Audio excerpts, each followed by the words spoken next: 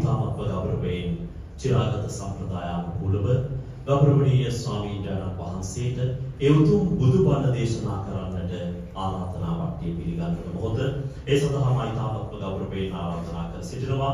ශ්‍රීමත් general sir John Kotelawala ආරක්ෂක විශ්වවිද්‍යාලයේ උපකුලපතිතුමන් රියාපිරාල් ධර්මික කුමාර මැතිතුමන්ට බොහොම ගෞරවයෙන් ආරාධනා කර සිටිනවා.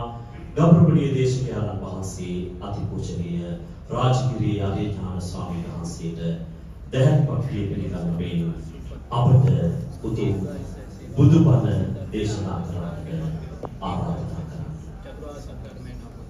සාදු සාදු සාදු අපේ හාමුදුරනේ අපට මේ සංසාර බබරූපය නිට්ටාවටම සුවපත් කරන්නට ඒ සසර දුකින් සදහටමත් විදෙන්නට මේ ගෞතම සම්බුද්ධ ශාසනයේ විරාජමානව බැබලෙන වෙලාවේ මේ රටේ සම්බුදු සසුන යලි ස්ථාපිත වෙමින් ඒ බහින්දාගමනයේ මුළු රට සදහම් සිසිලෙන් නැහැවුණු පුණ්‍යවන්ත පොසොල් මාසයේ 15 වෙනිදා සෙනසුරාදා මේ සන්ධ්‍යාවේ අප වෙනුවෙන් අනුකම්පාවෙන් අපට මේ සසර දුක කෙලවර කරන්නට සංසාර භව රෝගය නිට්ටාවටම සුවපත් කරගන්නට ඔබ වහන්සේගෙන් දහම් ඔසු අපට ලැබේවා. සාදු සාදු සාදු. අවසරයි ස්වාමීන් වහන්සේ.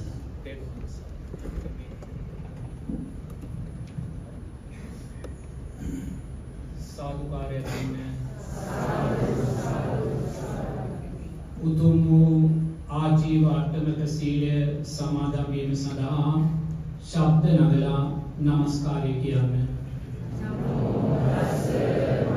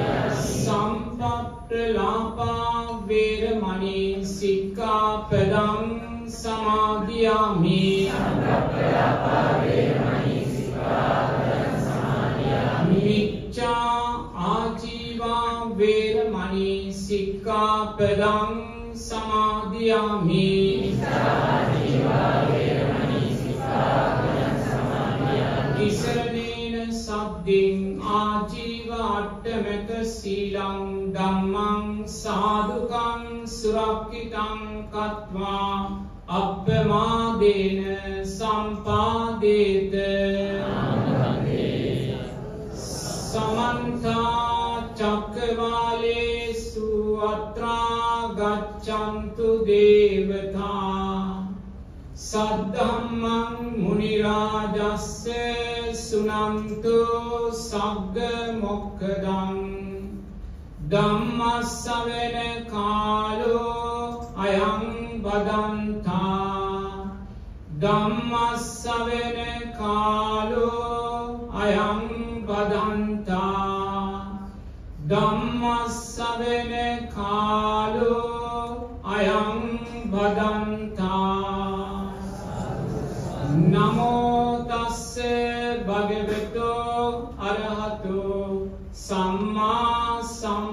සම්බුද්දස්ස නමෝතස්ස භගවතෝ අරහතෝ සම්මා සම්බුද්දස්ස නමෝතස්ස භගවතෝ අරහතෝ සම්මා සම්බුද්දස්ස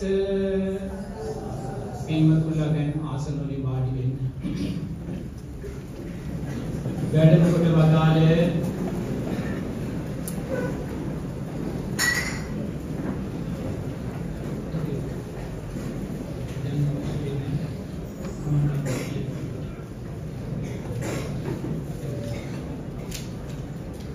හොඳයි සාදුකාරයක් දෙන්න වැඩම කොට වදාළ රත්මලාන කඳවැල ශ්‍රී පුණ්‍යවර්ධනාරාමේ අති ගෞරවනීය නායක ස්වාමින් වහන්සේ ඇතුළු ඒ පින්වත් ස්වාමින් වහන්සේලාගේ අවසර ඒ වගේම වැඩමකොට වදාළ ඒ පින්වත් රන්මුතුවල බුද්ධ වංශ ගෞරවනීය ස්වාමින් වහන්සේගේ අවසර පින්වතුනි අපිට පින්වත් ආචාර්ය ඒ උපාලි රණසිංහ මහත්මයා අවස්ථා දෙහිතදීම ආරාධනයන් සිද්ධ කළා පින්වත් උපකුලපති රියල් අද්මිරාල් ධම්මික කුමාර මහත්මයාගේ ඒ වගේම නියෝජ්‍ය උපකලපති මේජර් ජනරාල් චින්තක වික්‍රමසිංහ මහත්මයාගේ අවවාද අනුශාසන අයතුව ඒ පින්වත් උපාලි රාජපක්ෂ මහත්මයා අපිට ආරාධනාවන් සිද්ධ කළා. මේ විද්‍යායතනයට වැඩම කරලා ධර්ම දේශනාවේ පින්කමක් සිද්ධ කර දෙන්නේ කියලා. එහි ප්‍රතිඵලයක් හැටියටයි මේ මොහොතේ මේ විචිත්‍ර වූද සුන්දර වූද පින්කම සිද්ධ වෙන්නේ. වටාපිටාව බලද්දී වටාපිටාව දකිද්දී බොහෝම විචිත්‍ර ලස්සන පින්කමක් සංවිධානය කරලා තියෙනවා. පින්කමක විචිත්‍ර භාවය දකිද්දී ඒ විචිත්‍ර භාවය තුළ අපි දකින්නේ එම පින්කම සංවිධානය කලා වූ පින්වතුල්ලාගේ සිස්සතන් උතුම් තෙරුවන් උදෙසා කොයි සානම් විචිත්‍රද කියන කාරණයයි පින්වතුනි. ලෝතුරා බුදුරජාණන් වහන්සේ ජීවමානව වැඩසිටින කාලේ දම්බදිව බොහෝම විචිත්‍ර චිත්‍රයක් තිබ්බා. ඒ චිත්‍රයට කිව්වේ චරණ චිත්‍රය කියලා. මේ චරණ චිත්‍රය ලෝතුරා බුදුරජාණන් වහන්සේ දැකලා බුදුරජාණන් වහන්සේ දේශනා කරනවා මේ චරණ චිත්‍රය යම්සේ විචිත්‍රද මේ චිත්‍රය නිර්මාණය කලා වූ සිත්තරාගේ සිත ඊටත් වඩා විචිත්‍රයි කියලා පිටතුරේ. එහෙමනම් පින්වතුල්ලා විචිත්‍රාකාරයෙන් පින්කම් සිද්ධ කරගනිති ඒ විචිත්‍ර භාවය තුළ අපි දකින්නේ මේ පින්කම සංවිධානය කලා වූ පින්වතුල්ලාගේ සිස්සතන් උතුම් පෙරුවන් උදෙසා මීටත් වඩා විචිත්‍රයි කියන කාරණයයි පින්වතුනි.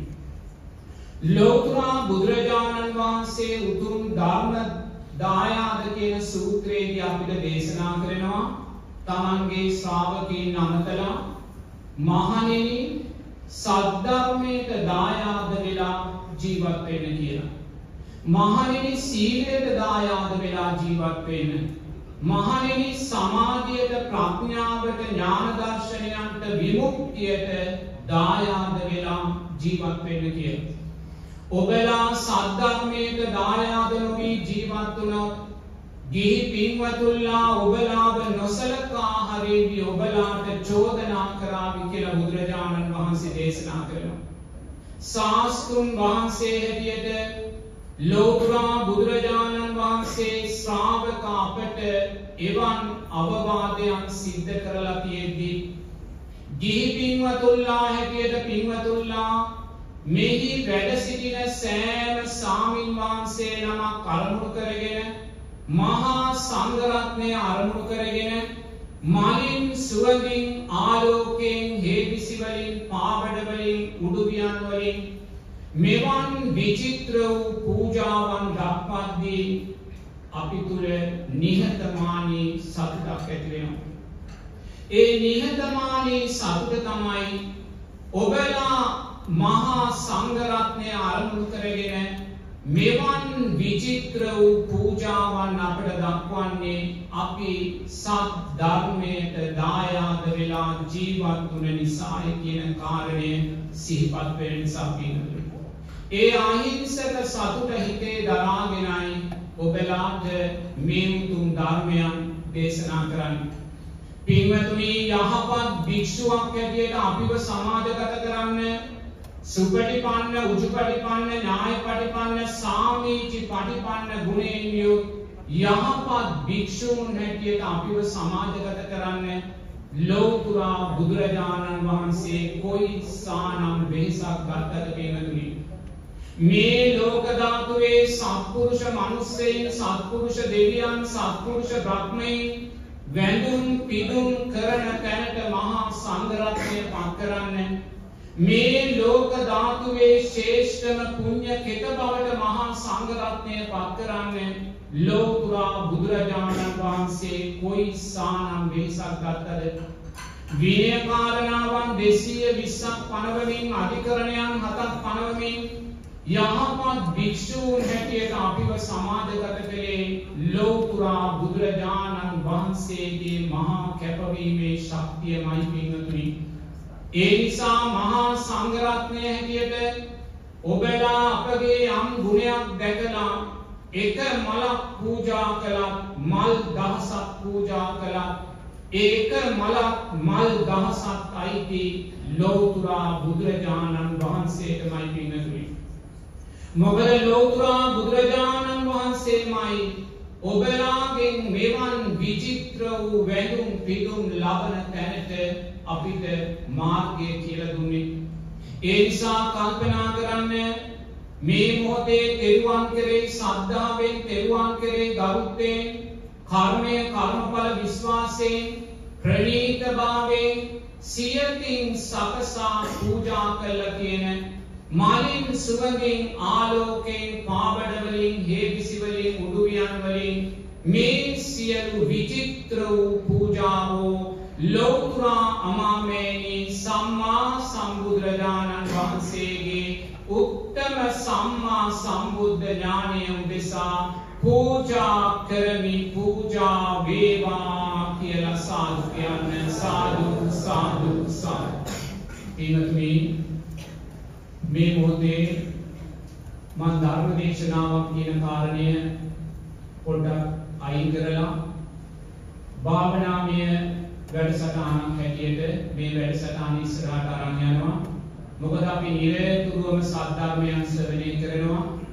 ඒ නිසා මේ ධර්මදේශනාව භාවනාමය වැඩසටාන පුරාවට මම අනිත්‍යයි කියන වචනය නිතර නිතර පාවිච්චි කරනවා නමුත් ඔබ අනිත්‍යයි කියන වචනයට බයවෙන්න එපා. ලෝතුරා බුදුරජාණන් වහන්සේ ගිහිපින්වතුල්ලා හැටියට ඔබලාට මේ අනිත්‍යයි කියන අර්ථය මේ සතර සටිපට්ඨාන ධර්මයන්ගේ අර්ථය දේශනා කළේ ඇයි කියන කාරණය මම මේ ධර්ම දේශනාව අවසානයේදී පහදලා දෙනවා. ඒ නිසා අනිත්‍යයි කියන වචනේ කිව්වට බය වෙන්න එපා. අනිත්‍ය කියන අර්ථය තරම් උත්තරීතර ශ්‍රේෂ්ඨ ජීවිතයට යහපත සලසා දෙන වෙන අර්ථයක් මේ ලෝක ධාතු තුල නැහැ. ඒ නිසා අනිත්‍යයි කියන වචනේ සැබෑ අර්ථය බුදුරජාණන් වහන්සේ ඔබලාට දේශනා කළේයි කියන කාරණය ධර්ම දේශනාව අවසන් කොටසේදී මම මතක් කරලා දෙනවා. පින්වතුල්ලා සෑම කෙනෙක්ම දැස් පියාගෙන මම කිව්වාට පස්සේ ශබ්ද නගලා කියන්න. මම කයි දුක් දුරු වී සිතේ දුක් දුරු වී නිදුක් වෙත්වා. නිරෝගී වෙත්වා.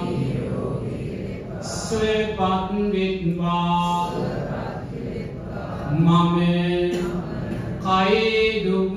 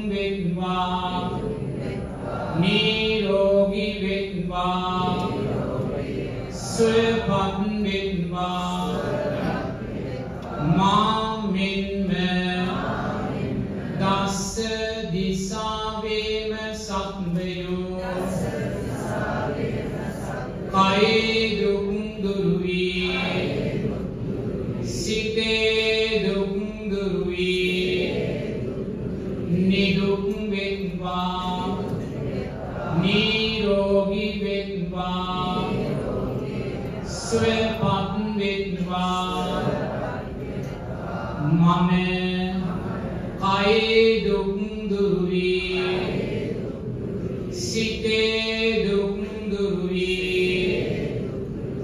නිදුක්වෙන්වා නීරෝගී වෙන්වා ස්වපත්වෙන්වා සාමීන්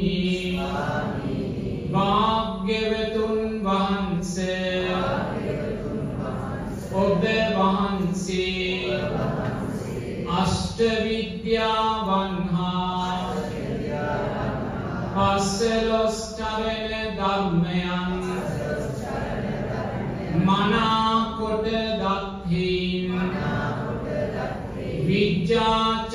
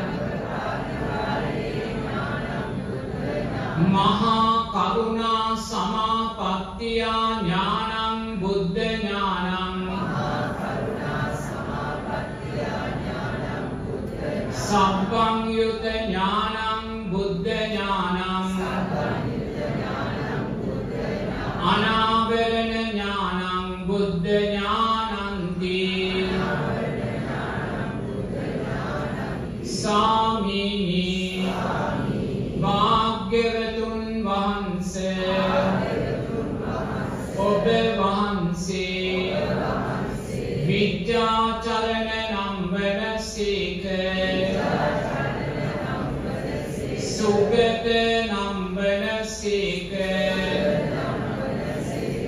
ලෝක විදෝ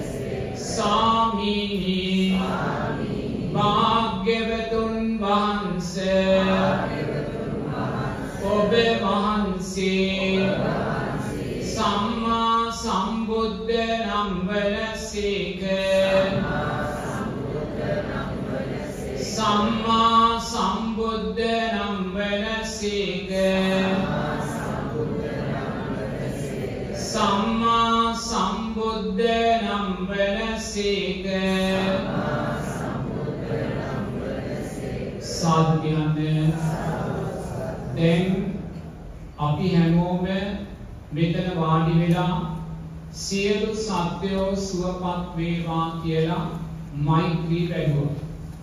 පින්වතුනි අපි මෙතන වාඩි වෙලා මොන තරම් සියලු සත්වයෝ සුවපත් වේවා කිව්වා සියලු සත්වයෝ සුවපත් වේද සියලු සත්වයෝ සුවපත් වෙන්නේ නැහැ. අපි මෙතන වාඩි වෙලා සියලු මිනිස්සයෝ සියලු දෙවියෝ සියලු බ්‍රහ්මයෝ සුවපත් වේවා කියලා මොන තරම් මෙත් වැඩුවත් පින්වතුනි සියලු සත්වයෝ සියලු දෙවියෝ සුවපත් වෙන්නේ නැහැ.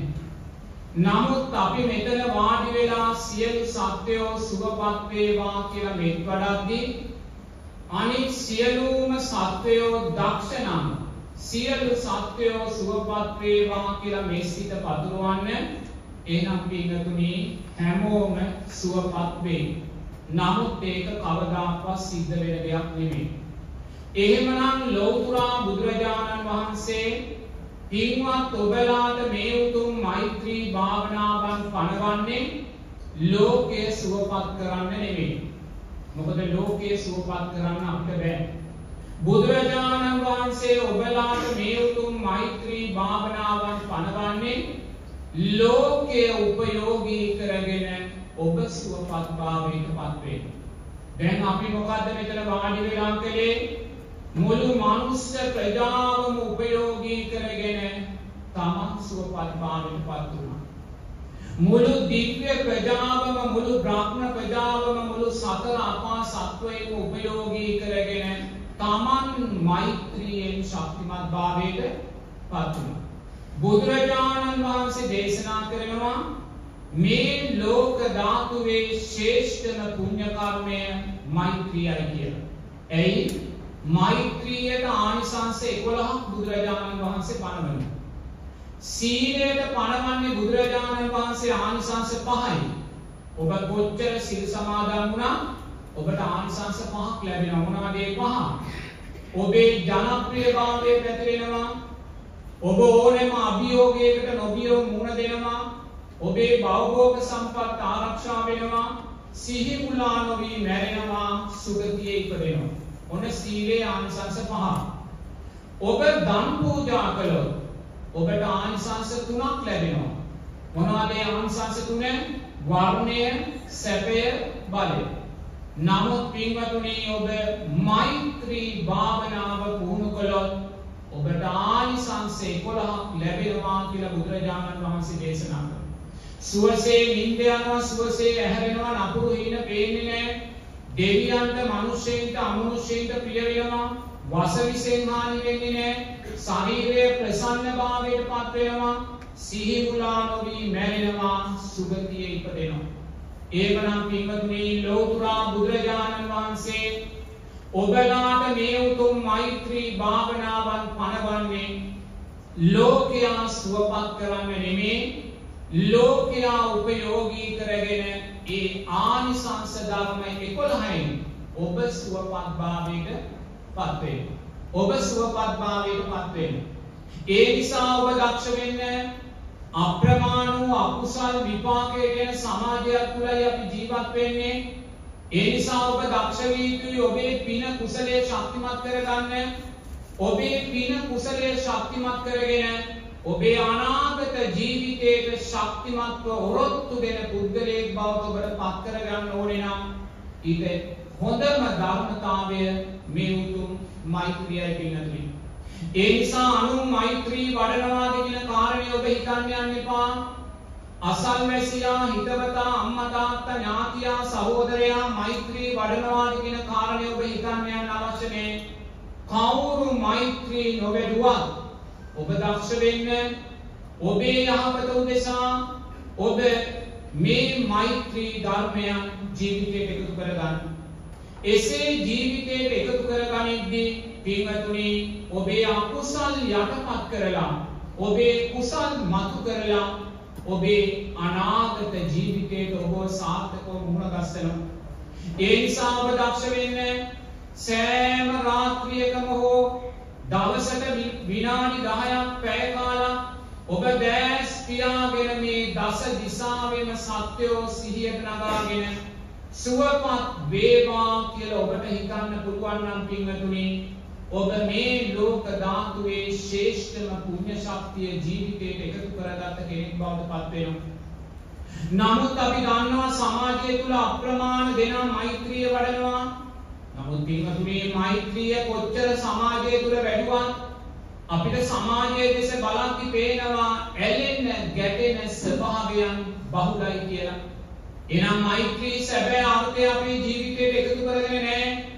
අපි දවසට විනාඩි 10ක් පැය කාලක් පැය භාගයක් මෛත්‍රී වැඩුවත් පිංහතුනී ඒ පැයකාල පැයබාගේ මෛත්‍රිය වඩලා අපි ආයිමත් සමාජයට එද්දී අපි ආයිමත් කාර්යාලයට යද්දී අපි ආයිමත් මහපාරට යද්දී පිංහතුනී අපේ හිත ගැටෙනවා අපේ හිත ඇලෙනවා අපිට කේන්තියනවා අපිට ද්වේශයනවා අපිට නපුරු සිත් ඇති වෙනවා. එනම් පින්වතුනි අපි වඩපු මෛත්‍රියෙන් වැඩක් වෙලා නැහැ. ඒ නිසා ඔබ දක්ෂ වෙන්න මෛත්‍රිය ඔබේ ජීවිතේ කොටසක් බවට පත් කරගන්න. මෛත්‍රිය ඔබේ ලේ මස් සම් මැට නහර වලට කිඳා බැස්සා වූ දහමක් බවට පත් කරගන්න පින්වතුනි එහෙම දහමක් බවට පත් කරගන්න නම් මෛත්‍රිය ඔබේ ජීවිතේ කොටසක් බවට පත් කරගන්න නම් ඔබට දවසක විනාඩි 10ක් පැය කාලක් පැය භාගයක් භාවනා කරලා මෛත්‍රී වඩලා කවදාක්වත් ඔබට මෛත්‍රිය ඔබේ ජීවිතේ කොටසක් බවට පත් කරගන්න බෑ. ඒ නිසා ඔබට අවශ්‍ය නම් මේ ආනිසංස ධර්මයන් 11කින් ඔබේ ජීවිතේ පුරව ගන්න ඔබ දක්ෂ වෙන්න මෛත්‍රිය ඔබේ ලේ මස් සම් මැට නහර වලට කිඳා බැස්සා වූ දහමක් බවට ඔබට පත් කරගන්න ඕනේ නම් ඔබ දක්ෂ වෙන්න ඔබ තුළ සකස් වෙන සෑම සිතුවිල්ලකටම පසු සිත සුවපත් වේවා කියලා හිතන්න. ඔබ උදෑසන නැගිටිනවා නැගිටින්න කියන හිත සකස් වෙනවා ඊළඟ හිත සුවපත් වේවා කියලා හිතන්න. වතුර එකක් බොන්න කියලා හිත සකස් වෙනවා ඊළඟ හිත සුවපත් වේවා කියලා හිතන්න. මූණ හොදන්න කියන හිත සකස් වෙනවා ඊළඟ හිත සුවපත් වේවා කියලා හිතන්න. පාඩම් කරන්න ඕනේ කියන හිත සකස් වෙනවා ඊළඟ හිත සුවපත් වේවා කියලා හිතන්න.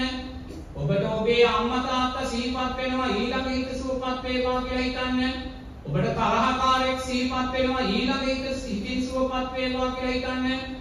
පින්වතුනි ඔබ උදේ ඉඳන් රාත්‍රී වෙනකම් ඔබ තුල සකස් වෙන සෑම සිතුවිල්ලකටම පසුසිත සුවපත් වේවා කියලා ඔබ හිතන්න පුහුණු වුණොත් දවසෙන් භාගයක් ඔබ මෛත්‍රී වැඩුවා වෙනවා. මම බුදුරජාණන් වහන්සේගේ ශ්‍රාවකයෙක් හැටියට මෙතන වාඩි වෙච්ච මොහොතේ පටන් මට මෙතන කවුරු සිහිපත් වුණා ඊළඟ සිත සුවපත් වේවා කියන චිත්තයයි සකස් කරගත්තා. එහෙම කළාම මෛත්‍රිය ජීවිතේ කොටසක් බවට පත් වෙනවා. මෛත්‍රිය ලේ මස් සම් මැටනහර වලට කිඳා බැස්සා වූ දහමක් බවට පත් වෙනවා. ඒ නිසා පින්වතුනි ඔබ දක්ෂ වෙන්න බලවත් ආකාරයෙන් අකුසල් විපාක දෙන සමාජයක් තුළ ඔබ දක්ෂ වෙන්න ඔබේ කුසල් පක්ෂය ශක්තිමත් කරගන්න බුදුරජාණන් වහන්සේ ඔබලාට මේ උතුම් මෛත්‍රී ධර්මයන් දේශනා කළේ පින්වතුනි ලෝකයේ සුවපත් කරන්න නෙමෙයි ලෝකයේ කවදාක්වත් අපිට සුවපත් කරන්න බෑ බුදුරජාණන් වහන්සේලා ලක්ෂ ගාණක් පහළ වුණා වූ ලෝකයක් බුදුරජාණන් වහන්සේලා ලක්ෂ ගාණක් පහළ වුණත් ලෝකයේ සුවපත් උනේ නෑ. අපේ ගෞතම බුදුරජාණන් වහන්සේ පහළ වුණා කියලා දඹදිව සුවපත් උනේ නෑ.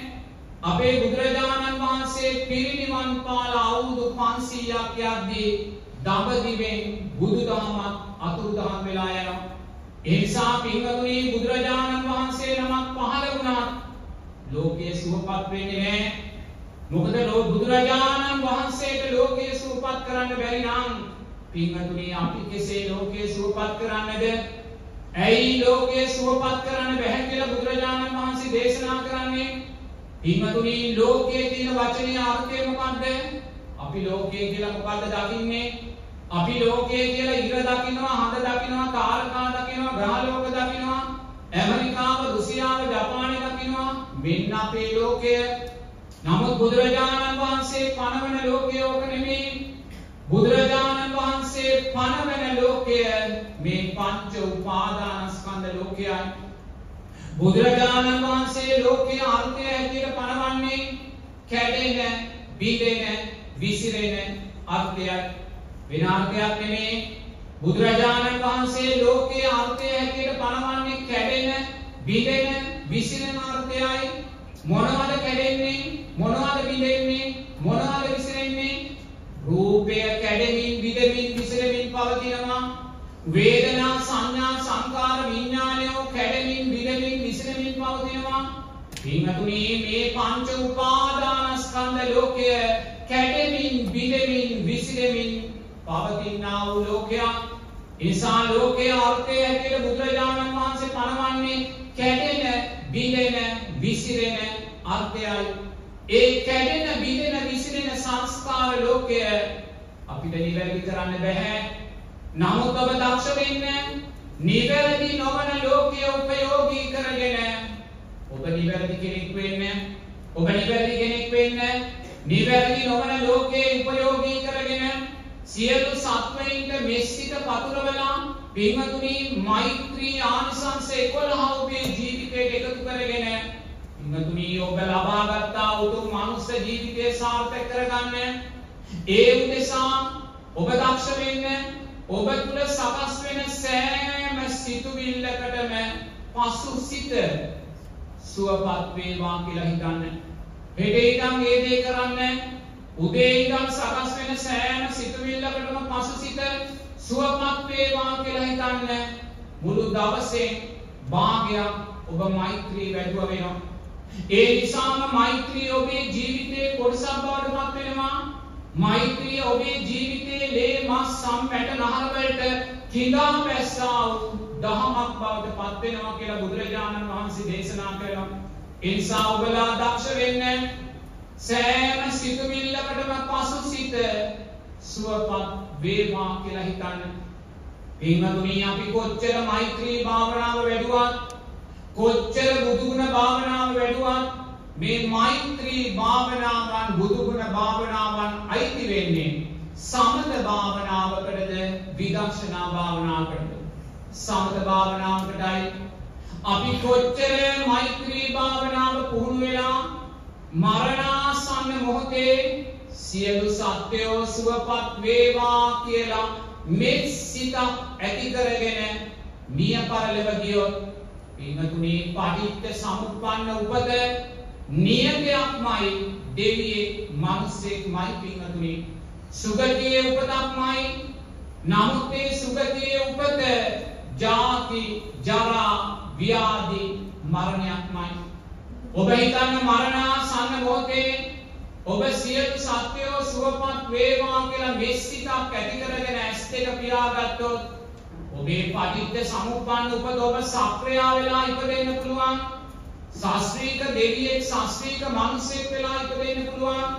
නමුත් සක්‍ර දෙවියන් වෙලා ඉපදුනා ඒ ඉපදිලා තියෙන ජාති ජරා ව්‍යාධි මරණයක් ජාති ජරා ව්‍යාධි මරණයක් ඔබ බුද්ධානුස්සතිය පුහුණු කරලා මරණාසන්න මොහොතේ ඉතිපිසෝ භගවා අරහන් කියලා උතුම් බුදු ගුණයක් සිහියට නගාගෙන මැරුණොත් නියතයක්මයි ඔබ සුගතියේ ඉපදෙනවා. නමුත් පින්වතුනි කිනම් සුගතියේ උපතක් ලැබුවත් ඒ සෑම උපතක්ම ජාති ජරා ව්‍යාධි මරණයන්ට යටත් උපතක්මයි එහෙනම් දැන් අපි මේ මොකද්ද කරලා තියෙන්නේ? ඔබටත් මටත් සම්මා සම්බුද්ධ ශාසන ලක්ෂ ගාණක් අතීතේ මුණ ගැහිලා තියෙනවා. සම්මා සම්බුද්ධ ශාසන ලක්ෂ ගාණක් මුණ ගැහිලා අපි මොකද්ද කරලා තියෙන්නේ? මෛත්‍රී භාවනාව වඩනවා, බුදුගුණ භාවනාව වඩනවා, මරණාසන්න මොහොතේ මේ භාවනා සිහියට නගාගෙන මැරෙනවා.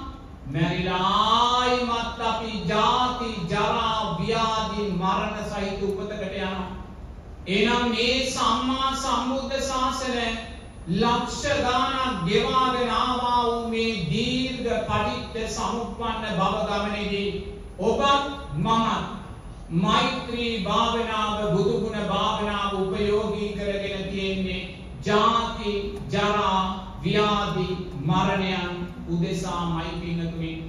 බුදුරජාණන් වහන්සේ ඔබෙන් ප්‍රශ්න කරනවා ඔබ කවදාද මේ ජාති ජරා ව්‍යාධි මරණයන්ගෙන් මිදෙන්නේ කියලා? අපි මේ නිවේශයේදී මෛත්‍රී භාවනාව බුදුගුණ භාවනාව උපයෝගී කරගෙන පින්වතුනි අපි ප්‍රාර්ථනා කරන්නේ ජාති ජරා ව්‍යාධි මරණයක් නම් අපි කවදාද මේ සම්මා සම්බුද්ධ ශාසනයේ අරටුව ජීවිතයට එකතු කරගන්නේ සම්මා සම්බුද්ධ ශාසනයේ අරටුව කියන්නේ විදර්ශනා ප්‍රඥාවයි ඥාන දර්ශනයන් විමුක්තියයි. සම්මා සම්බුද්ධ ශාසනයේ අරටුව හැටියට බුදුරජාණන් වහන්සේ පනවන්නේ. නමුත් අපි මේ තාම මොකද කරන්නේ? සම්මා සම්බුද්ධ ශාසනයේ අතු කොළ රිකිලි දලු මල් අපි එකතු කරනවා. තාම අරටුවක් ගැන අපි හිතලා නැහැ. විදර්ශනා ප්‍රඥාව ගැන අපි හිතලා නැහැ ඥාන දර්ශනයන් ගැන අපි හිතලා නැහැ විමුක්තියක් ගැන අපි හිතලා නැහැ. තාම කොළ දලු මල් අතු නෙලනවා. බුදුරජාණන් වහන්සේ ඔබෙන් ප්‍රශ්න කරනවා කවදාද ඔබ මේ සම්මා සම්බුද්ධ ශාසනය උපයෝගී කරගෙන මේ ශාසනයේ අරටුව ජීවිතයට එකතු කරගන්න කියලා පින්වතුනි? පින්වතුනි ඔබත් මමත් දීර්ඝ පටිච්ච සමුප්පන්න භව ගමනක් ඇවිල්ලා තියෙනවා බුදුරජාණන් වහන්සේ දේශනා කරනවා මෙතන ඉන්න සෑම කෙනෙක්ම සංසාරේ ගොඩ ගැසුවා වූ මලකඳන් එක ගොඩක් ගැහුවොත් ජිජ්ජකූට පර්වතයට වඩා විශාලයි කියලා.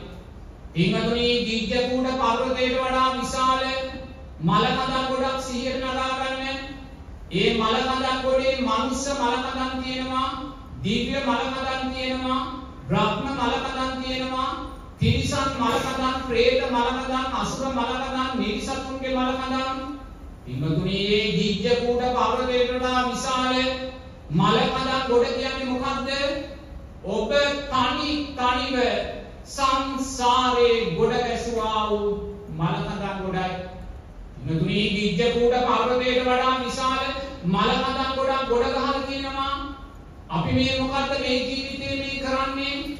කාම සමත භාවනාව සමත භාවනාවක් හැටියටම අරගෙන අපි මේ ජීවිතයක් කවදා හරි මලකඳක් කරලා මේ මලකඳත් අර මහා මලකඳන් ගොඩට එකතු කරලා ආයිමත් භවයේ උපතකට යනවා. පින්වතුනි කවදාද මේ මහා මලකඳන් ගොඩ අපි නිරෝධය කරන්නේ? අරසා මහා ගිජ්ජකූට පර්වතයේ තරම් විශාල මලකඳන් ගොඩ තනි තනිව ඔබත් මම සංසාරේ ගොඩ ගහලා තියෙනවා. ඒ නිසා බුදුරජාණන් වහන්සේ ඔබෙන් ප්‍රශ්න කරනවා ඔබෙන් ප්‍රශ්න කරනවා කවදාද ඔබ මේ ශාසන අරටුව උපයෝගී කරගෙන මේ මහා මලකඳන් ගොඩ ඔබ තනි තනිව ගොඩ ගැසුවා වූ මලකඳන් ගොඩ නිරෝධය කරන්න කියලා. පින්වතුනි ලෝකුරා බුදුරජාණන් වහන්සේ ජීවමානව වැඩ සිටින කාලේ බොහොම ධනවත් බමුණෙක් හිටියා මාන්නාධික බමුණෙක්. මේ බමුණට අදහසක් ඇති වෙනවා තමන් මැරුණාට පස්සේ තමන් වල දාන්න ඕනේ කිසිවෙක් වල නොදැමු තැනකයි කියලා. ඉමදුනේ දැන් අපි අපවත් වුණොත් ඔබ මිය ගියොත් අපේ දේහය දීලා පවුලේ සුසාන භූමියේ වල දාන්නේ ආදානය කරන්නේ එතන දාස් ගාණක් වල දාපු තැනක්. නමුත් මේ බමුණ කැමති වුණේ වෙන කවුරුත් වල දාපු තැනක තමන් මිය ගියාට පස්සේ දේහය වල දාන්නට බමුණ කැමති වුණේ බමුණ සේවකයන් අරගෙන කැලේ ඈතින් ඈතට යනවා කැලේ ඈතින් ඈතට ගිහිල්ලා යොදුන් ගානක් ගිහිල්ලා තැනක් සලකුණු කරනවා. මෙන්න මෙතන නම් කවදාක්වත් කිසිම කෙනෙක් වල නොදැමු තැනක් කියලා විශාල ගහක් යට තැනක් තෝරගන්නවා. සේවකයින්ට කියනවා මෙතන වලහාරන්න කියලා. සේවකයින් වලහාරනවා බුදුරජාණන් වහන්සේ මේක දිවසින් දකිනවා. බුදුරජාණන් වහන්සේ මෙතෙන්ට වැඩම කරලා අහනවා බමුණ ඔබ මොකද්ද මේ කරන්නේ? භාග්‍යවතුන් වහන්සේ මම මිය ගියාට පස්සේ කිසිවෙක් වල නොදැකූ තැනකයි මගේ දේහය වලදාන්න ඕනේ භාග්‍යවතුන් වහන්සේ මෙතන නම් කවදාක්වත් කිසිම කෙනෙක් වලදාපු තැනක් නෙමෙයි කියලා.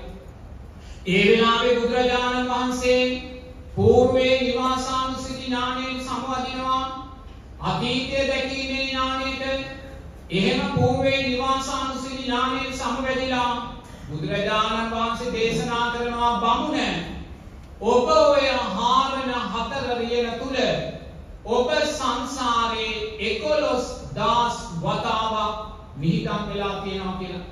ඉන්නතුනි 11000 වතාවක් බමුණ හිතාගෙන ඉන්නේ මෙතන කවදාකවත් කිසිම කෙනෙක් වල දාලා නැහැ කියලා. කිසිම කෙනෙක් නෙමෙයි.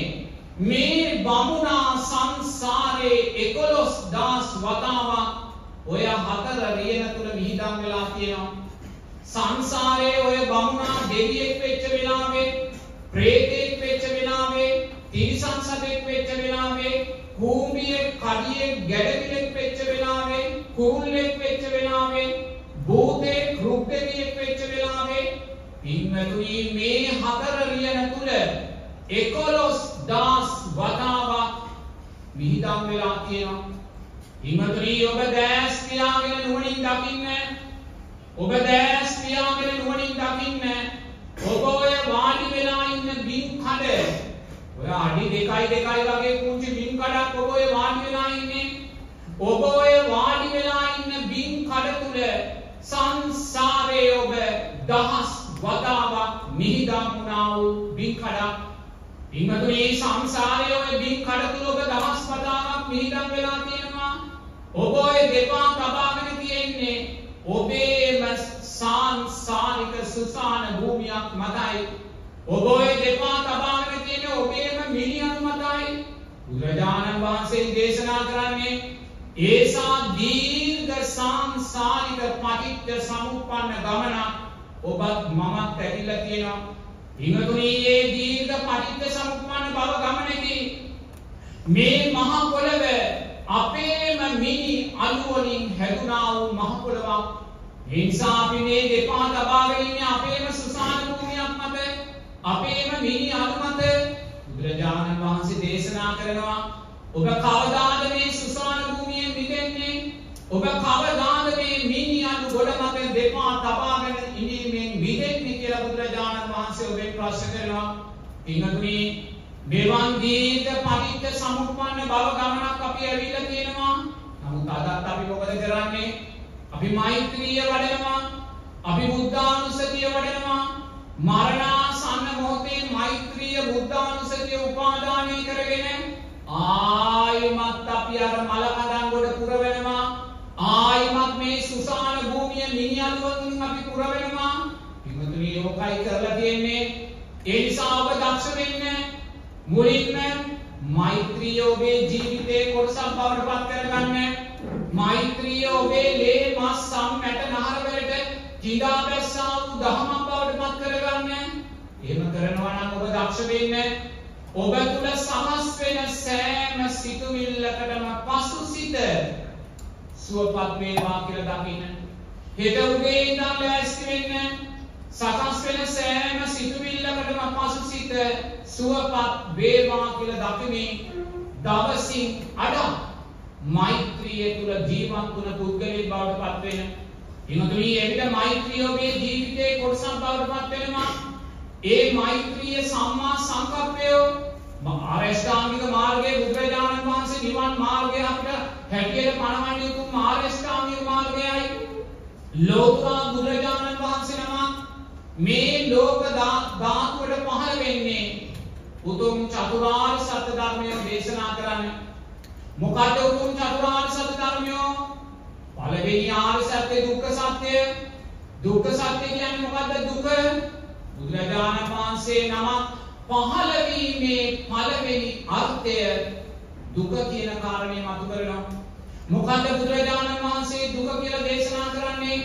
ජාති ජරා ව්‍යාධි මරණ ශෝක පරිදේව දුක්ඛ දෝමනස්යන් ප්‍රියංගෙන් වෙන්වීම අප්‍රියන් නායකවීම පංච උපාදානස්කන්ධ දුක දුක හැටියට පවසනවා. පින්වතුනි ඔබේ හෘද සාක්ෂිය තට්ටු කරලා අහන්න මේ දුක තුල ඔබ ජීවත් වෙනවද නැද්ද? අපි සෑම කෙනෙක්ම ජාති ජරා ව්‍යාධි මරණ ශෝක පරිදේවයන් තුලයි ජීවත් වෙන්නේ. මෙන්න බුදුරජාණන් වහන්සේ නමකගේ පහළ වීමේ පළවෙනි අර්ථය දුක තමා තුලින් දකින්න. චතුරාර්ය සත්‍ය පළවෙනි අර්ථය ඔබ ළඟ තියෙනවා. දෙවෙනි චතුරාර්ය සත්‍ය අර්ථයේදී බුදුරජාණන් වහන්සේ දේශනා කරනවා දුක ඔබ ළඟ තියෙනවා නම් දුකට හේතු දෙකක් නෑ. දුකට තියෙන්නේ එක හේතුවයි මොකක්ද හේතුව? තෘෂ්ණාව. කුමක් කෙරෙහි තෘෂ්ණාවද? රූප වේදනා සංඥා සංකාර විඥානයන් කෙරෙහි තෘෂ්ණාව. ඔබ යම් මොහොතක දුකටපත් වුණා නම් ඒ දුකටපත් උනේ තෘෂ්ණාව නිසාමයි පින්නතුනි. එහෙමනම් දුකක් ඔබ ළඟ තියෙනවා. දෙවෙනි ආර්ය සත්‍ය වෙන දුකට හේතුව තෘෂ්ණාවක්. ඔබ ළඟම තියෙනවා මේ උතුම් චතුරාර්ය සත්‍ය බුදුරජාණන් වහන්සේ නමකගේ පහළ වීමේ සැබෑ අර්ථය දුක ඔබ ළඟ තියෙනවා බුදුරජාණන් වහන්සේ දුක පෙන්වුවා ඔබ තුලින් දෙවනුව බුදුරජාණන් වහන්සේ දුකට හේතුව තෘෂ්ණාව ඔබ තුලින් පෙන්නනවා තුන්වෙනි ආර්ය සත්‍යදී බුදුරජාණන් වහන්සේ දේශනා කරනවා දුක ඔබ ළඟ තියෙනවා නම් දුකට හේතුව තෘෂ්ණාවත් ඔබ ළඟ තියෙනවා නම් දුක නැති කරන්න මොකද්ද ඔබ කරන්න ඕනේ? තෘෂ්ණාව නැති කරනවා. මෙන්න චතුරාර්ය සත්‍ය දුක ඔබ තුලින් පෙන්නවා. දුකට හේතුව තෘෂ්ණාව ඔබ තුලින් පෙන්නවා. දුක නැති කරන්න නම් ඔබ මොකද්ද කරන්න ඕනේ? තෘෂ්ණාවයි ඔබ නැති කරන්න ඕනේ. කවුද තෘෂ්ණාව නැති කරන්න ඕනේ? ඔබමයි. ඔබ ළඟයි දුක තියෙන්නේ. ඔබ ළඟයි තෘෂ්ණාව තියෙන්නේ. ඒ නිසා තෘෂ්ණාව දුක නැති කර යුත්තේ ඔබමයි තුන්වෙනි ආර්ය සත්‍ය. හතරවෙනි ආර්ය සත්‍යදී බුදුරජාණන් වහන්සේ දේශනා කරනවා දුක ඔබ ළඟ තියෙනවා. දුකට හේතුව තෘෂ්ණාවත් ඔබ ළඟ තියෙනවා. දුක නැති කරන්න නම් ඔබ තෘෂ්ණාවයි නැති කරන්න ඕනේ. තෘෂ්ණාව නැති කිරීමේ මාර්ගය ආර්ය අෂ්ටාංගික මාර්ගය හතරවෙනි ආර්ය සත්‍යයෙන් බුදුරජාණන් වහන්සේ පනවනවා. මෙන්න පින්වත්නි ලෞතුරා බුදුරජාණන් වහන්සේගේ නමකගේ පහළ වීම ඒ නිසා ඔබ දුක කියන කාරණය දකිනවා නම් දුකට හේතුව තෘෂ්ණාව කියන කාරණය දකිනවා නම් දුක නැති කරන්න තෘෂ්ණාවයි නැති කරන්න ඕනේ කියන කාරණය දකිනවා නම් එකම මාර්ගය ආරෂ්ඨාංගික මාර්ගය ලෞකික ලෝකෝත්තර දෙයාකාරයේ සැප ලබා දෙන මාර්ගය. ඒ නිසා අපි ආරෂ්ඨාංගික මාර්ගයට ඇතුල් වෙන්නේ සම්මා දිට්ඨියෙන්. සම්මා දිට්ඨිය තුලින් අපි සම්මා සංකප්පයන්ට යනවා. සම්මා සංකප්ප කියන්නේ මොකද්ද? අවිහිංසා සංකප්ප අව්‍යාපාද සංකප්ප නෙක්ඛම්මය පින්වතුනි මේ මෛත්‍රී භාවනාව අයිති වෙන්නේ ආර්ය අෂ්ටාංගික මාර්ගයේ දෙවෙනි මාර්ගාංගයට සම්මා සංකප්පයට දෙවෙනි මාර්ගාංගයටයි මෛත්‍රිය අයිති වෙන්නේ. තුන්වෙනි හතරවෙනි පස්වෙනි මාර්ගාංග මොනවද?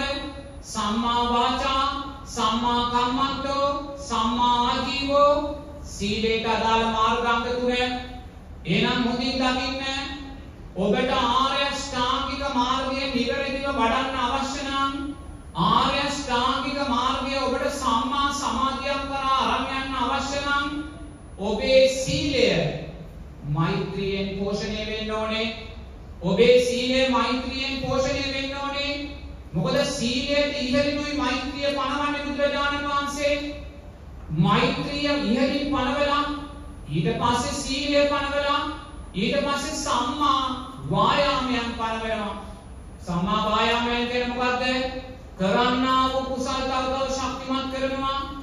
නොකලා වූ කුසල් අල්පයෙන් කරන්න පටන් ගන්නවා කළා වූ අකුසල් වලට යන්නේ නැහැ නොකලා වූ අකුසල් කරන්නේ නැහැ එහෙමනම් පින්වතුනි පින්වතුන්ලා සිදු කරන සෑම පින්කමක්ම සෑම දාන දානමය පින්කමක්ම අයිති වෙන්නේ මොකටද?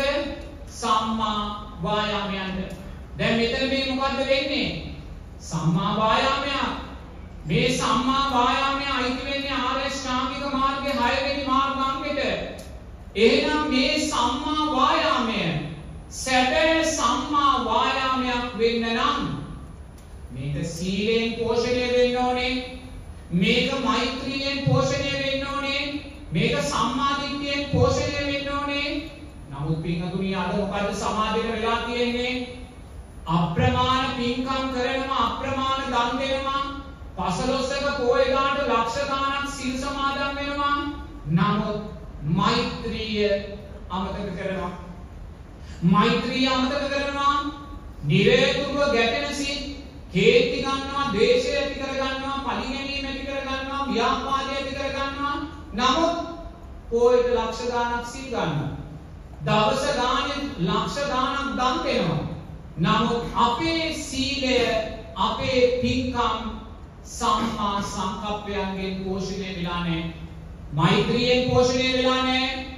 ඒ නිසා පින්වතුන්ලා නිවන් මාර්ගය තුල ගමන් කරනවා නම් සුගතියට අදාළ ධර්මතාවයන් ජීවිතයට එකතු කර ගන්නවා නම් ඔබ දක්ෂ වෙන්න සම්මා සංකප්පයන් තුළ ශක්තිමත් වෙන්න සම්මා සංකප්පයන් කියන්නේ මේ උතුම් මෛත්‍රියමයි අවිහිංසා සංකප්ප අව්‍යාපාද සංකප්ප නෙක්ඛම්මය ඒ නිසා ඔබ මෛත්‍රියෙන් පෝෂණය වුණා වූ සීලය පින්කම් දානයමයි ඔබව සම්මා සතියක් සම්මා සමාධියක් කරා අරන් යන්නේ. නමුත් සමාජයේ එතනදී හරි දුර්වලයි. අපි කොච්චර දන් දුන්නත් අපි කොච්චර සිල් සමාදන් වුණත් කොච්චර පින්කම් කළත් කේන්ති ගැනීම නම් අපේ ඉවරයක් නෑ.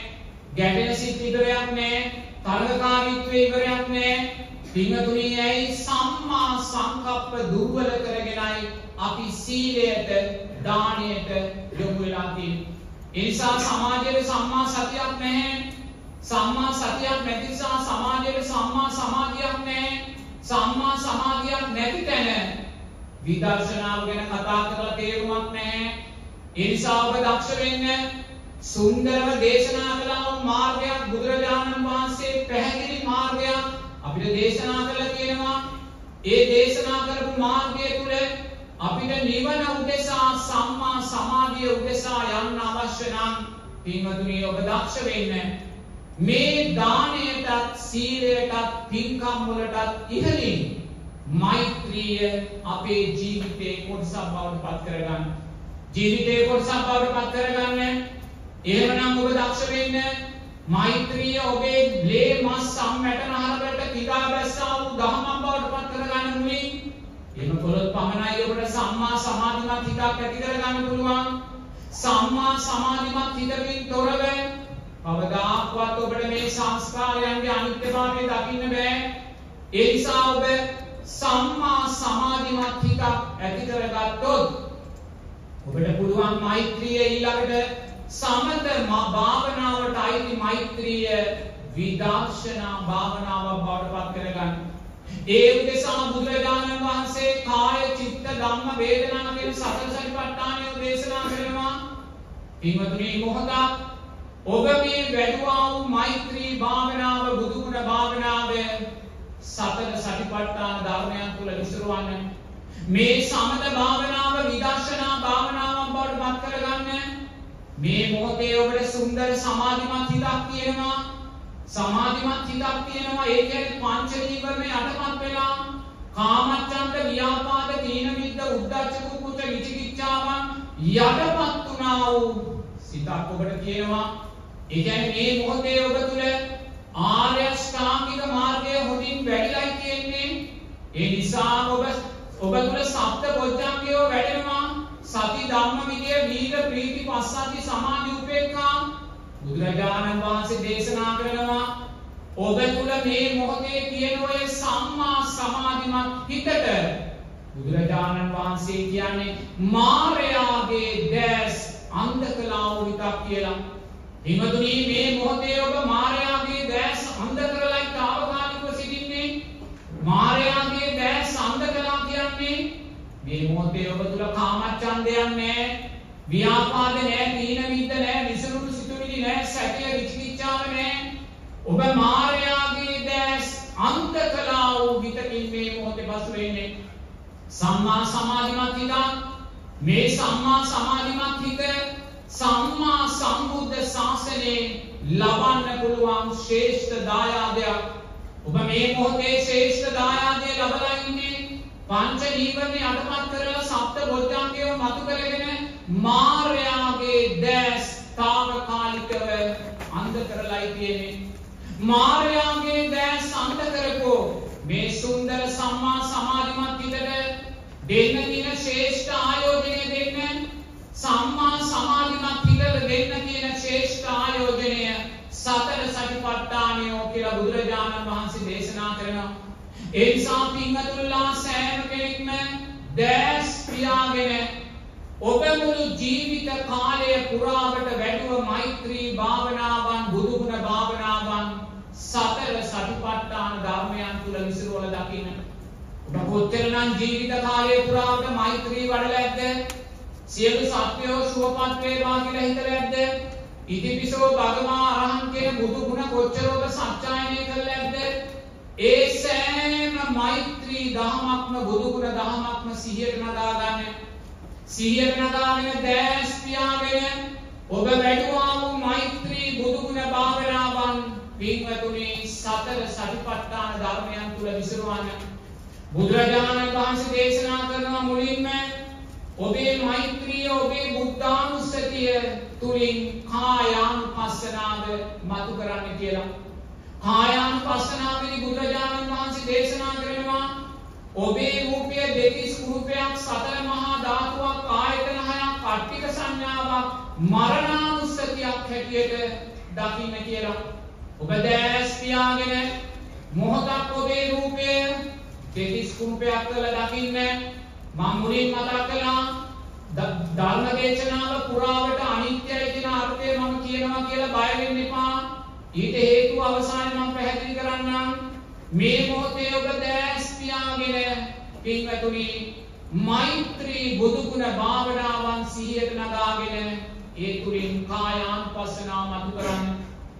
දෙතිස් රූපයක් හැටියට රූපය දකින්න දැස් පියාගෙන ඔබ මේ සම්මා සමාධිමත් හිත උපයෝගී කරගෙන ඔබේ රූපය ගලවන්න ඔබේ රූපය ලිහන්න ඔබේ රූපය විරුද්ධ කරන්න.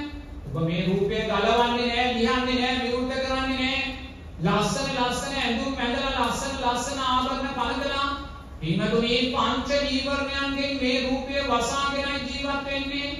නමුත් මේ මොහොතේ ඔබට සුන්දර සම්මා සමාධිමත් හිතක් තියෙනවා. කාමච්ඡන්දේ යටපත් වුණා වූ හිතක් විසිරුණු සිතුවිලි යටපත් වුණා වූ හිතක් ඒ පංච නීවරණ යටපත් වුණා වූ හිතෙන් ඔබේ රූපය මනසින් ගලවන්නේ දෙතිස් කුරුම භාවනාවේදී බුදුරජාණන් වහන්සේ දේශනා කරනවා ඔබේ රූපය කොටස් 32කට ගලවන්න කියලා. පිටුතුනි මනසින් ඔබේ රූපය කොටස් 32කට ගලවන්න කෙස්, ලොම්, නිය, දත්, සම්, මස්, ඇට, නහර දැන් ඔබ ඉදිරියේ කොටස් 32ක් තියෙන්න ඕනේ. ඔබේම රූපය ඔබ ගලවලා පිටුතුනි මේ මමය, මගේ, මගේ ආත්මය කියලා මගේ කරගෙන ජීවත් වෙන ඔබේම රූපය සම්මා සමාධිමත් හිතෙන් දැන් ඔබ ඉදිරියේ ගලවලා තියෙනවා. ඔබේම රූපය ගැලෙව්වේ ඔබ මනෝමය රූපයකින් මේ කොටස් 32 දිහා බලන්න. මනෝමය රූපයකින් ඔබේම මේ කොටස් 32 දිහා බලන්න. ඔබේ කෙස්රොද මනසින් අතර ගන්න. කෙස්රොද මනසින් අතට අරන් බලන්න. මේ උදේ හවස පීරනවා උදේ හවස සුවඳ විලවුන් තවරනවා මේක නාවනවා කොණ්ඩේ පීරනවා. මේ කෙස් වල මනසින් අරන් බලන්න මේ කෙස් රොද තුල මමය මගේය මගේ ආත්මය කියලා දෙයක් තියනවාද? නිත්‍යයි සැපයි සුභයි කියලා දෙයක් තියනවාද? නෑ පින්වතුනි දි รา යන කෙස් ගොඩක් සුදු පැහැ ගැන්වෙන කෙස් ගොඩක් කවදා හරි දවසක පවුලේ සුසාන භූමියේ පසට මුහු වෙන කෙස් ගොඩක් ඊළඟට ඔබේම නියපොතු ටික ඔබේම දත් ටික මනසින් අතර ගන්න. උදේ හවස මදින දිනපතා කපන පාට කරන ඔබේම නියපොතු ටික දත් ටික මනසින් අතට අරන් බලන්න. මේ දත්වල නියපොතු වල මමය මගේය මගේ ආත්මය කියලා දෙයක් තියනවාද? නිත්‍යයි සැපයි සුබයි කියලා දෙයක් තියනවාද? නෑ පින්වතුනි දිරායන දත් ගොඩක් දිරායන නියපොතු ගොඩක්. කවදාහරි දවසක පවුලේ සුසාන භූමියේ පසක මූ වෙන දත් ටිකක් නියපොතු ගොඩක්. ඊළඟට ඔබට මේ ලේ මස් සම් මැට නහර ගන්න. මේ ලේ මස් සම් මැට නහර එකින් එක අරන් බලන්න. මේ ලේ මස් ඇට සම් නහර වල මමය මගේය මගේ ආත්මය කියලා දෙයක් තියනවද? නිත්‍යයි සැපයි සුභයි කියලා දෙයක් තියනවද? නෑ පින්වතුනි කුඩු වෙලා නරක් වෙලා නිලමැස්ස වහලා පණුව ගහලා කවදා හරි දවසක පවුලේ සුසාන භූමියේ පසට මුහු වෙන දෙතිස් කුරුපයක් ඔබ රූපය කරේ තෘෂ්ණාව සියුම් කරගන්නවා ඒ ඔබ කායානුපස්සනාවයි මතු කළේ ඊළඟට ඔබ මෛත්‍රී භාවනාව තුළින් චිත්තානුපස්සනාව මතු කරන්නේ මුළු ජීවිත කාලය පුරාවට ඔබ සියලු සත්‍යෝ සුවපත් වේවා කියලා සිතුවිලි කී දහයක් ඇති කරගන්නේ නැද්ද? ඉතිපිසෝ භගවා අරහං කියලා සිතුවිලි කී දහයක් ඇති කරගන්නේ නැද්ද? ඒකම හිතක්වත් දැන් ඔබට අයිතිද? ඒකම හිතක්වත් දැන් ඔබට අයිති නෑ අනිත්‍ය වූ පස්ය හේතුවෙන් සකස් වූ හිතක්. පින්වතුනි අද උදේ නැගිට වෙලාව ඉඳන් සිතුවිලි කී දහයක් ඔබ තුළ ඇති වුණාද? උදේ පාන්දර 4ට කිව්ව නැගිටින්න කියලා තේරුණ කිව්වා මූණ හොදන්න කිව්වා පාඩම් කරන්න ඕනේ කිව්වා අද උදේ ඉඳන් මේ මොහොත දක්වා සිතුවිලි කී දහයක් ඔබ තුල ඇති වුණාද ඒකම සිතුවිල්ලක්වත් දැන් ඔබට අයිති නෑ. උදේ නැතිවෙන්න කියපු හිත ඔබට අයිතිද? උදේ මූණ හොදන්න කියපු හිත ඔබට අයිතිද? ඒකම හිතක්වත් දැන් ඔබට අයිති නෑ. ඒ සෑම සිතුවිල්ලක්ම අනිත්‍ය වූ පස්සේ හේතුවෙන් සකස් වෙලා අනිත්‍ය වෙලා ගියා. නමුත් ඔබේ අනිත්‍ය සිතුවිල්ල අනිත්‍යයි කියලා දැක්කේ නෑ. ඔබේ අනිත්‍ය සිතුවිල්ල නිත්‍යයි කියලා ගත්තා. ඒ සිතුවිල්ල තුල මා සිටිනවා මා තුලේ සිතුවිල්ල තියෙනවා කියලා දකිමින් ඒ සිතුවිල්ල ක්‍රියාත්මක භාවයට පත් කරලා ඇලීම් ගැටීම් ඔස්සේ අනාගත භවයට අප්‍රමාණ සංස්කාර අද දවසේ රැස් කරගත්තා.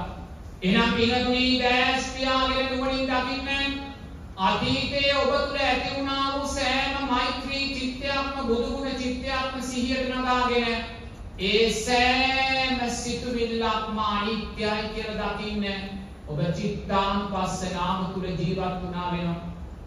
රාත්‍රියට නිින්දට ගිහිල්ලා උදේ ඉඳන් රාත්‍රී වෙනකන් සකස් වුණ සෑම සිතුවිල්ලක්ම සිහියට නගාගෙන ඒ සෑම සිතුවිල්ලක්ම අනිත්‍යයි කියලා දකිමින් නින්දට යන්න චිත්තානුපස්සනාවෙන් යුත් නින්දක් ඔබට ලැබෙනවා ඊළඟට ඔබ මේ උතුම් මෛත්‍රී බුද්ධානුස්සතිය තුළින් පින්වතුනි වේදනානුපස්සනාව මතු කරන්න ඔබ මෛත්‍රී භාවනාව වඩන වෙලාවේ බුදුගුණ භාවනාව වඩන වෙලාවේ ඔබ තුල කොයිසා සැප වේදනා ඇති වෙන්නේ නැද්ද? ප්‍රීතිය පස්සද්ධිය මෛත්‍රී වඩන වෙලාවේ ශරීරය පිනා යනවා. මේ සම පිනා යනවා රෝම කූප පිනා යනවා. පින්වතුනි මේ සැප වේදනා නිත්‍යද අනිත්‍යද ඒකම සැප වේදනාවක්වත් දැන් ඔබට අයිති නෑ. මෛත්‍රී භාවනාවේ බුදුගුණ භාවනාවේ නාමයෙන් ඔබ තුල ඇති වුණා වූ සෑම සැප වේදනාවක්ම සිහියට නගාගෙන අනිත්‍යයි කියලා දකින්න ඔබ සුන්දර වේදනානුපස්සනාව තුළ ජීවත් වුණා වෙනවා. ඔබ භාවනා කරන්න ගිහිල්ලා කොච්චර දුක් වේදනා ඇති වෙලා තියෙනවද? කොන්ද රිදෙනවා, දනිස් රිදෙනවා, සිත විසිරෙනවා, භාවනාවක් වැඩෙන්නේ නැහැ. බාහිර ශබ්ද ඇහෙනවා. පින්තුනි මේ නිසා කොච්චර දුක් වේදනා ඇති කරගත්තද? ඒ එකම දුක් වේදනාවක්වත් දැන් ඔබට අයිතිද? නෑ පින්තුනි අනිත්‍ය වූ පස්සේ හේතුවෙන් සකස් වූ අනිත්‍ය විඳීමක්. ඒ නිසා සමත භාවනා කිරීමේදී ඔබ තුල සකස් වූ සෑම දුක් වේදනාවක්ම මේ මොහොතේ සිහියට නගා ගන්න. ඒ සෑම දුක් වේදනාවක්ම අනිත්‍යයි කියලා දකින්න ඔබ වේදනානුපස්සනාව තුල ජීවත් වුණා වෙනවා. පින්වත්නි ඔබ මේ මොහොතේ පසු වෙන්නේ උපේක්ෂා විදීමක. මේ උපේක්ෂා විදීම නිත්‍යද අනිත්‍යද? තව මොහොතකින් වෙනස් වෙලා යනවා. මුළු ජීවිත කාලය පුරාවට මෛත්‍රී භාවනාව බුදුගුණ භාවනාව වඩද්දී ඔබ තුල ඇති වුණා වූ උපේක්ෂා සාගත සිත් සිහියට නගාගෙන අනිත්‍යයි කියලා දකින්න ඔබ වේදනානුපස්සනාව තුළ ජීවත් වුණා වෙනවා. සෑම රාත්‍රියකම නිින්දට යද්දී දැස් පියාගෙන මොහොතක් දකින්න අද දවසේ පුරාවට කොච්චර ඔබ සැප වේදනාවක් වින්දාද? කොච්චර ඔබ දුක් වේදනාවක් වින්දාද? කොච්චර ඔබ උපේක්ෂා විඳීමක් වින්දාද? ඒ සෑම විඳීමක අනිත්‍යභාවය දකින්න ඒ දකින මොහොතේ ඔබ වේදනානුපස්සනාව තුළ ජීවත් වුණා වූ දක්ෂයෙක් බවට පත් වෙනවා. ඊළඟට මෛත්‍රී භාවනාව තුළින් ඔබ ධම්මානුපස්සනාව මතු කරන්න. පින්වතුනි මෛත්‍රී භාවනාව බුදුගුණ භාවනාව වඩපු වෙලාවේ ඒ භාවනාවන් ඔබ තුළ වැඩුණේ ඔබේම කාය සංස්කාර වචී සංස්කාර මනෝ සංස්කාරයන් තුළින්. මේ සංස්කාරය නිත්‍යද අනිත්‍යද අනිත්‍යයි. ධම්මානුපස්සනාව මතු කරන්න. මෛත්‍රී භාවනාව බුදුගුණ භාවනාව වඩපු වෙලාවේ ඔබ තුල මතුනේ සප්ත පොජ්ජංගයෝමයි ඒවා නිත්‍ය දනිත්‍යයි. භාවනාවට බාධා වුණ වෙලාවේ ඔබ තුල මතුනේ පංච නීවරණයන්මයි නිත්‍ය දනිත්‍ය දනිත්‍යයි. පින්තුනේ ධම්මානුපස්සනාව මතු කරන්නේ ඔබ මෛත්‍රී භාවනාව බුදුගුණ භාවනාව වඩපු වෙලාවේ ඔබ රැස් කරගත් කුසල් සංස්කාරයෝ පිනට අදාළ සංස්කාරයෝ නිත්‍යද අනිත්‍යද අනිත්‍යයි. ධම්මානුපස්සනාව මත කරගන්න. පින්වතුනි මොකක්ද අපි මේ කළේ? ඔබ මෙතෙක් වැඩුවා වූ සමත භාවනාව පින්වතුනි සතර සතිපට්ඨානෙන් පෝෂණය කරලා විදර්ශනා භාවනාවක් බවට පත් කරගත්තා. ඔබ විදර්ශනා භාවනාවක් බවට මේ උතුම් සමතය පත් කරගත්තට පස්සේ මරණාසන්න මොහොතේ සියලු සත්‍යයෝ සුවපත් වේවා කියලා සිතුවිල්ලක් ඇති වුණොත් ඒ සිතුවිල්ලට ඔබ බැඳෙන්නේ නැහැ. ඒ සිතුවිල්ල ඒ මොහොතේ ඔබ චිත්තානුපස්සනාවෙන් අනිත්‍යයි කියලා දකිනවා. මරණාසන්න මොහොතේ ඉතිපිසෝ භගවා අරහන් කියලා උතුම් බුදු ගුණයන් සිහිපත් වෙලා සාදු සාදු කියලා සතුටු සිතක් ඇති වුණොත් ඒ සතුටු සිතට ඔබ බැඳෙන්නේ නැහැ. ඒ සතුටු සිත ඔබ වේදනානුපස්සනාවෙන් දකිනවා. මරණාසන්න මොහොතේ ඔබට බුදුරජාණන් වහන්සේගේ රූපය මැරිලා පෙවුණොත් බුදුරජාණන් වහන්සේගේ රූපයට බැඳෙන්නේ නැහැ.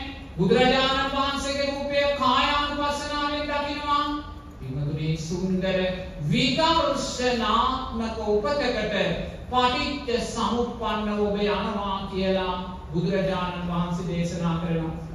ඒ නිසා ඔබලා දක්ෂ වෙන්න සම්මා සම්බුද්ධ ශාසන ලක්ෂ ගාණක් ගෙවිලා තියෙනවා. මේ දෙපා තබාගෙන අපි ඉන්නේ අපේම සුසාන භූමියක් මත අපේම මිනි අලු මත ගිජ්ජකූට පර්වතයට වඩා මහා මලකඳන් ගොඩක් ඔබ තනි තනිව ගොඩ ගහලා තියෙනවා.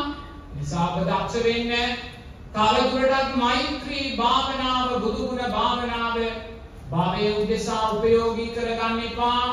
සතර සටිපට්ඨාන ධර්මයන් තුලින් භව නිරෝධය උදෙසා යොමු කරගන්න කියලා බුදුරජාණන් වහන්සේ දේශනා කරනවා සාදු කියන්නේ. පින්වතුල්ලා සෑම කෙනෙක්ම දැස් පියාගෙන මම කියන දේ නුවණින් දකින්න කවුරු කියන්න එපා. නුවණින් දකින්න. ඇස අනිත්‍යයි රූපය අනිත්‍යයි ඇස නිසා හටගත්තා වූ යම් විඳීමක් වේද? එය අනිත්‍යයි. ඇස නිසා හටගත්තා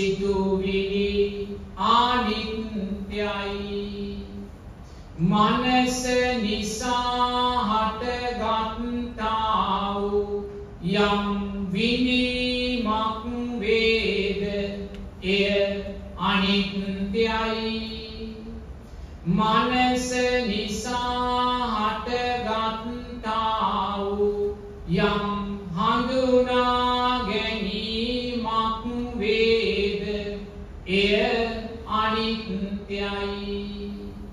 මනස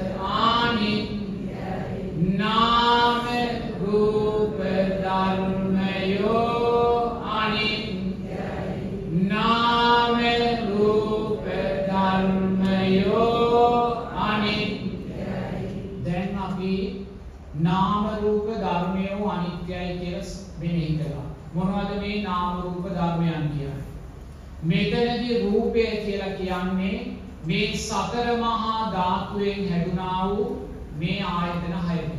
ඇස කන නාසය දිව ශරීරය මනස. මේක තමයි රූපය. අධ්‍යාත්මික රූපය හැටියට මේක කියනවා මේකට අරමුණු වෙන රූපෙට බාහිර රූප කියලා කියනවා.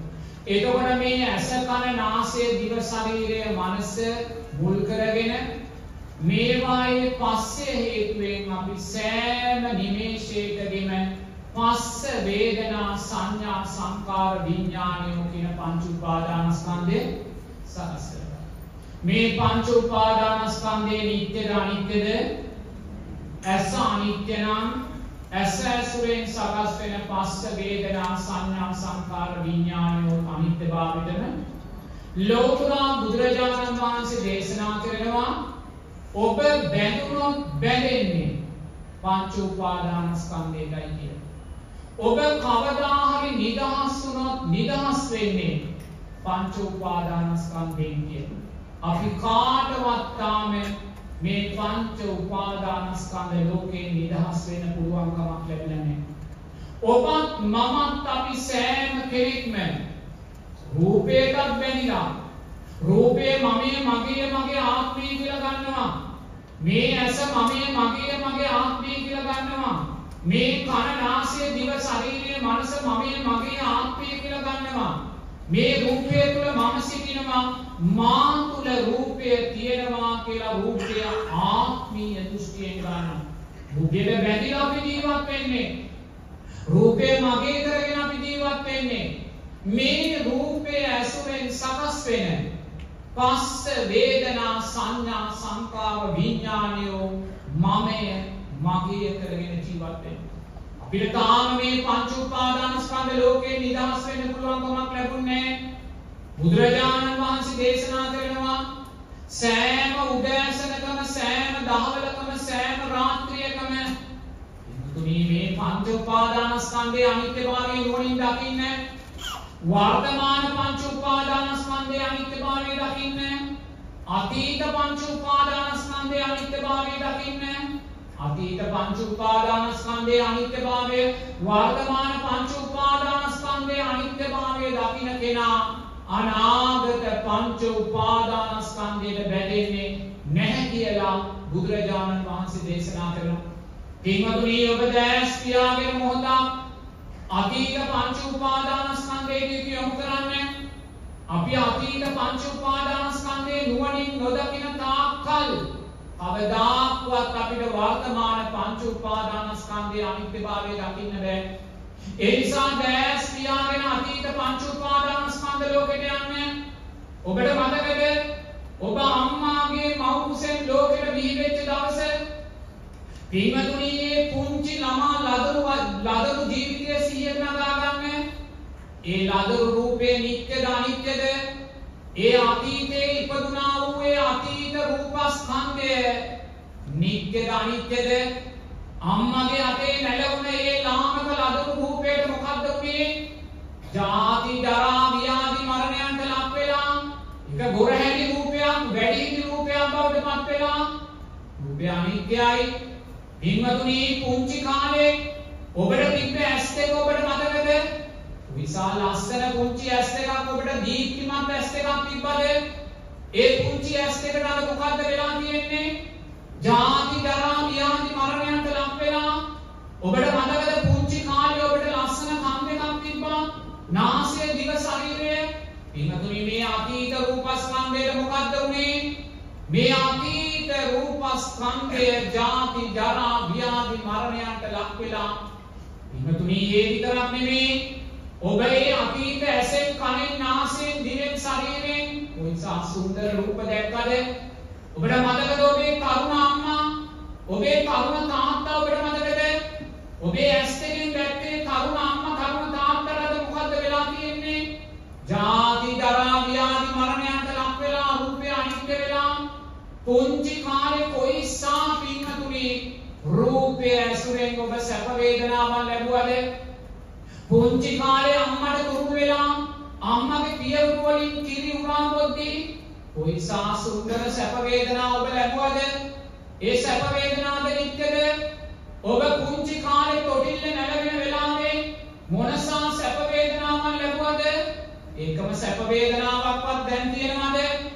පුංචි කාලේ ඔබ සෙල්ලම් බටු එක සෙල්ලම් කරද්දී නංගිලා මල්ලිලා එක සෙල්ලම් ගෙවල් හදලා සෙල්ලම් බත්තු යද්දී ළමා ලදරු පාසලට යද්දී එමතුනි කොයිසා සැප වේදනාවන් ඔබ ලැබුවද? ඒකම සැප වේදනාවක්වත් දැන් නැතිද බුදුරජාණන් වහන්සේ දේශනා කරනවා ඒ අතීත පංච උපාදානස්කන්ධයේ අනිත්‍යභාවය දකින්න. ඒ අතීත පංච උපාදානස්කන්ධය එතනින් නවත්තන්න එපා. ඉනු පැහැතට යන්න. පටිච්ච සමුප්පන්න. අතීත පංච උපාදානස්කන්ධයෝ නුවණින් දකින්න.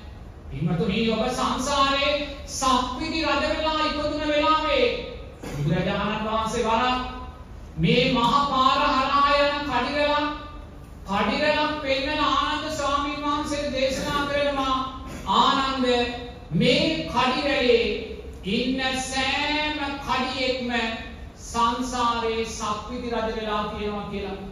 පින්වතුනි කඩිරලේ ඉන්න කඩියක් සක්විති රජ වෙලා තියෙනවා. මේ කූඹිරලේ ඉන්න කූඹියක් සංසාරයේ සක්විති රජ වෙලා තියෙනවා. ඒ සංස්කාර ලෝකයක් මේක. මායාකාරී පංච උපාදානස්කන්ධ ලෝකයක්. අවිද්‍යාවෙන් පිරුණා වූ පංච උපාදානස්කන්ධ ලෝකයක්. කූඹියක් සක්විති රජ කෙනෙක් වෙනවා. ඒ සක්විති රජ ආයිමත් කූඹියේ කඩියෙක් වෙනවා. මේ පංච උපාදානස්කන්ධ ලෝකයේ මායාව අවිද්‍යාවේ මිරිකුව අපිට පංච උපාදානස්කන්ධයට යන්නේ. ඔබ සක්විති රජ වෙච්ච වෙලාවේ මේ මොනසා සුන්දර රූපයක් ඔබට ලැබුණද? දෙතිස් මහා පුරුෂ ලක්ෂණයන්ගෙන් බබලන රූපයක් ඔබට එදා ලැබුණා. ඒ රූපය නිත්‍යද අනිත්‍යද ජාති ජරා ව්‍යාධි මරණයන්ට ලක් වුණා. ඔබ ස්ත්‍රී රත්නය වෙලා ඉපදුන වෙලාවේ පින්වතුනි සක්විති රජුට ස්ත්‍රී රත්නයක් පහළ වෙනවා. දිව්‍ය ලෝකෙකින් පටිච්ච සමුප්පන්නව ඉපදෙන්නේ පංච කල්යාණයක් පින්වතුනි මේ පංච කල්යාණය නිත්‍ය වුණාද? අනිත්‍ය වෙලා ගියා. සක්විති රජ කෙනෙකුට එර්තියෙන් යන ඇටෙක් ලැබෙනවා එර්තියෙන් යන අජානීය අස්වැක් ලැබෙනවා. මහ පොළවේ යට තියෙන ඕනම සම්පතක් දිවසින් දකින්න පුළුවන් පුරෝහිත බමුණෙක් ලබනවා. පින්වතුනි ඒ සෑම සංස්කාරයක්ම වෙනස් වෙලා ගියා. ඒ සෑම සැප වේදනාවක්ම වෙනස් වෙලා ගියා. අතීත පංච උපාදානස්කන්ධය දිවියොමු කරන්නේ වෙන කවුරුත් නෙමෙයි ඔබමයි. ඔබ සක්විති රජ වෙලා ඉපදුන වෙලාවේ මේ දෙතිස් මහා පුරුෂ ලක්ෂණයන්ගෙන් බබලන රූපයක් වෙනස් වුණා. එවන් රූපයක් ලබලත් අපි සෑහුනේ නැහැ. දෙතිස් මහා පුරුෂ ලක්ෂණයන්ගෙන් බබලන රූපයක් ලැබිලත් අපි එදා සැනසුනේ නැහැ සෑහුනේ නැහැ. ස්ත්‍රී රත්නයක් පංච කල්යාණයක් ලැබිලත් අපි සෑහුනේ නැහැ. එර්දියෙන් යන ඇටෙක් ලැබිලා එර්දියෙන් යන අජාන්‍ය අස්සෙක් ලැබිලා අපි සෑහුනේ නැහැ. මහා පොළොවේට තියෙන ඕනෑම සම්පතක් දිවසින් දකින්න පුළුවන් පුරෝහිත බමුණෙක් ලැබිලා ඒ ලැබීමෙන් සෑහුනේ නැහැ. ඒ නිසාම අපි ආයමත් කඩියෙක් වෙලා ඉපදුනා කුහුඹියෙක් වෙලා ඉපදුනා ප්‍රේතෙක් භූතෙක් වෙලා ඉපදුනා. ඒ අතීත රූපස්කන්ධයන්ගේ අනිත්‍යභාවය දකින්න අතීත වේදනා ස්කන්ධයන්ගේ අනිත්‍යභාවය දකින්න බුදුරජාණන් වහන්සේ දේශනා කරනවා මෙතන ඉන්න සෑම කෙනෙක්ම සංසාරේ සක්‍ර දෙවියන් වෙලා ඉපදිලා තියෙනවා. මුදුනේ තවුතිසාවට අධිග්‍රහිත සක්‍ර දෙවියෝ වෙලා ඔබ ඉපදිලා තියෙනවා. සුජම්පතිය වෙලා ඔබ ඉපදිලා තියෙනවා. පිටුනේ සංස්කාරයේ රූපයන් නිත්‍ය වුණාද? වරක් මුගලන් මහෝත්තමයාණන් වහන්සේ දිව්‍ය තලයට වඩිනවා. සක්‍ර දෙවියන් මුණ ගැහෙන්නේ සක්‍ර දෙවියන් Tamanගේ සුන්දර දිව්‍ය විමානය ළඟ කාමච්ඡන්දයන් වඩමින් සතුටු වෙනවා. සූත්‍රගත ධර්මයේ සඳහන් වෙනවා ඒ සක්‍ර දෙවියන්ගේ දිව්‍ය විමානය කූටාගාර 700ක් කූටාගාර 700ක් කියන්නේ කාමර 700ක් එක කාමරයක දිව්‍ය අප්සරාවන් 7 දෙනෙක් ගාන ඉන්නවා. එහෙනම් බලන්න 700 වැඩි කිරීම අත කීයද කියලා. පින්වතුනි දිව්‍ය අප්සරාවන් 7 දෙනා ගානේ කූටාගාර 700ක ඉඳලා සතුටුනේ නෑ සෑහුනේ නෑ ඇතිුනේ නෑ අපි ආයිමත් සතර අපායට වැටුණා මේ අතීත පංච උපාදානස්කන්ධයෙන් මොනින් දකින්නේ එවන් සුන්දර රූපයන් එවන් සුන්දර විදීම් ලැබුවා. ඒ සෑම සංස්කාරයක්ම අනිත්‍ය වෙලා ගියා.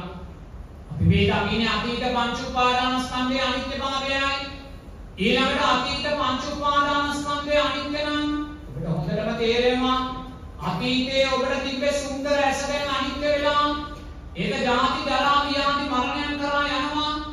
මේ රූපය දවසින් දවස දවසින් දවස ගොර හැටි වෙලා යනවා. ඒ අතීත පංච උපාදානස්කන්ධයේ අනිත්‍යභාවය දකින්නේ. ඊළඟට වර්තමාන පංච උපාදානස්කන්ධයේ අනිත්‍යභාවය දකින්නේ. පින්වතුනි මේ වර්තමාන ඔබේ ඇස සිහියට නගා ගන්න.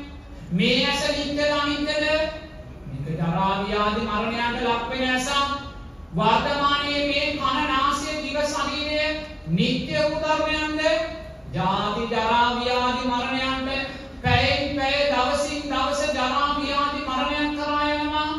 පින්වතුනි වර්තමාන රූපස්කන්ධයේ අනිත්‍යභාවය දකින්නේ මේ වර්තමාන රූපස්කන්ධය තුලින් ඔබ ඇති කරගන්නා වූ වේදනා සංඥා සංකාර විඥානය නිත්‍යද ඔබ විඳින මේ එකම සැප වේදනාවක්වත් නිත්‍යද ඔබ මේ විඳින එකම දුක් වේදනාවක්වත් නිත්‍යද ඔබ මේ රැස් කරන එකම සංස්කාරයක්වත් නිට්ටයද ඔබ මේ ඇති කරගන්න එකම දැනීමක්වත් නිට්ටයද වර්තමාන පංච උපාදානස්කන්ධය අනිත්‍යයි.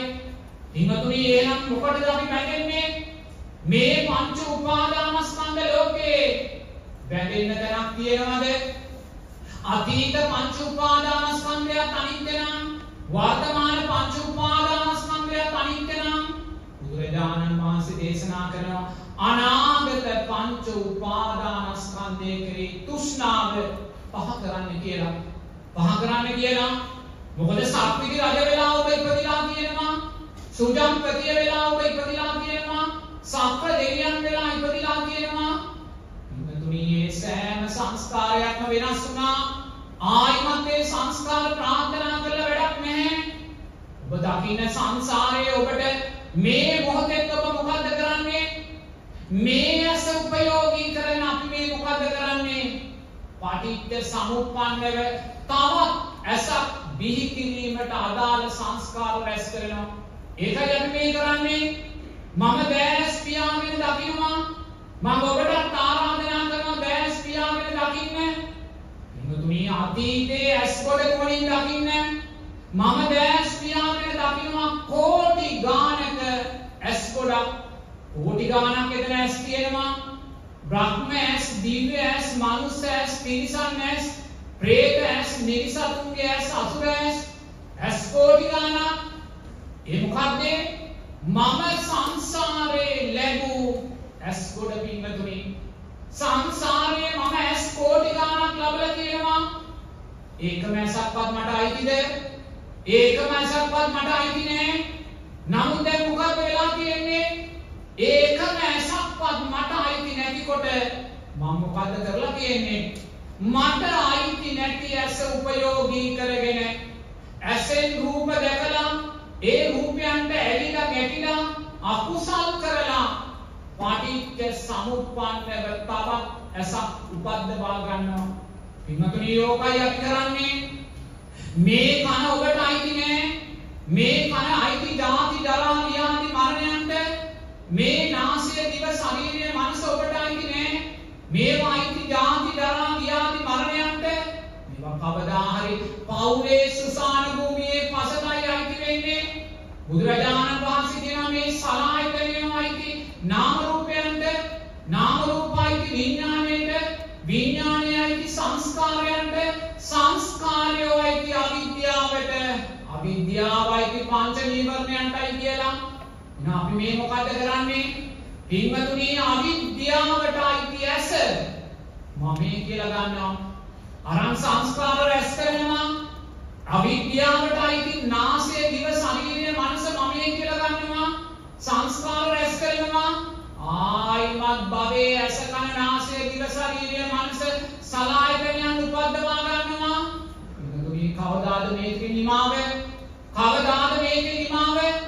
ඇස් කෝටි ගාණක් ගොඩ ගහලා තියෙනවා. ඔබත් තනියම කම් කෝටි ගාණක් සංසාරේ ගොඩ ගහලා තියෙනවා. නාසය දිව ශරීර කෝටි ගාණක් ඔබ ගොඩ ගහලා තියෙනවා. ඒකම රූපයක්වත් අපිට අයිති නෑ. නමුත් ඒ ගොඩ ගැසුමා වූ රූපයන් උපාදානය කරගෙන අපි නැවත නැවත පටිච්ච සමුප්පන්න රූපයන් ගොඩනගා ගන්නවා. හිමතුනි එහෙමනම් බුදුරජාණන් වහන්සේ ඔබට මේ ඇස අනිත්‍යයි කියලා දකින්න කියන්නේ ඇයි? මේ ඇස අනිත්‍යයි කියලා ඔබට දකින්න කියන්නේ ඇස් දෙක බැඳගෙන ජීවත් වෙන්න කියලා නෙමෙයි. මේ සුන්දර ලෝකයක් තියෙනවා ඔබට දකින්න. තරුණ දරුවෝ ප්‍රශ්න කරනවා. ඇයි අපි මේ ඇස අනිත්‍යයි කියලා දකින්නේ? ඇයි අපි මේ කන අනිත්‍යයි කියලා දකින්නේ? ඇයි අපි මේ සුන්දර රූපයක් ලැබිලා තියෙනවා? තාරුණ්‍ය රූපයක් ලැබිලා තියෙනවා. නවලවුන් රූපයක් ලැබිලා තියෙනවා. එයි අපි මේක අනිත්‍යයි කියලා දකින්නේ. එහෙන් දකින්න සුන්දර ලෝකයක් තියෙනවා. විසිතුරු ලෝකයක් තියෙනවා. පිනෙන් ඉදි වුණා වූ ලෝකයක් තියෙනවා. ඇයි අපි මේ ලෝකය දකින්න හොඳ නැද්ද? මේ බුදුරජාණන් වහන්සේ ඔබේ ඇස අනිත්‍යයි කියලා දකින්න කියන්නේ එක හේතුවක් නිසා ඔබට ලෝකය දකින්න එපා කියන්නේ ඇස් දෙක වැඳගෙන ජීවත් වෙන්න එපා කියන්නේ කන් දෙක වහගෙන ජීවත් වෙන්න කියන්නේ බුදුරජාණන් වහන්සේ ඔබට මේ ඇස අනිත්‍යයි කියලා කියන්නේ. මේ ඇස කවදා හරි අයිති වෙන්නේ ඔබේ පවුලේ සුසාන භූමියේ පසටයි. මේ කන කවදා හරි අයිති වෙන්නේ ඔබේ පවුලේ සුසාන භූමියේ පසටයි. මේ නාසය දිව ශරීරය කවදා හරි අයිති වෙන්නේ ඔබේ පවුලේ සුසාන භූමියේ පසටයි. අන්න බුදුරජාණන් වහන්සේ ඔබට කියනවා කරුණා කරලා පවුලේ සුසාන භූමියේ පසට අයිති ජාති ජරා ව්‍යාධි මරණයන්ට අයිති මේ ඇස උපයෝගී කරගෙන අකුසල් කරන්න එපා. මේකයි බුදුරජාණන් වහන්සේ ඔබට ඇස අනිත්‍යයි කියන්නේ. මේ අනිත්‍ය වූ ඇස මේ පවුලේ සුසාන භූමියේ පසට අයිති වෙන ඇස උපයෝගී කරගෙන අකුසල් කරලා සතර අපායට වැටෙන්න එපා. මේ ඇස අනිත්‍යයි. මේක අයිති මහ පොළවේ පසට. මහ පොළවේ පසට අයිති ඇස නිසා ඔබ සතර අපායට යන්න එපා. මේ කන අයිති මහ පොළවේ පසට. මේ මහ පොළවේ පසට අයිති කන නිසා ඔබ සතර අපායට යන්න එපා. මේ නාසය දිව ශරීරය මනස අයිති පවුලේ සුසාන භූමියට පවුලේ සුසාන භූමියට අයිති මේ රූපය උපයෝගී කරගෙන පින්තුනි සතර අපායට යන්න එපා.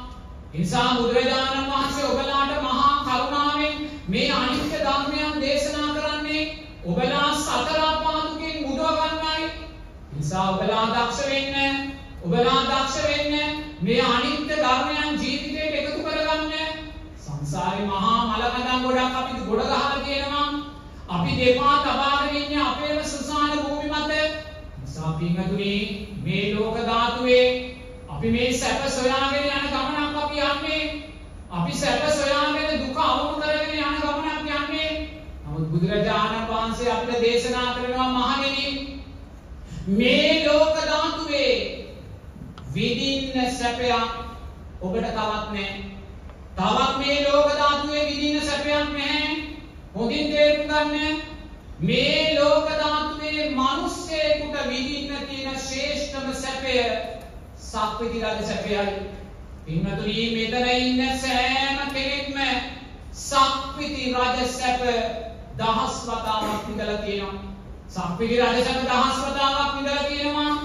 නමුත් සෑහුනේ නෑ මෙතන ඉන්න සෑම කෙනෙක්ම මේ මනුස්ස ලෝකේ ඉපදිලා රජවරු වෙලා සිටුවරු වෙලා බලවතුන් වෙලා නිලවතුන් වෙලා කුලවතුන් වෙලා තෙදවතුන් වෙලා ඔබලා මහේෂාක්‍ය ජීවිත ලබලා තියෙනවා තවත් විඳින්න සැපයක් මේ මනුස්ස ලෝකේ ඔබට නැහැ ඒ වගේමයි ඔබ දිව්‍ය තලවල ඉපදිලා සත්‍ර දෙවියන් සුජම්පතිය වෙලා සතරවරන් දෙවියන් වෙලා විස්කම් දෙවියන් වෙලා ඔබ ඉපදිලා තියෙනවා පින්වතුනි ඔබලාට තවත් විඳින්න දිව්‍ය සැපයක් නැහැ.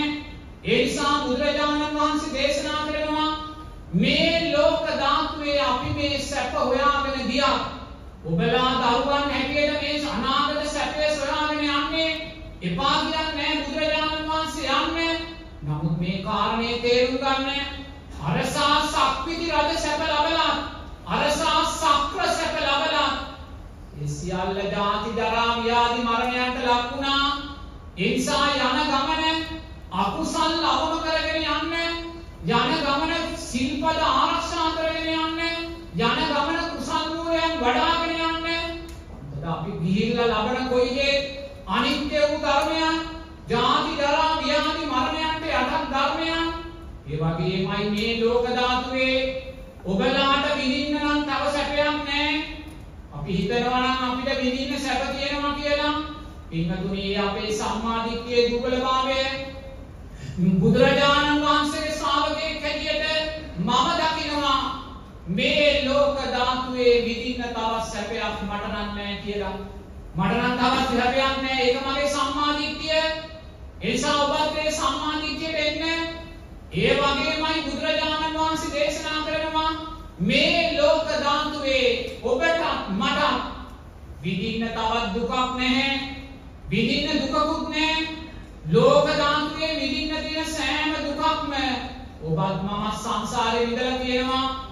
මේ ලෝක ධාතුවේ තියුණුම දුක අවීචි මහා නිරේ දුකයි. අවීචි මහා නිරේ තරම් තියුණු දුකක් මේ ලෝක ධාතුවේ නෑ පින්වතුනි. මේ මොහොතේ දේවදත්ත නිරිසතා අජාසත්ත නිරිසතා අවීචි මහා නිරේ දුක් විඳිනවා. දැන් අපි මිනිස්සයෝ අපි ආස්වාස ප්‍රාස්වාස කරන්නේ වාතය. නමුත් අවීචි මහා නිරේ ඉන්න නිරිසතා ආස්වාස ප්‍රාස්වාසය කරන්නේ ගින්දර පින්නතුනි. අකුසලයේ තියුණු භාවය නිසා ගින්දරින් තමයි ආස්වාස ප්‍රාස්වාස කරන්නේ.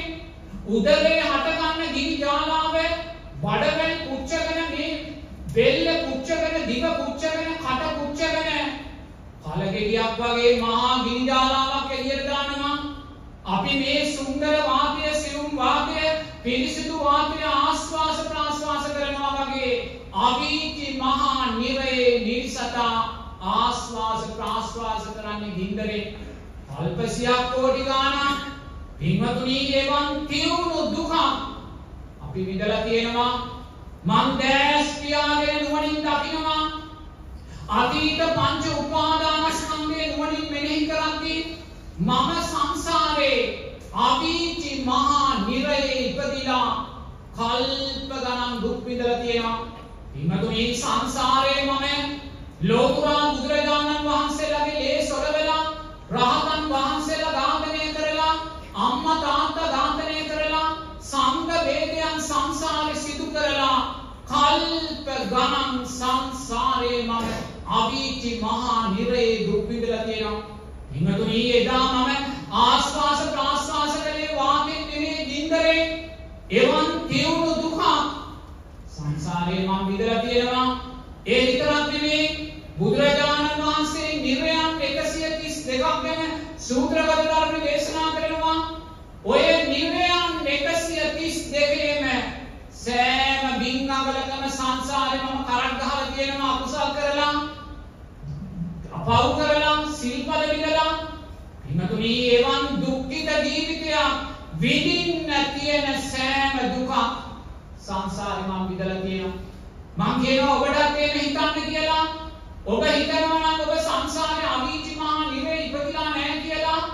ඒක ඔබේ සම්මාදිට්ඨියේ දුර්වලභාවය සම්මාදිට්ඨියේ දුර්වලභාවය ඒ නිසා ඔබ දක්ෂ වෙන්න මේ ලෝක ධාතුවේ ඔබට විඳින්න තවත් සැපයක් නැහැ.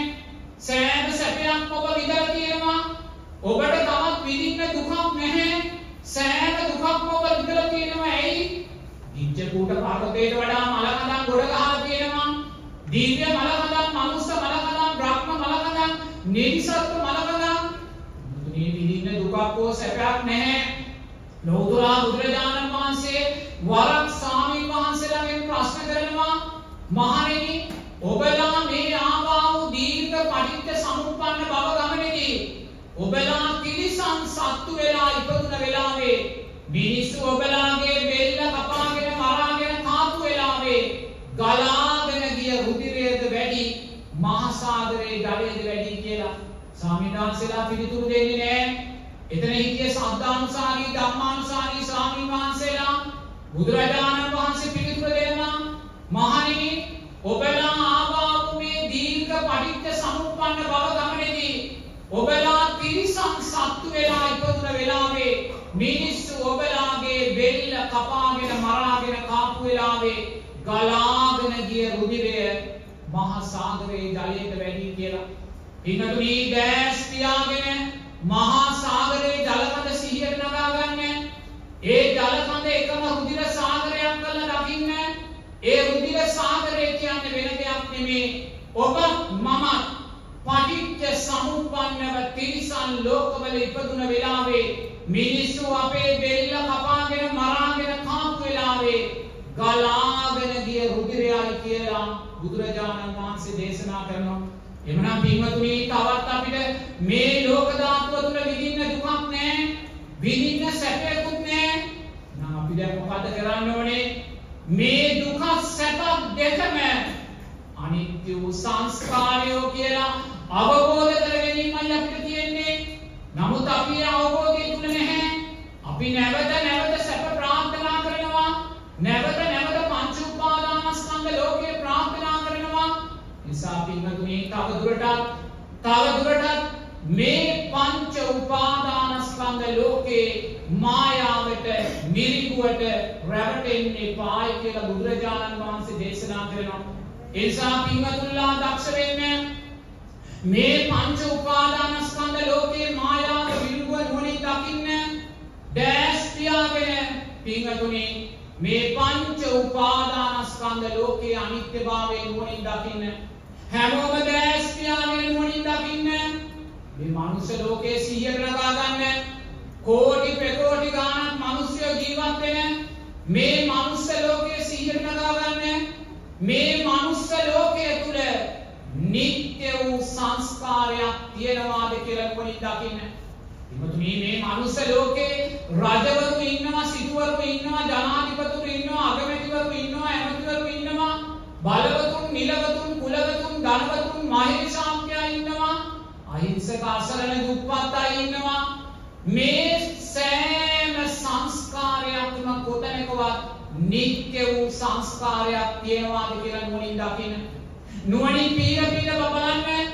කොතැනකවත් මේ නිත්‍ය සංස්කාරයක් තියෙනවද? වෙනස් නොවන සංස්කාරයක්. ජාති ජරා ව්‍යාධි මරණයන්ට යටත් නැති සංස්කාරයක්. ඇමරිකාවේ ජනාධිපති සීයක් නගා ගන්න. ඇමරිකාවේ ජනාධිපතිතුමා කියන්නේ කවුද? ජාති ජරා ව්‍යාධි මරණයක්. රුසියාවේ ජනාධිපතිතුමා කියන්නේ කවුද? ජාති ජරා ව්‍යාධි මරණයක්. බ්‍රිතාන්‍යයේ අගමැතිතුමා කියන්නේ කවුද? ජාති ජරා ව්‍යාධි මරණයක්. චීන ඉන්දියාවේ අගමැතිතුමන්ලා කියන්නේ කවුද? ජාති ජරා ව්‍යාධි මරණයක්. බ්‍රිතාන්‍ය රජතුමා කියන්නේ කවුද? ජාති ජරා ව්‍යාධි මරණයක්. ඊට වඩා දෙයක් මෙතන නැහැ. මේ මනුස්ස ලෝකේ ඉන්න ලොකුම බලවතා ලොකුම නිලවතා ලොකුම ධනවතා කවුද? ජාති ජරා ව්‍යාධි මරණයක්. ඊට වඩා දෙයක් මෙතන නැහැ. අපි මොන රජකම් මොන සිටුකම් මොන බලවත්කම් ප්‍රාර්ථනා කළත් එතන තියෙන්නේ ජාති ජරා ව්‍යාධි මරණයක් ඊට වඩා දෙයක් නැහැ. ශෝක පරිදේවයක් දුක්ඛ දෝමනස්යක් පංච උපාදානස්කන්ධ දුකක්. මොනින් පීරන්නේ මනුෂ්‍ය ලෝකේ නුවණින් පීරන්නේ පීර පීර බලන්නේ ඔය රජවරු සිටුවරු බලවතුන් නිලවතුන් කුලවතුන් අතර කොතැනකවත් නිත්‍ය වූ සංස්කාරයක් තියනවද? ජාති ජරා ව්‍යාධි මරණයන්ට යටත් නොවූ සංස්කාරයක් තියනවද? සුසාන භූමියේ පසට අයිති නොවන සංස්කාරයක් තියනවද? කොතැනකවත් නෑ නුවණින් නැවත නැවත පීරන්නේ මොකද පුංචි තැනක තෘෂ්ණාවක් තිබ්බොත් ඔබේ පටිච්ච සමුප්පන්න විඥාණය එතන බැස ගන්නවා. ඒ නිසා පුංචියෝ තෘෂ්ණාවක් තියෙන දෙන්න එපා සතර සතිපට්ඨානය තුලින් මුළු මනුස්ස ලෝකයේම විමර්ශාවෙන් දකින්න විදර්ශනාවෙන්. දැන් ඔබ දන්නවා ඉදිකටු තුඩක තරම් තෘෂ්ණාවක් ඔබට දැන් මනුස්ස ලෝකයේ කෙරෙහි නැහැ. ඔබ දන්නවා ඇමරිකාවේ ජනාධිපති වුණා.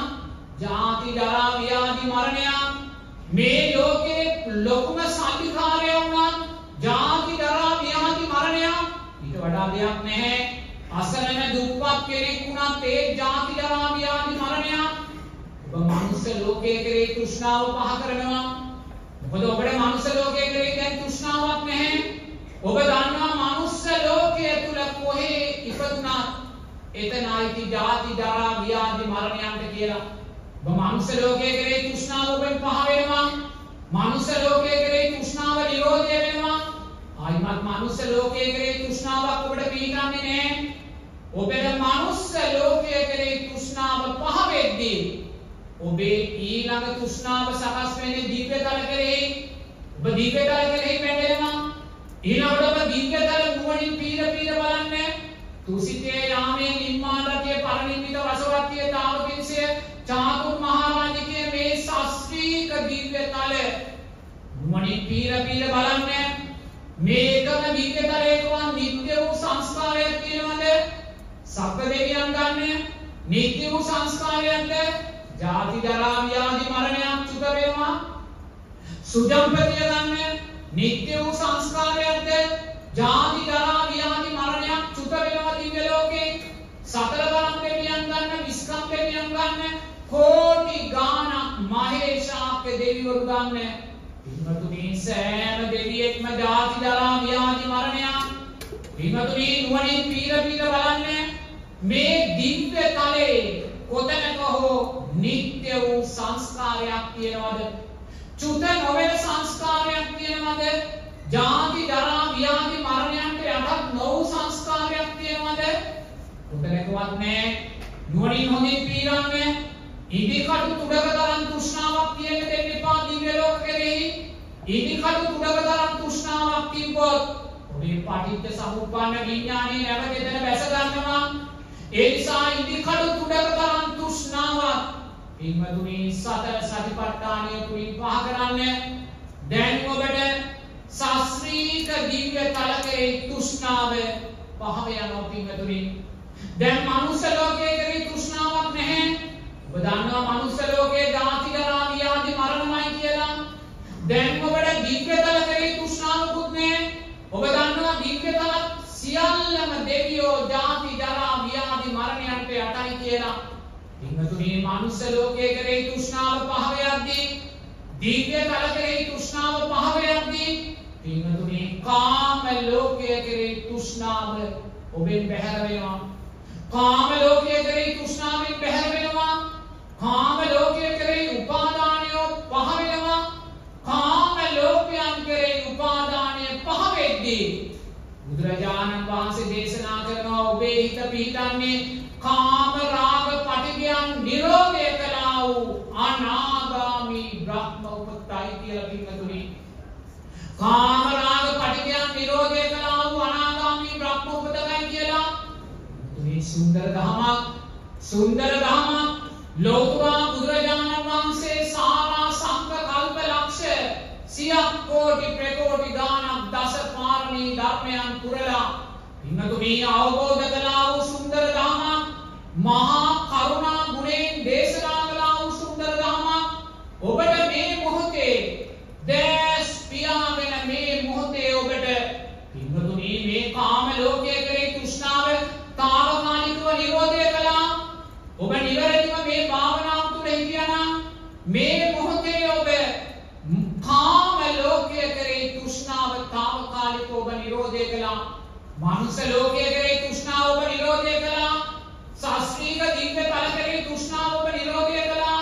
తాවකාලිකව ඒ ඔබ තුළ කාම ලෝකයන් කෙරෙහි තෘෂ්ණාව නිරෝධය වෙද්දී ඔබේ හිත පිහිටුනේ කාම රාග පටිගයන් නිරෝධය කළා වූ අනාගාමී බ්‍රහ්ම උපතකයි මුතුනි මෙවන් සුන්දර දහමක් වෙන කොහෙවත් නැහැ.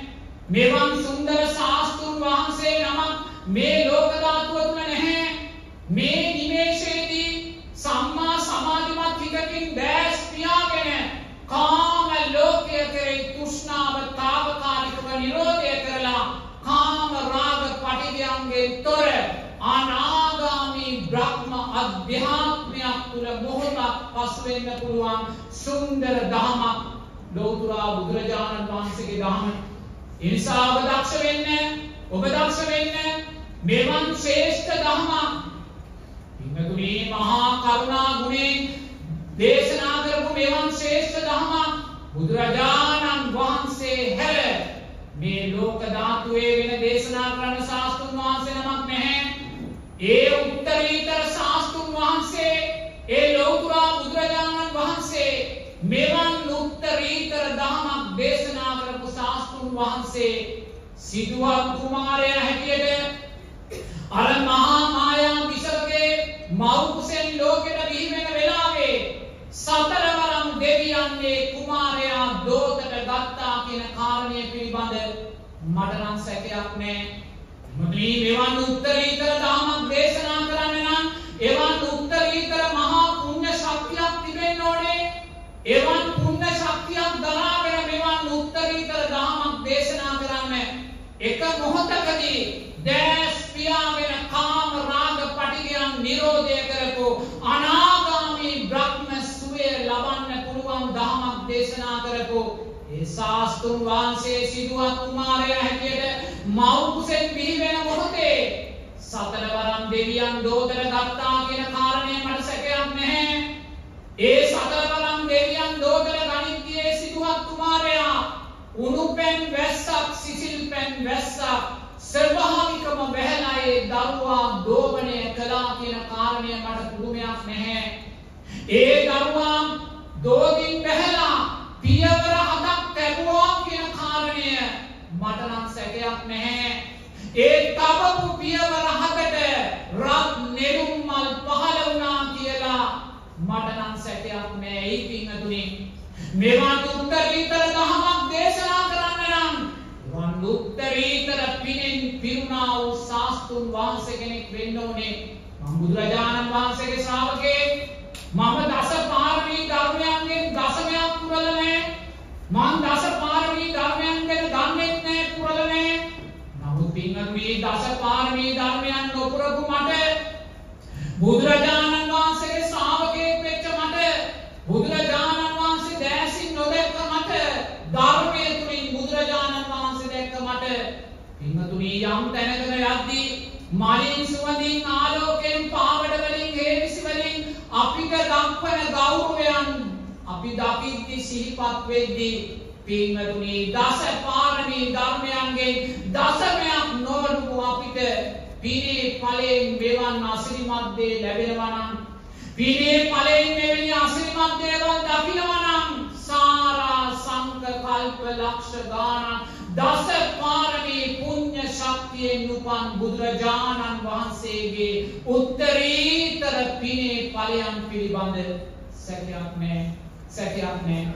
පින්වතුනි එවන් උත්තරීතර දහමක් එවන් උත්තරීතර දහමක් ඒ නිසා ඔබ දක්ෂ වෙන්න ඔබ පුණ්‍යවන්තයි ඔබ වාක්‍යවන්තයි මෙවන් සුන්දර අසිරිමත් සම්මා සම්බුද්ධ ශාසනයක ඔබ ඉපදුනේ ඔබේ පුණ්‍යවන්තභාවය නිසාමයි ඒ පුණ්‍යවන්තභාවයෙන් ගන්න තියෙන ශ්‍රේෂ්ඨ ආර්ථය ජීවිතයට අරගන්න නිරතුරුව මේ පංච උපාදානස්කන්ධ ලෝකේ අනිත්‍යභාවය දකින්න ඔබ අධ්‍යාපනය ලැබුවා කියන කාරණය. ඒකට බාධාවක් නෙමෙයි මේ අනිත්‍ය ධර්මයන් ඔබේ අධ්‍යාපනයේ ශක්තියක් මම ඒක අවසානයේ පැහැදිලි කරලා දෙන්නම්. ඒ නිසා ඔබ දක්ෂ වෙන්න. වර්තමාන පංච උපාදානස්කන්ධයේ අනිත්‍යභාවය දකින්න අතීත පංච උපාදානස්කන්ධයේ අනිත්‍යභාවය දකිමින් අනාගත පංච උපාදානස්කන්ධය උදෙසා යන ගමනේදී අකුසල් කරගෙන යන්න එපා පව් කරමින් යන්න එපා සිල්පද විදමින් යන්න එපා. ඔබේ අරමුණු කරා යන්න ඔබේ අරමුණු කරා යන්ති ඔබ හිතන්න මේ ඇස අයිති පවුලේ සුසාන භූමියටයි මේ ඇස පිනවන්න නම් මං සිල්පද විදින්නේ නෑ. මේ ඇස පිනවන්න නම් මං ලෝභ දෝෂ වඩන්නේ නෑ. මේ කන මේ නාසය මේ දිව මේ ශරීරය අයිති පවුලේ සුසාන භූමියටයි ජාති ජරා ව්‍යාධි මරණයන්ටයි අනේ මේ පවුලේ සුසාන භූමියේ පසට අයිති මේ රූපය පිනවන්න. මම සිල්පද විදින්නේ නෑ. මම අකුසල් වඩන්නේ නෑ. මම ලෝභ දේශ මෝහ වඩන්නේ නෑ. පින්නතුනි මම මේ ඇස කුසලයේ උදෙසා උපයෝගී කරගන්න මුලින්ම මම මේ කන නාසය දිව ශරීරය කුසලයේ උදෙසා සීලයේ උදෙසා උපයෝගී කරගන්නවා. දරුවන් හැටියට අධ්‍යාපනය ලබන දරුවන් හැටියට එතෙන්ට එන්න එතෙන්ට එන්න අකුසල් මූලයන්ගෙන් බර වූ සමාජයක අපි ජීවත් වෙන්නේ. අකුසලයෙන් සිල්පද විදීම් ගහන සමාජයක් තුළ සිල්පද විදීම් ගහන සමාජයක් තුළ ඔබේ සැබෑ ධර්මයේ ආරක්ෂකයා බවට පත් වෙන්නේ මේ පංච උපාදානස්කන්ධය අනිත්‍යයි කියලා බුදුරජාණන් වහන්සේ දේශනා කරනවා සාදු කියනවා. පින්වතුනි දැන් අපි බෞද්ධ ජනතාවක් හැටියට සිංහල බෞද්ධ ජනතාවක් හැටියට ඉපදිලා තෙරුවන් සරණ ගිහිල්ලා අපි මුළු ජීවිත කාලේ පුරාවට මොකක්ද මේ කරන්නේ? ඔබේ හෘද සාක්ෂි තට්ටු කරලා අහන්න. ඔබ බෞද්ධ හැටියට මුළු ජීවිත කාලය පුරාවටම මොකද්ද කරන්නේ? සිල් සමාදන් වෙනවා, දන් දෙනවා, පින්කම් කරනවා, බෝධි පූජා කරනවා, ධර්ම දේශනා කර තියෙනවා, පිරිත් පින්කම් කරනවා. මුළු ජීවිත කාලය පුරාවටම අපි කරන්නේ පින්කම්. පින්කම් කරලා මොකද්ද අපි ප්‍රාර්ථනා කරන්නේ? මෙලව, පරලොව සැප. ඔච්චරයි අපි ප්‍රාර්ථනා කරන්නේ. බුදුරජාණන් වහන්සේ දේශනා කරනවා මේ සම්මා සම්බුද්ධ ශාසනයේ ජීවත් වෙන පින්වතෙක් ඉන්නවා. එයා පින්කම් කරලා මෙලවදී ලබමි කියලා බලාපොරොත්තු වෙන පින්කම් කරනවා. එයා පින්කම් කළා මොකද ප්‍රාර්ථනා කරන්නේ? මට නිදුක් නිරෝගී සුවපත් භාවය ලැබේවා. මගේ ව්‍යාපාර රැකී ආරක්ෂා දියුණු වේවා. මෙලවදී ලබමි කියලා බලාපොරොත්තු වෙන පින්කම් කරනවා. පින්වතුනි මෙලවදී කුමක් ලැබුවත් ඒ සෑම ලැබීමක්ම ජාති ජරා ව්‍යාධි මරණයන්ට යටත්මයි. ඒ නිසා බුදුරජාණන් වහන්සේ දේශනා කරනවා ඔබ මෙලවදී ලබමී කියලා බලාපොරොත්තුවෙන් පින්කම් කළොත් මහත්ඵල මහානිසංස නැහැ කියලා. නමුත් ආනිසංස තියෙනවා. ඔබට ඒ ප්‍රාර්ථනා කරන දේ ලැබෙයි. නමුත් ලැබුණ දේ ජාති ජරා ව්‍යාධි මරණ කරා යන දෙයක්. මේ සම්මා සම්බුද්ධ ශාසනයේ ජීවත් වෙන තවත් පින්වතෙක් ඉන්නවා. එයා පින්කම් කරලා පරලොවදී ලබමි කියලා බලාපොරොත්තු වෙන පින්කම් කරනවා. මට මේ පින්කම් තුලින් දිව්‍ය සැප ලැබේවා ඊළඟ ජීවිතේ මහිරිෂාක්‍ය මිනිසෙක් වේවා පරලොවදී ලබමි කියලා බලාපොරොත්තු වෙන පින්කම් කරනවා. පින්වතුනි පරලොවදී ඔබ කිනම් සැපයක් ලැබුවත් ඒ සෑම සැපයක්ම ජාති ජරා ව්‍යාධි මරණයන්ට යට. නිසා බුදුරජාණන් වහන්සේ දේශනා කරනවා මේ ලෝක ධාතුවේ ශ්‍රේෂ්ඨම පින්කම මොකද්ද කියලා. මොකද්ද මේ ලෝක ධාතුවේ ශ්‍රේෂ්ඨම පින්කම? සිතේ අලංකාරය උදෙසා සිතට පරිෂ්කාරයක් උදෙසා කරගන්නා වූ පින්කමයි මහත්ඵල මහානිසංස පින්කම කියලා බුදුරජාණන් වහන්සේ දේශනා කරනවා. පින්වතුනි සිතේ අලංකාරය උදෙසා සිතට පරිස්කාරයක් උදෙසා කරන පින්කම මොන සිතටද? මෙතෙක් ඔබ තුල වැටුණා වූ යම් සමත විදර්ශනා සිතක් වේද මේ මොහොතේ ඔබ තුල ශක්තිමත් වෙන්නා වූ යම් සමත විදර්ශනා සිතක් වේද ඒ සමත විදර්ශනා සිතේ ශක්තිය උදෙසා කරගන්නා වූ පින්කමයි මහත්ඵල මහානිසංස පින්කම කියලා බුදුරජාණන් වහන්සේ දේශනා කරා. ඒ නිසා පින්වතුනි ඔබ දක්ෂ වෙන්න. ඔබ තුළ මේ මොහොතේ සුන්දර සමදසිත වැඩෙනවා. බුද්ධානුස්සතියට ධම්මානුස්සතියට සංඝානුස්සතියට සීලානුස්සතියට ත්‍යාගානුස්සතියට දේවතානුස්සතියට අදාළ සුන්දර සමදසිත වැඩෙනවා. පින්වතුනි මේ සුන්දර සමදසිත විදර්ශනා සිතක් බවට පත් කරගන්න. විදර්ශනා සිතක් බවට පත් කරගන්න ඒ උදෙසා බුදුරජාණන් වහන්සේ කාය චිත්ත ධම්ම වේදනා කියන උතුම් සතර සතිපට්ඨානයන් දේශනා කළා තියෙනවා. ඒ නිසා ඔබ මොහොතක් මුළු ජීවිත කාලය පුරාවට කරපු සෑම පින්කමක්ම සිහියට නගා ගන්න. දානමය පින්කම්, සීලමය පින්කම්, මෛත්‍රීමය පින්කම්, කටින පින්කම්, සාංගික දාන පින්කම්, පිරිත් පින්කම්, බෝධි පූජා පින්කම් මුළු ජීවිත කාලය පුරාවට කරගත්තා වූ සෑම පින්කමක්ම සිහියට නගා ගන්න. සෑම පින්කමක්ම සිහියට නගාගෙන හැමෝම දැස් පියාගෙන ඔබ කළා වූ සෑම පින්කමක්ම සතර සතිපට්ඨානය තුල විසිරවන්නේ සක්කාය චිත්ත ධම්ම වේදනා උතුම් සතර සතිපට්ඨානය බුදුරජාණන් වහන්සේ දේශනා කරනවා. මේ මොහොතේ ඔබට සුන්දර සමාධිමත් හිතක් තියෙනවා. පංච නීවරණ යටපත් වුණා වූ හිතක් සප්තබොධ්‍යංගයන් වැඩෙන්නා වූ හිතක් මායාගේ දැස් අන්ධ කළා වූ හිතක් ඒ මායාගේ දැස් අන්ධ කළා වූ සම්මා සමාධිමත් හිත උපයෝගී කරගෙන ඔබ මුළු ජීවිත කාලය පුරාවට කරපු සෑම පින්කමක්ම සතර සතිපට්ඨානය තුල විසිරවන්න. හැමෝම දැස් පියාගෙන නුවණින් දකින්න ඔබ මේ ජීවිතේ සෑම පින්කමක්ම සිද්ධ කරේ ලෝතුරා බුදුරජාණන් වහන්සේ මුල් කරගෙනයි. ලෝතුරා බුදුරජාණන් වහන්සේගේ උත්තරීතර ශාස්තෘභාවය මුල් කරගෙනයි දැස් පියාගෙන නුවණින් දකින්න ජීවමාන බුදුරජාණන් වහන්සේගේ දෙතිස් මහා පුරුෂ ලක්ෂණයන්ගෙන් බබලන සම්මා සම්බුද්ධ රූපය සිහියට නගා ගන්න. ඒ සුන්දර සම්මා සම්බුද්ධ රූපය පිරිනිවන් මංචකයේදී පූජනීය අලු ගොඩක් පූජනීය ධාතුන් වහන්සේලා ගොඩක් නැති මොනින් දකින්න. සාරා සංක කල්ප ලක්ෂ ගානක දස පාරමී පුණ්‍ය ශක්තිය.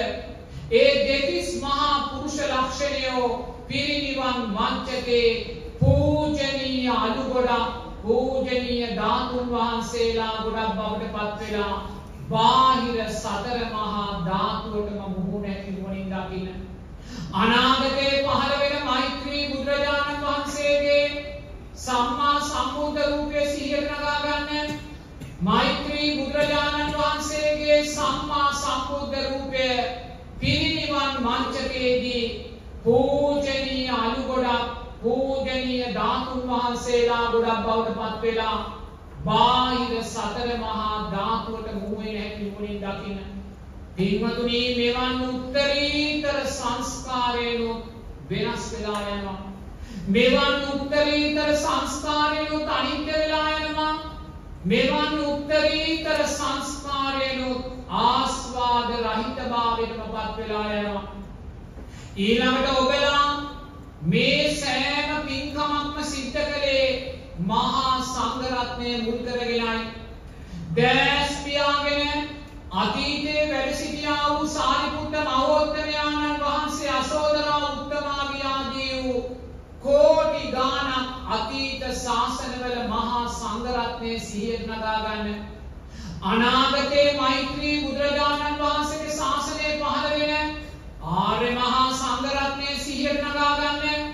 මේ අතීත වර්තමාන අනාගත මේ සංඝ සමාජයේ සෑම සමාජිකයෙක්ම ජාති ජරා ව්‍යාධි මරණයන්ට ලක් වෙලා පිරිනිවන් පාන මොහොතේ අපවත් වෙන මොහොතේ පින්වතුනි බාහිර සතර මහා ධාතුවටම මුහුණ ඇති මුලින් දකින්න. පූජනීය අලු ගොඩක් පූජනීය ධාතුන් වහන්සේලා ගොඩක් වෙන හැටි මුලින් දකින්න. අතීතයේ යසෝදරා උත්තමාවියගේ සුන්දර තාරුණ්‍ය රූපය සිහියට නගා ගන්න. සාරිපුත්ත මහෝත්තමයාණන් වහන්සේගේ තාරුණ්‍ය රූපය සිහියට නගා ගන්න ඒ තාරුණ්‍ය රූපයන් පිරිනිවන් මංචකේ පූජනීය අලු ගොඩක් බවට පත් වුණ හැටි මුලින් දකින්න මෙවන් පුණ්‍යවන්ත සංස්කාරයනොත් වෙනස් වෙලා යනවා. මෙවන් පුණ්‍යවන්ත සංස්කාරයනුත් අනිත්‍ය වෙලා යනවා. මෙවන් පුණ්‍යවන්ත සංස්කාරයනුත් ආස්වාද රහිතභාවයටම පත් වෙලා යනවා. ඊළඟට ඔබට මේ සද්ධර්මය දේශනා කරන්නේ ඔබ ඉදිරියේ වැඩ සිටින භික්ෂුවයි.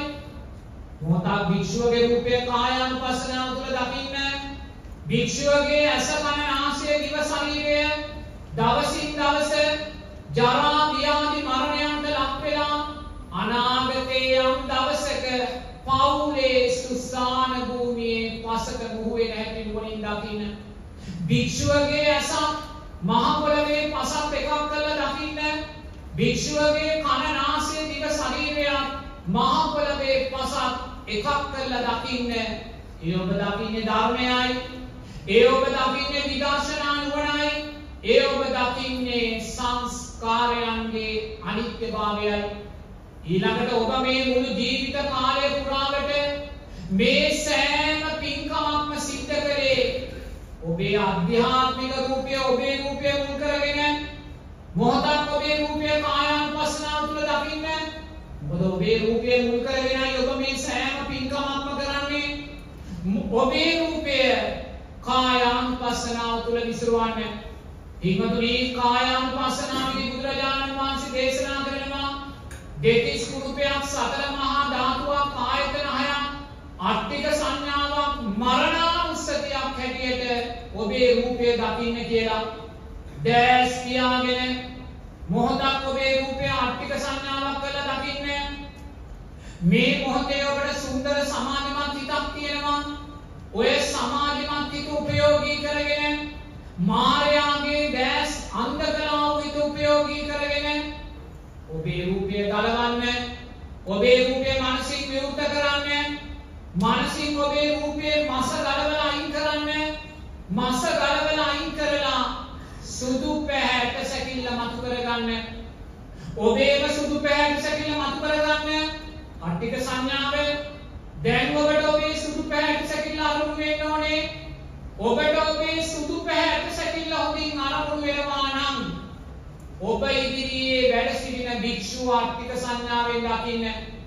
භික්ෂුවගේ සිවුරු පිළිකර අයින් කරලා මේ මස ගලවල අයින් කරලා දැන් මෙතන වැඩ ඉන්නේ ඇට සැකිල්ලක්. ඔබට දැන් ඇට සැකිලි දෙකක් අරමුණු වෙන්න ඕනේ. ඔබේ ඇට සැකිල්ලයි භික්ෂුවගේ ඇට සැකිල්ලයි බාහිර සිතුවිලි වලට එන්න දෙන්න එපා. බාහිර සිතුවිලි ඇති වුණත් ඒ සිත අනිත්‍යයි කියලා චිත්තානුපස්සනාවෙන් අයින් කරන්න. අට්ටික සංඥාවට එන්න. බාහිර ශබ්ද වලට හම් වෙන්න එපා. බාහිර ශබ්ද ඇසුණොත් ඇසුණා කියන තැනදීම ධම්මානුපස්සනාවෙන් නවත්තන්න ශබ්දය අට්ටික සංඥාවට එන්න. එකම සංඥාව අට්ටික සංඥාවයි. බාහිර සිතුවිලි වලට එන්න දෙන්න එපා. දැන් ඔබට ඇටසැකිලි දෙකක් අරමුණු වෙන්න ඕනේ. ඔබේ ඇටසැකිල්ලයි භික්ෂුවගේ ඇටසැකිල්ලයි. ඔබට මේ ඇටසැකිලි දෙක හොඳින් අරමුණු වෙනවා නම් ඊළඟට ඔබ මෙහි වාඩි වෙලා ඉන්න දාස් ගාණක් දෙන ආර්ථික සංඥාවෙන් දකින්න මේ වටා පිටාවේ කොහේ බැලුවත් ඔබට අරමුණු වෙන්නේ පොඩි ඇටසැකිල්ලක් ලොකු ඇටසැකිල්ලක් මධ්‍යම ඇටසැකිල්ලක් වාඩි වෙලා ඉන්න ඇටසැකිල්ලක් පින්වතුනි ඔබේ ඇටසැකිල්ලට හොඳින් ඉඳ පීඩන්න භික්ෂුවගේ ඇටසැකිල්ලට හොඳින් ඉඳ පීඩන්න දැන් මේ වටා පිටාවේ සෑම කෙනෙක්ම ඔබට අට්ටික සංඥාවක්. බාහිර සිතුවිලි වලට එන්න දෙන්න එපා. බාහිර ශබ්ද වලට කන් දෙන්න එපා. ධම්මානුපස්සනාවේ ශබ්දය අයින් කරන්න. එකම සංඥාව අට්ටික සංඥාවයි. දැන් ඔබට මෙහි වාඩි වෙලා ඉන්න දහස් ගාණක් දෙනා අට්ටික සංඥාවෙන් දකින්නේ. මිනි සංඥාව తాවකාලිකව විරෝධය වෙලා. ඔබට මේ සියලු දෙනා අට්ටික සංඥාවෙන් අරමුණු වෙනවා නම් ඊළඟට ඔබ මේ මුළු බස්නාහිර පළාතම අට්ටික සංඥාවෙන් දකින්න. පින්තුනි ලක්ෂ ගාණක් ඇටසැකිලි දැන් අරමුණු වෙන්න ඕනේ. මේ බස්නාහිර පළාතේ කොහේ බැලුවත් ඔබට අරමුණු වෙන්නේ ඇවිදින ඇටසැකිල්ලක්, ඉඳගත් ඇටසැකිල්ලක්, නිදාගත් ඇටසැකිල්ලක්, පොඩි ලොකු මධ්‍යම ඇටසැකිල්ලක්, මුළු බස්නාහිර පළාතම ලක්ෂ ගාණක් ඇටසැකිලි. ඔබේ ඇටසැකිල්ලට හොඳින් ඉඳ පිටන්න. භික්ෂුවගේ ඇටසැකිල්ලට හොඳින් ඉඳ පිටන්න. බාහිර සිතුවිලි වලට එන්න දෙන්න එපා චිත්තානුපස්සනාවෙන් අයින් කරන්න. බාහිර ශබ්ද වලට කන් දෙන්න එපා ඇසුනා කියන තැනින් නවත්තන්න. පින්වතුනි දැන් ඔබට මුළු බස්නාහිර පළාත මාත්‍රික සංඥාවක්. ඔබට මුළු බස්නාහිර පළාත මාත්‍රික සංඥාවෙන් අරමුණු වෙනවා නම් ඊළඟට ඔබ මේ මුළු ලංකාව මාත්‍රික සංඥාවෙන් දකින්න. උතුර නැගෙනහිර උතුරු මැද වයක බටහිර බස්නාහිර දකුණු සබරගමුව මේ මුළු ලංකාවම දැන් ඔබට ආර්ථික සංඥාවක්. කෝටි දෙකකට වැඩි. ඇට සැකිලි ඔබට දැන් අරමුණු වෙන්න ඕනේ. ලංකාවේ කොහේ බැලුවත් ඔබට අරමුණු වෙන්නේ?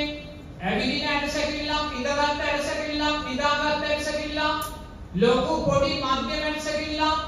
කෝටි දෙකකට වැඩි ඇට සැකිලි දැන් ඔබට අරමුණු වෙනවා. බාහිර සිතුවිලි වලට එන්න දෙන්න එපා. චිත්තානුපස්සනා ප්‍රයෝගයට ගන්න බාහිර ශබ්දවලට කන් දෙන්න එපා. ධම්මානුපස්සනාවෙන් ඇසුණා කියන දේ ශබ්දේ නවත්තන්න. මේ මොහොතේ ඔබ තුල සැප වේදනාවක් නැති වෙන්න පුළුවන්.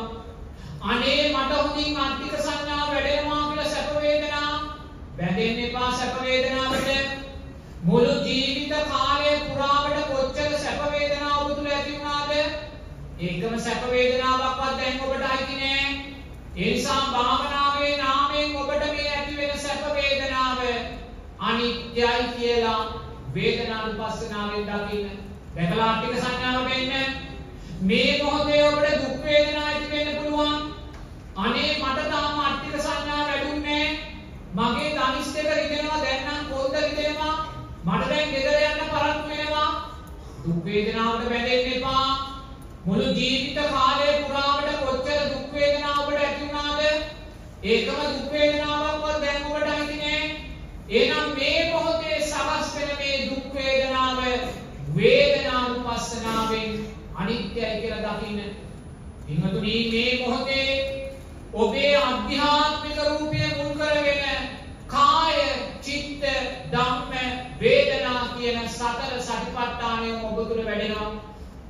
අට්ටික සංඥා මුල් කරගෙන කායානුපස්සනාව වැඩෙනවා. සිතවිලි වල අනිත්‍යභාවය මුල් කරගෙන චිත්තානුපස්සනාව වැඩෙනවා. සැප දුක් උපේක්ෂා විදී මුල් කරගෙන වේදනානුපස්සනාව වැඩෙනවා. ධර්මතාවයන් මුල් කරගෙන ධම්මානුපස්සනාව වැඩෙනවා. ඔබට දැන් මුළු ලංකාවම අට්ටික සංඥාවක්. ඔබේ ඇටසැකිල්ලට හොඳින් හිත පීඩන්නේ භික්ෂුවගේ ඇටසැකිල්ලට හොඳින් හිත පීඩන්නේ දැන් මුළු ලංකාවම ඔබට අට්ටික සංඥාවක් ඔබට මුළු ලංකාවම අට්ටික සංඥාවෙන් අරමුණු වෙනවා නම් ඊළඟට ඔබ මේ මුළු ලෝකෙම අට්ටික සංඥාවෙන් දකින්න ආසියාව මැදපෙළදිග අප්‍රිකාව බටහිර යුරෝපය මේ මුළු ලෝකෙම අට්ටික සංඥාවෙන් දකින්න කෝටි ප්‍රකෝටි ගානක් ඇටසැකිලි දැන් ඔබට අරමුණු වෙන්න ඕනේ. ලෝකෙ කොහේ බැලුවත් ඔබට අරමුණු වෙන්නේ ඇවිදින ඇටසැකිල්ලක් ඉඳගත් ඇටසැකිල්ලක් නිදාගත් ඇටසැකිල්ලක් පින්වතුනි ලෝකේ කෝටි ප්‍රකෝටි ගාණක් ඇටසැකිලි. මනුස්ස සංඥාව తాවකාලිකව නිරෝධය වෙලා මුළු ලෝකෙම දැන් ඔබට අට්ටික සංඥාවක්. ඔබේ ඇටසැකිල්ලට හොඳින් හිත පීඩන්නේ භික්ෂුවගේ ඇටසැකිල්ලට හොඳින් හිත පීඩන්නේ බාහිර සිතුවිලි වලට එන්න දෙන්න එපා. බාහිර ශබ්ද වලට කන් දෙන්න එපා. පින්වතුනි එකම සංඥාව අට්ටික සංඥාවයි. ඔබට මුළු ලෝකෙම අට්ටික සංඥාවෙන් අරමුණු වෙනවා නම් ඔබ දැස් පියාගෙන නුවණින් දකින්න මුළු ලෝකේ කෝටි ප්‍රකෝටි ගාණක් ඇටසැකිලි කැඩිලා බිඳිලා විසිරිලා මහ පොළවට පස් වෙන හැටි නුවණින් දකින්න ඊළඟට මේ මුළු ලංකාවෙම ඇටසැකිලි කෝටි දෙකක් කැඩිලා බිඳිලා විසිරිලා මහ පොළවට පස් වෙන හැටි නුවණින් දකින්න. ඊළඟට භික්ෂුවගේ ඇටසැකිල්ලක් කැඩිලා බිඳිලා විසිරිලා මහ පොළවට පස් වෙන හැටි නුවණින් දකින්න. ඊළඟට ඔබේ ඇටසැකිල්ලක් කැඩිලා බිඳිලා විසිරිලා මහ පොළවට පස් වෙන හැටි නුවණින් දකින්න. ලෝකේ කෝටි ප්‍රකෝටි ගානක් ඇටසැකිලි කැඩිලා විදිලා විසිරිලා මහපොළවට පස් වෙලා පවුලේ සුසාන භූමියේ පසට මුවෙන හැටි මුණින් දකින්න. පින්වතුනි මේ මොහොතේ ඔබ කිනම් සුන්දර ජීවිතයක් ගත කළත් ඔබ කිනම් සුන්දර ජීවිතයක් ගත කළත් ඔබේ ඔය සුන්දර ජීවිතය අනාගතයේ යම් දවසක ඇටසැකිල්ලක් බවට පත් වෙලා ඒ ඇටසැකිල්ල කැඩිලා බිදිලා විසිරිලා පවුලේ සුසාන භූමියේ පසට මුහුවෙන හැකි මුලින් දකින්න. ඔබේ ඇටසැකිල්ලත් පවුලේ සුසාන භූමියේ පසත් එකම ස්වභාවයේ සතර මහා ධාතුවක් කියලා මුලින් දකින්න. පින්වතුනි මේ ඔබ දකින්නේ ධර්මයයි. මේ ඔබ දකින්නේ සංස්කාරයන්ගේ අනිත්‍යභාවයයි. මේ ඔබ දකින්නේ විදර්ශනා නුවණයි.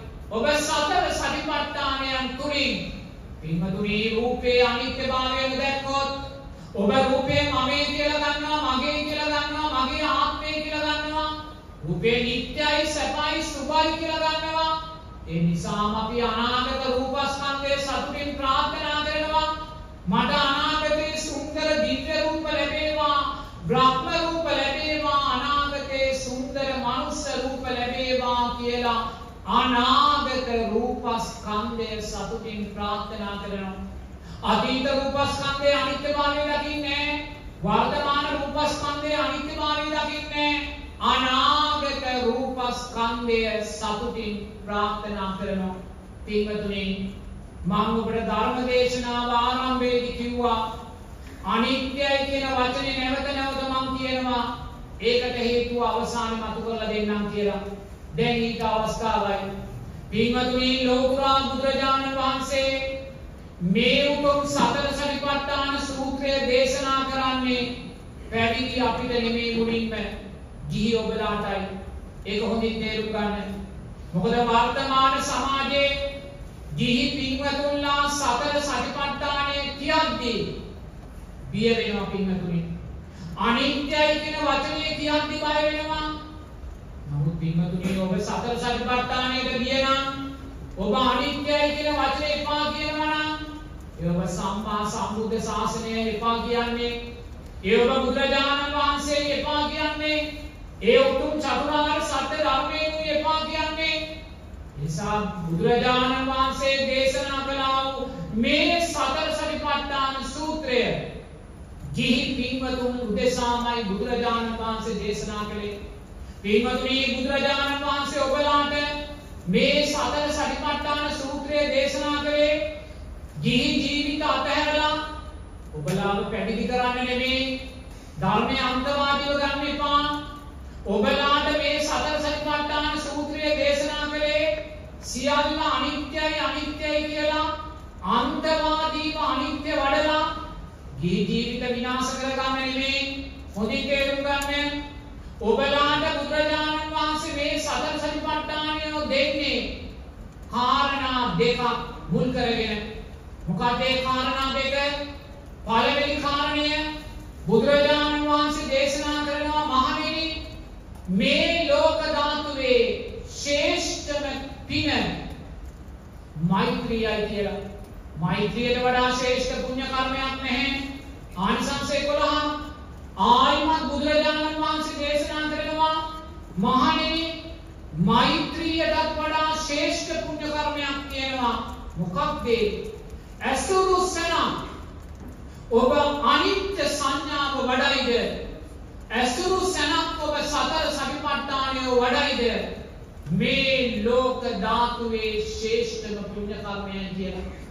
එමතුනි බුදුරජාණන් වහන්සේ මහා කරුණාවෙන් ඔබලාට මේ උතුම් ධර්ම දේශනා කළා තියෙන්නේ. ඇයි?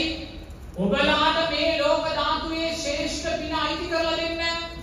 ඔබ දක්ෂණම් ගිහි ජීවිත ගත කරන ඔබලා දවසකට එක විනාඩියක් විනාඩි 5 මේ සතර සතිපට්ඨාන ධර්මයන් තුළ ජීවත් වෙන්න ඒ විනාඩි 5 සාංගික දානයක් පූජා කළාට වැඩි පිනක් ඔබ ජීවිතයට එකතු කර ගන්නවා. පින්වතුනි මේ සම්මා සම්බුද්ධ ශාසනය මේ ලෝක ධාතුවට බුදුරජාණන් වහන්සේ මහා කරුණා ගුණයෙන් පනවපු ශාසනයක්. මේ ශාසනය මේ රටේ මහා ධනපති කෙනාට යම් ප්‍රයෝජනයක් ගන්නවද? අසරණ දුප්පත් කෙනාටත් ඒ හා සමානව මහා කරුණා ගුණයෙන් බුදුරජාණන් වහන්සේ පනවලා තියෙන්නේ. කෝටිපති මහත්යෙක් ඉන්නවා. ඒ කෝටිපති මහත්මයා කෝටියක් වියදම් කරලා මහා පින්කමක් කරනවා. එයා පින්කම කරලා එයා මොකද ප්‍රාර්ථනා කරේ? මෙලව පරලව සැප ප්‍රාර්ථනා කරලා පින්කම ඉවර කරලා එයා සතුටින් ගෙදර යනවා. එච්චරයි මෙලව පරලව සැප ප්‍රාර්ථනා කළේ. මහත්ඵල මහානිසංස පින්කමක් කරගත්තේ නැහැ. අනිත්‍ය වූ සංස්කාර ප්‍රාර්ථනා කළා එයා ගෙදර ගියා කෝටියක් වියදම් කරලා මේ පින්කම බලාගෙන හිටිය දුප්පත් අහිංසක මහත්තයෙක් ඒ දුප්පත් අහිංසක මහත්තයාගේ සත පහක් නැහැ. එයාට පින්කම් කියන්නේ මායාවක්. එයාට සාංගික දානයක් කියන්නේ සිහිනයක්. සත පහක් අතේ නේ අහිංසක දුප්පත් මහත්මයා. මේ සත පහක් අතේ නැති අහිංසක දුප්පත් මහත්මයා කල්යාණ මිත්‍ර ආශ්‍රය ලබන කෙනෙක් සද්ධර්ම ශ්‍රවණය කරන කෙනෙක් සද්ධර්මයේ නුවණින් මෙනෙහි කරන කෙනෙක් සතර සටිපට්ඨානයෝ දන්න කෙනෙක් මේ සතර සටිපට්ඨානයන් දන්න සත පහක් හතේ නැති මේ අසරණ මිනිසයා අර කෝටි ගාණක් වැය කරලා කරපු පින්කම දිහා බලලා ඒ පින්කම සතර සටිපට්ඨානය තුල විසිරෙව්වා. මුදුනේ මොකද්ද කරගත්තේ? මේ ලෝක ධාතුවේ ශ්‍රේෂ්ඨම විදර්ශනාමය කුසලයේ මහත්යා ඉති කරගත්තා. කෝටියක් වියදම් කරපු මහත්යා පින්කමෙන් ගත්තේ ජාති ජරා ව්‍යාධි මරණ ගොඩක් විතරයි. එයා විදර්ශනා නුවණක් දැනගෙන හිටියේ නෑ. නමුත් මේ සත මහක් කතේ නැති මිනිස්සයා අර පින්කම දිහා බලලා මේ ලෝක ධාතුවේ ශ්‍රේෂ්ඨම විදර්ශනාමය කුසලයේ ජීවිතයට එකතු කරගත්තා. පින්තුනි මේ උතුම් සම්මා සම්බුද්ධ ශාසනය බුදුරජාණන් වහන්සේ මහා කරුණා ගුණයෙන් පැනෙව්වේ මේ රටේ මේ ලෝකේ මහා ධනපතියාටත් අන්ත දුප්පතාටත් එක හා සමාන මහා කරුණාවෙන්. එනිසා මේ ශාසනය දුප්පත් කියලා අසරණයි කියලා ඔහුට මේ ශාසනය අයිතිය අහිමි නෑ. ඔබලාටත් මේ ශාසනය එක හා සමානව අයිති දුප්පත් කෙනාටත් නැති බැරි කෙනාටත් මහා කරුණාවෙන් පනවපු ශාසනයක්. ඒ නිසා ඔබ දක්ෂ වෙන්න මේ උතුම් සතර සරිපට්ඨානය මුලින්ම ඔබට දෙන්නේ පින්වතුනි ඔබේ අකුසල් යටපත් කරලා කුසලයෙන් නැගී හිටින බලවත් අකුසල් විපාක දෙන සමාජයක අපි ජීවත් වෙන්නේ. දකින දකින බලන බලන හැම බලාපොරොත්තුවම බිඳ වැටෙන සමාජයක ඒ අපේ අකුසල් ඔබට මේ අකුසල් යටපත් කරගෙන කුසලයෙන් නැගී හිටින්න නම් මේ ලෝක ධාතුව එකම දහම සතර සතිපට්ඨාන ධර්මයන්. ඒක තේරුම් ගන්න ඒ වගේමයි පාසල් දරුවාට විශ්වවිද්‍යාල දරුවාට සතර සතිපට්ඨානයේ සුදුසුයි. ඔබ දක්ෂණම් මොහොතක් මේ රූපේ අනිත්‍යභාවය දකින්න පින්වතුනි ඔබ මේ ලෝක ධාතුවේ ශ්‍රේෂ්ඨම පුණ්‍ය කර්මය කරගත්ත දරුවෙක් වෙනවා. ඔබ දක්ෂණම් මොහොතක් චිත්තානුපස්සනාව පුහුණු වෙන්න පාඩම් කරන්න කම්මැලි හිතක් ඇති වෙනකොට පාඩම් කරන්න අලස හිතක් ඇති වෙනකොට අම්මා තාත්තට අකීකරු හිතක් ඇති වෙනකොට සිල්පදයක් බිඳින හිතක් ඇති වෙනකොට අපේ මේ උතුම් සීලාචාර සදාචාර ධර්මයන්ට පටහැනි හිතක් ඇති වෙනකොට ඔබේ හිත චිත්තානුපස්සනාවෙන් අයින් කරනවා චිත්තානුපස්සනාවෙන් අයින් කරනවා ඔබේ හිත චිත්තානුපස්සනාවෙන් අයින් කරද්දී මේ ලෝක ධාතුවේ ශ්‍රේෂ්ඨම විදර්ශනාමය කුසලය ඔබ ජීවිතයට එකතු කර ගන්නවා. විනතුනි ඒ ඔබට අධ්‍යාපනයේ ශක්තියක් ඔබේ අකුසල් යටපත් කරලා ඔබේ අධ්‍යාපනයට අයෝමය ශක්තියක් සතර සරිපට්ඨාන ධර්මයන් තුළ ඔබට ලබලා දෙනවා. ඒ පළවෙනි කාරණය එහෙනම් සතර සරිපට්ඨානයට බය වෙන්න එපා. අනිත්‍යයි කියන අර්ථයට බය වෙන්න එපා. මම මෙතන වාඩි වෙච්ච වෙලාව ඉඳන් අනිත්‍යයි අනිත්‍යයි කියලා කියන්නේ බුදුරජාණන් වහන්සේ ඔබලාට කියපු නිසා. ඇයි මම අනිත්‍යයි කියන්නේ? මේ ඇස අනිත්‍යයි. මේක අයිති පවුලේ සුසාන භූමියට කරුණා කරලා මේ ඇස උපයෝගී කරගෙන මේකේ රූප දැකලා සිල්පද විඳ ගන්න එපා අකුසල් වඩන්න එපා පව් කරගන්න එපා පවුලේ සුසාන භූමියට අයිති පස නිසා සතර අපායට වැටෙන්න එපා කියන කාරණය ඔබලාට මතු කරලා දෙන්නයි ඔබලාට මතු කරලා දෙන්නයි අනිත්‍ය සංඥාව අපි දේශනා කරන්නේ. එහෙම නැතුව අන්තවාදීව අනිත්‍ය වඩන්න නෙමෙයි දෙවෙනි කාරණය බුදුරජාණන් වහන්සේ ඔබලාට සතරසතිපට්ඨානය දෙන්නේ. ඔබලාගේ සීලය ආරක්ෂා කරන්න ඔබලාගේ කුසල් මූලයන් ආරක්ෂා කරන්න ඔබ අතීතයට ඉතියොමු කරන්න ඔබ සිල්පද කීයක් විතරද කියනවද? ඊයේ දවසේ ඔබ සිල්පද බින්දද? ඇයි ඔබ සිල්පද බින්දේ? ඇස සතුටු කරන්න කන සතුටු කරන්න නාසය දිව ශරීරය මනස සතුටු කරන්න. අවසානයේ අපි සතුටු කරලා තියෙන්නේ මොකද්ද? ඇටසැකිල්ලක් පවුලේ සුසාන භූමියේ පස්කොඩක් පින්වතුනි අවසානයේ අපි සිල්පද පිටලා අකුසල් වඩලා මහා පව් ගොඩක් කරලා මේ රූපයේ පවුලේ සුසාන භූමියට අයිති කරලා පටිච්ච සමුප්පන්නව අපි සතර අපායට යනවා. පින්වතුනි මේ පංච උපාදානස්කන්ධ ලෝකේ මායාව මිරිඟුව සතර සරිපට්ඨානයන් තුලින් බුදුරජාණන් වහන්සේ විවුර්ත කරලා පෙන්නනවා පින්වතුනි බුදුරජාණන් වහන්සේ කොතනකවත් ගිහි පින්වතුන්ලාට කියලා නෑ සතුටු වෙන්න එපා විනෝද වෙන්න එපා කියලා. මේ කාරණය හොඳින් තේරුම් ගන්න. බුදුරජාණන් වහන්සේ කිසිම ගිහි පින්වතෙකුට කියලා නෑ සතුටු වෙන්න එපා විනෝද වෙන්න එපා කියලා. ඔබලාට ලස්සනට අඳින්න එපා ලස්සන ගෙවල් දොරවල් හදන්න එපා ලස්සන යාන වාහන ගන්න එපා සෙල්ලම් කරන්න එපා ක්‍රීඩා කරන්න එපා ව්‍යායාම කරන්න එපා උසස් අධ්‍යාපනය ලබන්න එපා කියලා බුදුරජාණන් වහන්සේ ගිහි පින්වතුන්ලාට කොතනකවත් එපා කියලා නෑ. පින්වතුනි වර්ණය සැපය බලය කියන්නේ පින. බුදුරජාණන් වහන්සේ තරම් පින වර්ණනා කළා වූ ශාස්ත්‍රුන් වහන්සේ කෙනෙක් ලෝකේ නෑ. පින වර්ණනා කළා වූ බුදුරජාණන් වහන්සේ කවදාක්වත් ඔබ සතුටු වෙනවාට විනෝද වෙනවාට අකමැති නෑ. ලස්සනට අඳිනවාට ලස්සන ගෙවල් දොරවල් හදනවාට ලස්සන ඉගෙන ගන්නවාට බුදුරජාණන් වහන්සේ අකමැති නෑ. විසාකා උපාසිකාව සෝවාන් ඵලයට පත් වෙච්ච උපාසිකාවක්. ඇය මහා මේක පළඳනාව පැළඳගෙන යෙහෙටියෝ පිරිවරාගෙනයි පූර්වාරාමයට එන්නේ. බුදුරජාණන් වහන්සේ එපා කිව්වේ නෑ. ඒක ඇගේ පින. ඇගේ වාග්මේ සත්‍ය බලය බුදුරජාණන් වහන්සේ පින ප්‍රතික්ෂේප කළේ නෑ පින වර්ණනා කළා. නිසා කවදාක්වත් බුදුරජාණන් වහන්සේ ඔබලා සතුටු වෙනවාට ඔබලා විනෝද වෙනවාට එපා කිව්වේ නෑ. කැමති තරම් විනෝද වෙන්න කැමති තරම් සතුටු වෙන්න ලස්සනට අඳින්න ලස්සන ගෙවල් දොරවල් හදන්න ඉහළටම යන්න තියෙන තැනට ඉහළ ගන්න එපා කියන්නේ බුදුරජාණන් වහන්සේ.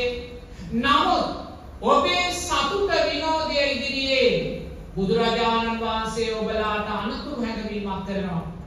අන්නේ අනතුරු හැඟවීමයි වැදගත්. මොකක්ද ඒ අනතුරු හැඟවීම? මහණෙනි කාමේ ආස්වාදයේ කෙටි. මොකද මේ කාමයේ ආස්වාදය කියන්නේ? ඇස කන නාසය දිව ශරීරය මනස පිනවීම කාමයේ ආස්වාදයයි.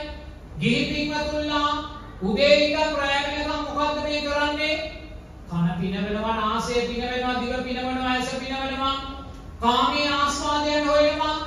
අන්න බුදුරජාණන් වහන්සේ ඔබට අනුතුරු හඟවනවා මහණෙනි කාමයේ ආස්වාදයේ කෙටි මේ කෙටි කාමයේ ආස්වාදය පිටිපස්සේ දීර්ඝාදීනවයක් තියෙනවා. අන්න අනුතුරු හැඟවීම අන්න අනුතුරු හැඟවීම ඔබ අරක්කු දිව්වොත් ආස්වාදයක් තියෙනවා ඒකයි ඔබ නැවත නැවත අරක්කු බොන්නේ නමුත් අරක්කු ආස්වාදය කෙටි මේ කෙටි අරක්කු ආස්වාදය පිටිපස්සේ දීර්ඝ ආදීනවයක් තියෙනවා. මොකක්ද ඒ ආදීනවය?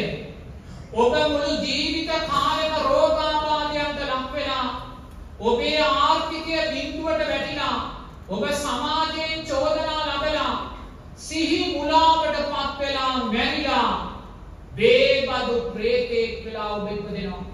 හිමතුනි බේබදු ප්‍රේතෙක් වුණාට පස්සේ කල්ප ගානකට ගොඩ එීමක් නැහැ. මරණාසන්න මොහොතේ අරක්කු උපාදානයන් දරාගෙන මැරුණොත් බේබදු ප්‍රේතෙක් වෙලා අපි ඉපදෙනවා. අන්න බලන්න කෙටි අරක්කු ආස්වාදේ දීර්ඝ ආදීනවය. ඔබ කේන්ති ගත්තොත් ආස්වාදයක් තියෙනවා ඒකයි ඔබ ඊයේ කේන්ති ගත්තේ. අදත් කේන්ති ගත්තේ හෙටත් කේන්ති ගන්නේ. කේන්ති ආස්වාදයක් තියෙනවා. නමුත් මහණෙනි කේන්ති ආස්වාදය කෙටි. මේ කෙටි කේන්ති ආස්වාදය ඔබ පුහුණු වුණොත් මරණාසන්න මොහොතේ ඔබට කේන්තියක් ඇති වුණොත් කල්ප ගානක් ඔබ යකෙක් යක්ෂණියක් විසකුරු සර්පයෙක් වෙලා ඉපදෙනවා. අන්න දීර්ඝාදීනවය. මහණෙනි ලෝභසිතේ ආස්වාදයක් තියෙනවා. ඒකයි ඔබ ලෝභසිත ඇති කරගන්නේ. නමුත් ලෝභසිතේ ආස්වාදය කෙටි ඒ කෙටි ලෝභසිතේ ආස්වාදයට ඔබ කොටු වුණා. මරණාසන්න මොහොතේ ලෝභසිතක් ඇති වුණොත් කල්ප ගානක් ඔබ പ്രേත ලෝකේ දුක් විඳිනවා. මහණෙනි රාගසිතේ ආස්වාදයක් තියෙනවා. ඒකයි ඔබ මේසා රාගයට බැඳී යන්නේ. නමුත් රාගසිතේ ආස්වාදය කෙටි ඒ කෙටි රාගසිතේ ආස්වාදයට ඔබ යට වුණත් මුළු ජීවිතේම අසාර්ථක කරගෙන දික්කසාදයන්ට ගිහිල්ලා පෞල් ජීවිත විනාශ කරගෙන සිහි මුලා වෙලා මැරිලා සතර අපායක් ඉපදෙනවා. අන බුදුරජාණන් වහන්සේගේ අවවාදය අනතුරු හැඟවීම සතුටු වෙන්න එපා කියලා ඔබලාට කිව්වේ නෑ විනෝද වෙන්න එපා කියලා කිව්වේ නෑ. නමුත් ඔබේ සතුට විනෝදය ඉදිරියේ මේ අනතුරු හැඟවීම තේරුම් ගන්න අනතුරු හැඟවීම තේරුම් ගන්න දෙවනුව බුදුරජාණන් වහන්සේ දේශනා කරනවා මහණෙනි රූපේ ආස්වාදයක් තියෙනවා රූපේ ආස්වාදයේ කෙටි. මොකද්ද රූපේ ආස්වාදය කියන්නේ? මේ තාරුණ්‍යේ නවයවුන් රූපය. අන රූපේ ආස්වාදය අවුරුදු 16 17 ඉඳන් අවුරුදු 20 25 වෙනකම් මේ නවයවුන් තාරුණ්‍යේ රූපේ ආස්වාදය රූපේ ආස්වාදය කියලා බුදුරජාණන් වහන්සේ දේශනා කරනවා. නමුත් මහණෙනි මේ රූපේ ආස්වාදය කෙටි. මේ රූපේ කෙටි ආස්වාදය අවුරුදු 25 පණිද්දී ජරා ව්‍යාධි මරණයන් කරා එදී යනවා. නිසා බුදුරජාණන් වහන්සේ දේශනා කරනවා ඔබ මේ රූපේ කෙටි ආස්වාදයට යට වෙලා මේ තාරුණ්‍යේ නවයවුන් ආස්වාදයට යට වෙලා ඔබ අම්මා තාත්තට අකී කරුණොත් වැඩිහිටියන්ට අකී කරුණොත් සීලාචාර සදාචාර ධර්මයන්ට අකී කරුණොත් සිල්පද පිටොත් අකුසල් වැඩුවොත් රූපේ කෙටි ආස්වාදය නිසා දීර්ඝාදීනවයන් මොනවද? මුළු ජීවිතේම අඳුරු කරගන්නවා. සිහි මුලා වෙලා මැරෙනවා.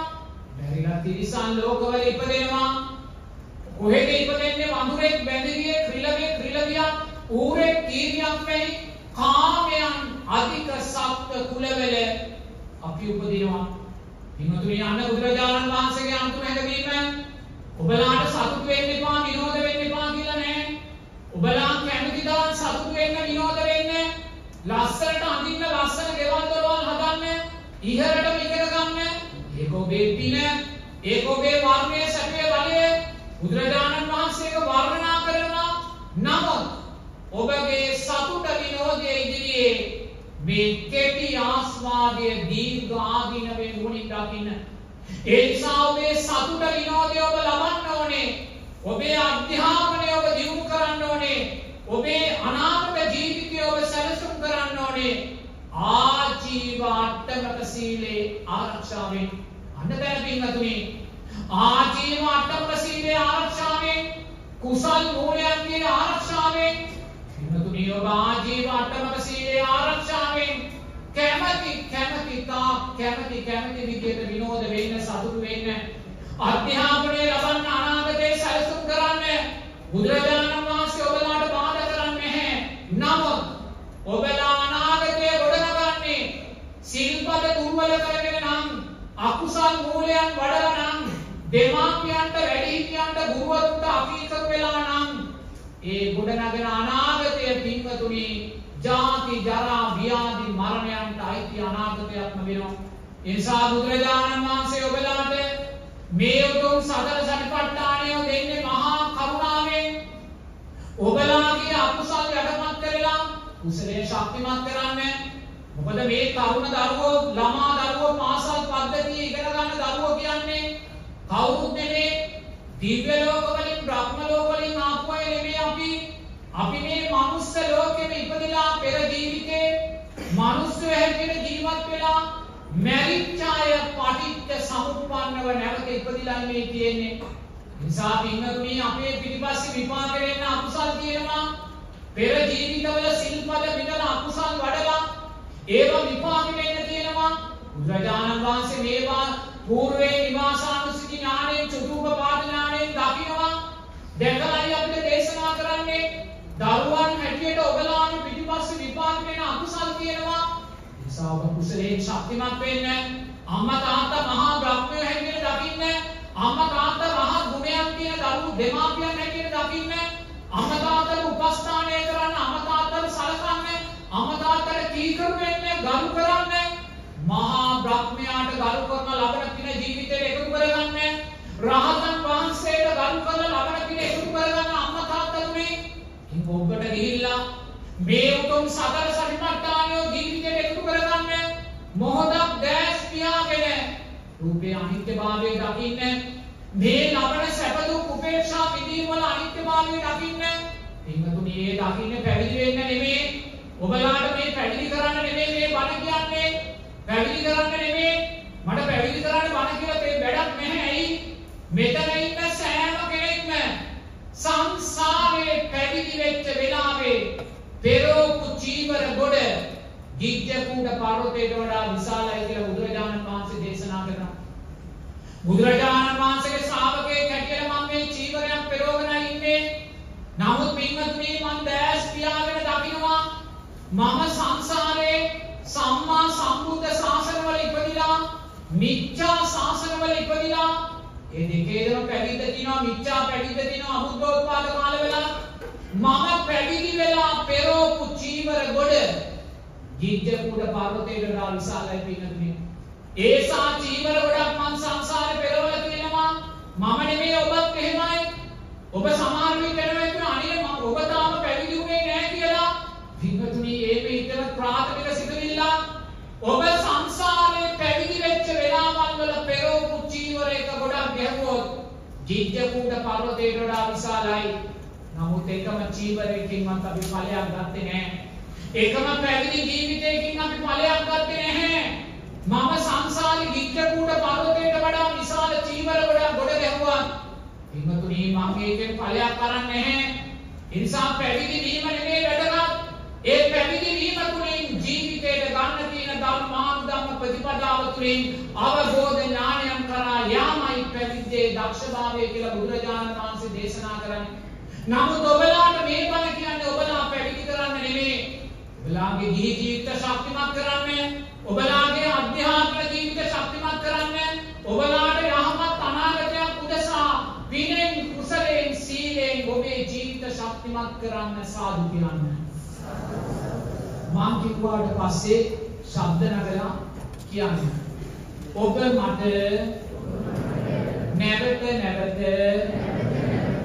වෛර කරන්න මම ඔබට නැවත නැවත මෛත්‍රී කරමි. ඔබ මට නැවත නැවත ද්වේෂ කරන්න මම ඔබට නැවත නැවත මෛත්‍රී කරමි. ඔබ මට නැවත නැවත නපුරුකම් කරන්න මම ඔබට නැවත නැවත මෛත්‍රී කරමි ඔබ මාව නැවත නැවත විවේචනය කරන්න මම ඔබට නැවත නැවත මෛත්‍රී කරමි ඔබ මාව නැවත නැවත නොසලකා හරින්න මම ඔබට නැවත නැවත මෛත්‍රී කරමි. පින්වතුනි ලෞතුරා බුදුරජාණන් වහන්සේ දේශනා කරනවා සාරා සංක කල්ප ලක්ෂ සියක් කෝටි ප්‍රකෝටි ගානක් ඈතක ඉඳන් පටිච්ච සමුප්පන්නව ඔබත් මම මැරෙමින් ඉපදෙමින් මැරෙමින් ඉපදෙමින් මේ එන්නේ අනුන් නිසාමයි කියලා. අනුන් නිසා ආවා වූ මෝහ බරිත ගමන ඔබත් මමත් ඇවිල්ලා තියෙනවා. ඇයි පින්වතුනි? අනුන් බැන්නා කියලා ඔබත් බයින්න ගියා. අනුන් ගැහුවා කියලා ඔබත් ගහන්න ගියා. අනුන් විවේචනය කළා කියලා ඔබත් විවේචනය කරන්න ගියා. අනුන් නිසා ආවා වූ මෝහ බරිත ගමන ඔබත් මමත් ඇවිල්ලා තියෙනවා. පින්වතුනි මේ ගමන තාමත් අපි නවත්තලා නැහැ. ඔබේම හෘද සාක්ෂියට තට්ටු කරලා අහන්න හෙට කෙනෙක් ඔබට බැන්නොත් මොකද්ද වෙන්නේ? හෙට කෙනෙක් ඔබට පාරක් ගැහුවොත් මොකක්ද වෙන්නේ? හෙට කෙනෙක් ඔබට චෝදනාවක් කළොත් මොකද්ද වෙන්නේ? අපි පෙරලා ඒ දේ අපි කරනවා. ඇයි පින්වතුනි? තාම අපිට කර්මය කර්මඵල විශ්වාසය නැහැ. සම්මා දිට්ඨියේ දුර්වල භාවයන් නිසා කර්මය කර්මඵල විශ්වාසය දුර්වලයි. කවුරුනෝ මාව විවේචනය කරනවා නම් මම සුවපත් වේවා කියලා නම් කියනවා. ඇයි ඒ? කෙනෙක් මාව විවේචනය කිරීම තුළ අපි දකින්නේ සුන්දර ධර්මයක්. මොකක්ද ඒ ධර්මය?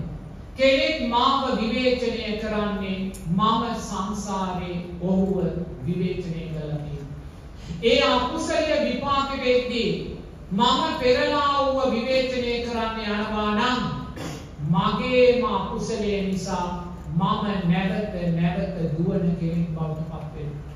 මම මෙතන වාඩි වෙලා ඉන්නවා. මේ වහලේ කඩාගෙන මගේ හිස මතට වැටෙනවා. මම තුවාල වෙනවා මම සුවපත් වේවා කියලා හිතනවා. ඇයි පින්නතුනි? මම සුවපත් වේවා කියේ වහලෙට නෙමෙයි. මගේ අකුසල් සංස්කාරය. වහලේ නෙමෙයි හිස මතට කඩා වැටුනේ වහලේ තුලින් කඩා වැටුනේ මගේ අකුසල් සංස්කාරය. මොකක්ද ඒ අකුසල් සංස්කාරය? මම සංසාරේ දේශ සිතෙන් සංඝයාගේ හිස මතට වහලයක් කඩලා දාලා තියෙනවා. අන්න අකුසලේ විපාක වෙනවා. ඒ අකුසලේ විපාක වෙද්දී මම මේ වහලේ හදපු බාසුන් නෑ හොයාගෙන ගහන්න බනින්න යනවා නම් මගේම අකුසලේ නිසා මම දුවන කෙනෙක් බවට පත් වෙනවා. මම අර කුටිවල වැඩ ඉන්නකොට වඳුරු ඇවිල්ලා වහලේ උඩ පැනලා දඟලනවා. මම මොකද කරන්නේ? සුවපත් වේවා කියලා නෝල දානවා. ඇයි පින්නතුනි? වහලේ උඩ දඟලන වඳුරා තුලිනොත් සුන්දර ධර්මයක් අපිට කියලා දෙනවා. මොකක්ද ඒ ධර්මය? ඒ වඳුරු ඇවිල්ලා මගේ වහල උඩ දඟලලා උණු කඩන්නේ සංසාරේ මම වඳුරෙක් වෙච්ච වෙලාවේ වහලවල් වලට පැනලා පන්සල් වල කුටි වල අප්‍රමාණ උණු කඩලා තියෙනවා. බුදුරජාණන් වහන්සේ දේශනා කරනවා තිරිසන් සතෙක් වෙලා ඉපදුනොත් ඒ තිරිසන් සතා ආත්ම භාව 500ක් එකම කුලේ ඉපදෙනවා කියලා. මොකද තිරිසන් සතා මැරෙන වෙලාවට පිනක් උපාදානය කරගන්න යා දන්නේ නැහැ. රැළමයි උපාදානය වෙන්නේ. ඒ රැළේ උපදිනවා. ආත්ම භාව 500ක්. එහෙනම් මං වඳුරෙක් වෙලා සංසාරේ ඉපදුන වෙලාවේ මං වඳුරු කුලේ ආත්ම භාව 500ක් ඉපදිලා තියෙනවා. පින්වතුනි ආත්ම භාව 500ක් මං වඳුරෙක් වෙලා ඉපදුච්ච නම් මොනසා වහලවල් ගොඩක් මං කඩලා ඇද්ද? පින්වතුනි සුන්දර සම්මා දිට්ඨිය සුන්දර සම්මාධිත්‍යය නමුත් අපි මෙතෙන්ට යනවද?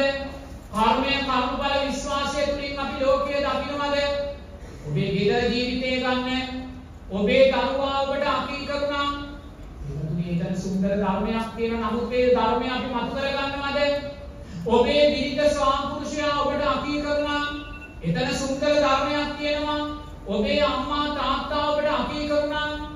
එතන සුන්දර ධර්මයක් තියෙනවා මොකද්ද සංසාරේ අපි අම්මල තාත්තලාට බිරිඳ ස්වාමිපුරුෂයාට අසුතු වෙලා තියෙනවා.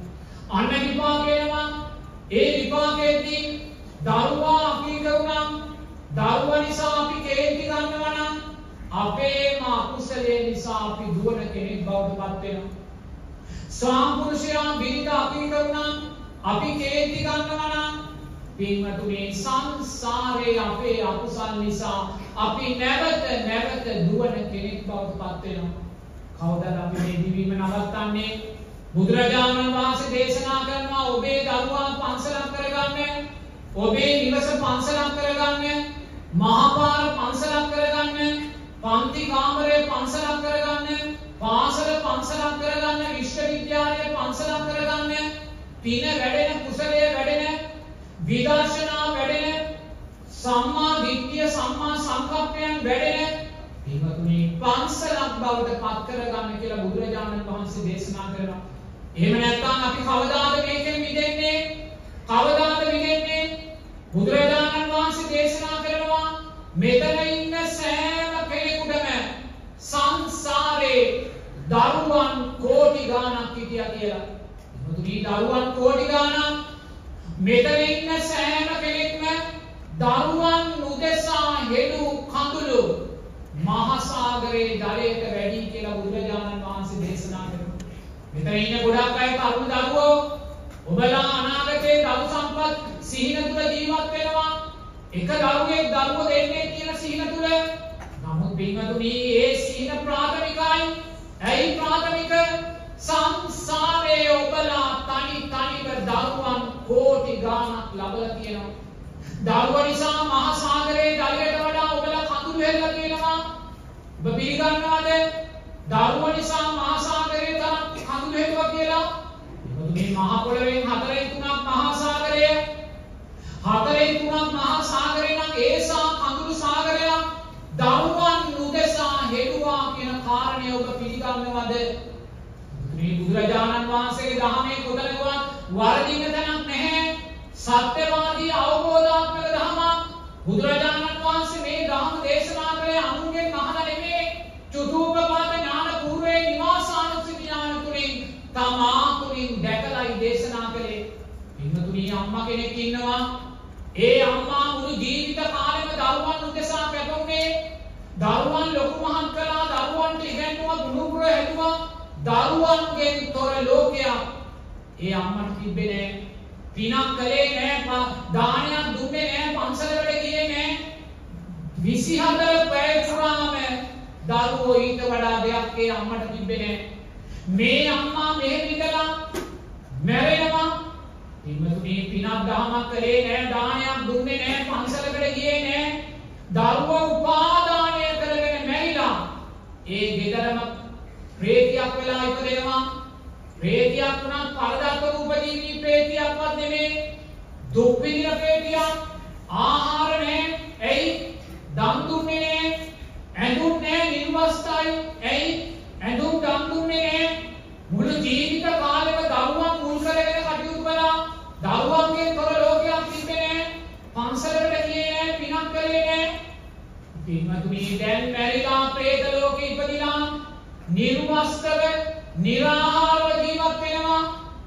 මේ කොයිසා කඳුළු සාගරයක් වගුරන්න ඕනේද? ඔය പ്രേත ජීවිතේ කොච්චර කල් ඉඳීද? ඔය പ്രേත ජීවිතෙන් චුත වෙලා ඊළඟට තිරිසන් ලෝකෙට වැටේ. ඊළඟට නිර්යන්ත වැටේ. නමුත් මේ සෑම දුකක්ම උරුම වුණේ කොතනින්ද? දරුවන් නිසා. හොඳට තේරුම් ගන්න. දරුවන් නිසා මහා සාගරයේ ජලයට වඩා කඳුළු හෙව්වා කියලා බුදුරජාණන් වහන්සේ දේශනා කරන්නේ. මේ දරුවෝ නිසා මේ ජීවිතේ විඳින කඳුළු නෙමෙයි. දරුවන් උපාදානය කරගෙන මැරිලා සතර අපායන්ට වැටිලා සතර අපායෙන් සතර අපායට කල්ප ගණන් දුක් විඳිද්දී ඒ විඳින කඳුළු අයිති වෙන්නේ දරුවන් නිසා ගෙඩුවා වූ කඳුළු වලටමයි.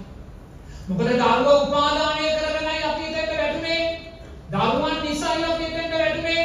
නිරයන් 132ක් කරා යද්දී අර මහා ගිනි නිරයට වැටෙද්දී අර උණුවල් නිරයන්ට වැටෙද්දී හිමතුනේ හලන කඳුළු පිළිබඳ නිවව්වක් නැහැ. කල්ප ගණන් ගහලන කඳුළු දරුවන් නිසා හලන කඳුළු කියලා බුදුරජාණන් වහන්සේ දේශනා කරනවා. නිසා ඔබත් මමත් තනි තනිව දරුවන් උදෙසා මහා සාගරයේ ජලයට වඩා කඳුළු වෙලා තියෙනවා. තේරුම් ගන්න. එහෙනම් ඔබ දක්ෂ වෙන්න.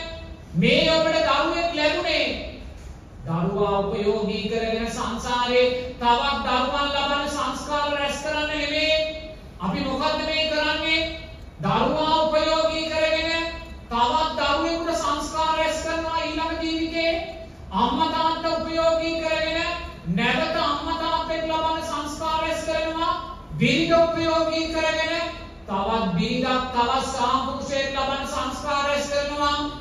මේ කවුරුත් අපිට අයිති නෑ. දැස් පියාගෙන දකින්න ඔබලාට බිරින්දෑවරු කෝටි ගාණක් අතීතේ හිටියා ඔබලාට සාපුරුෂයන් කෝටි ගාණක් හිටියා ඒකම කෙනෙක්වත් දැන් ඔබට අයිති නෑ එකම කෙනෙක්වත් අයිති නෑ නමුත් අද අපි මේ මොකද කරන්නේ කෝටි ගාණක් අපිට අයිති නැති වෙද්දී අපි මේ ජීවිතේ අපිට ලැබුණු දුව දරුවා බිරිඳ සාපුරුෂයා අම්මා උපයෝගී කරගෙන නැවත අම්මා කෙනෙක් ලබන්න සංස්කාර රැස් කරනවා. නැවත බිරිඳෙක් ස්වාමිපුරුෂයෙක් ලබන්න සංස්කාර රැස් කරනවා. නැවත දරුවෙක් ලබන්න සංස්කාර රැස් කරනවා. එකතුනි මේකේ අවසානයක් නැද්ද? මේකේ නිමාවක් නැද්ද? මහා සාගරයේ ජලයට වඩා කඳුළු හෙලලා තාම අපිට ඇතිවීමක් නැද්ද? ඒ නිසා බුදුරජාණන් වහන්සේ දේශනා කරනවා ඔබේ දරුවා උපයෝගී කරගෙන දරුවා කියන අර්ථය නිරෝධය දිසාවට යන්න.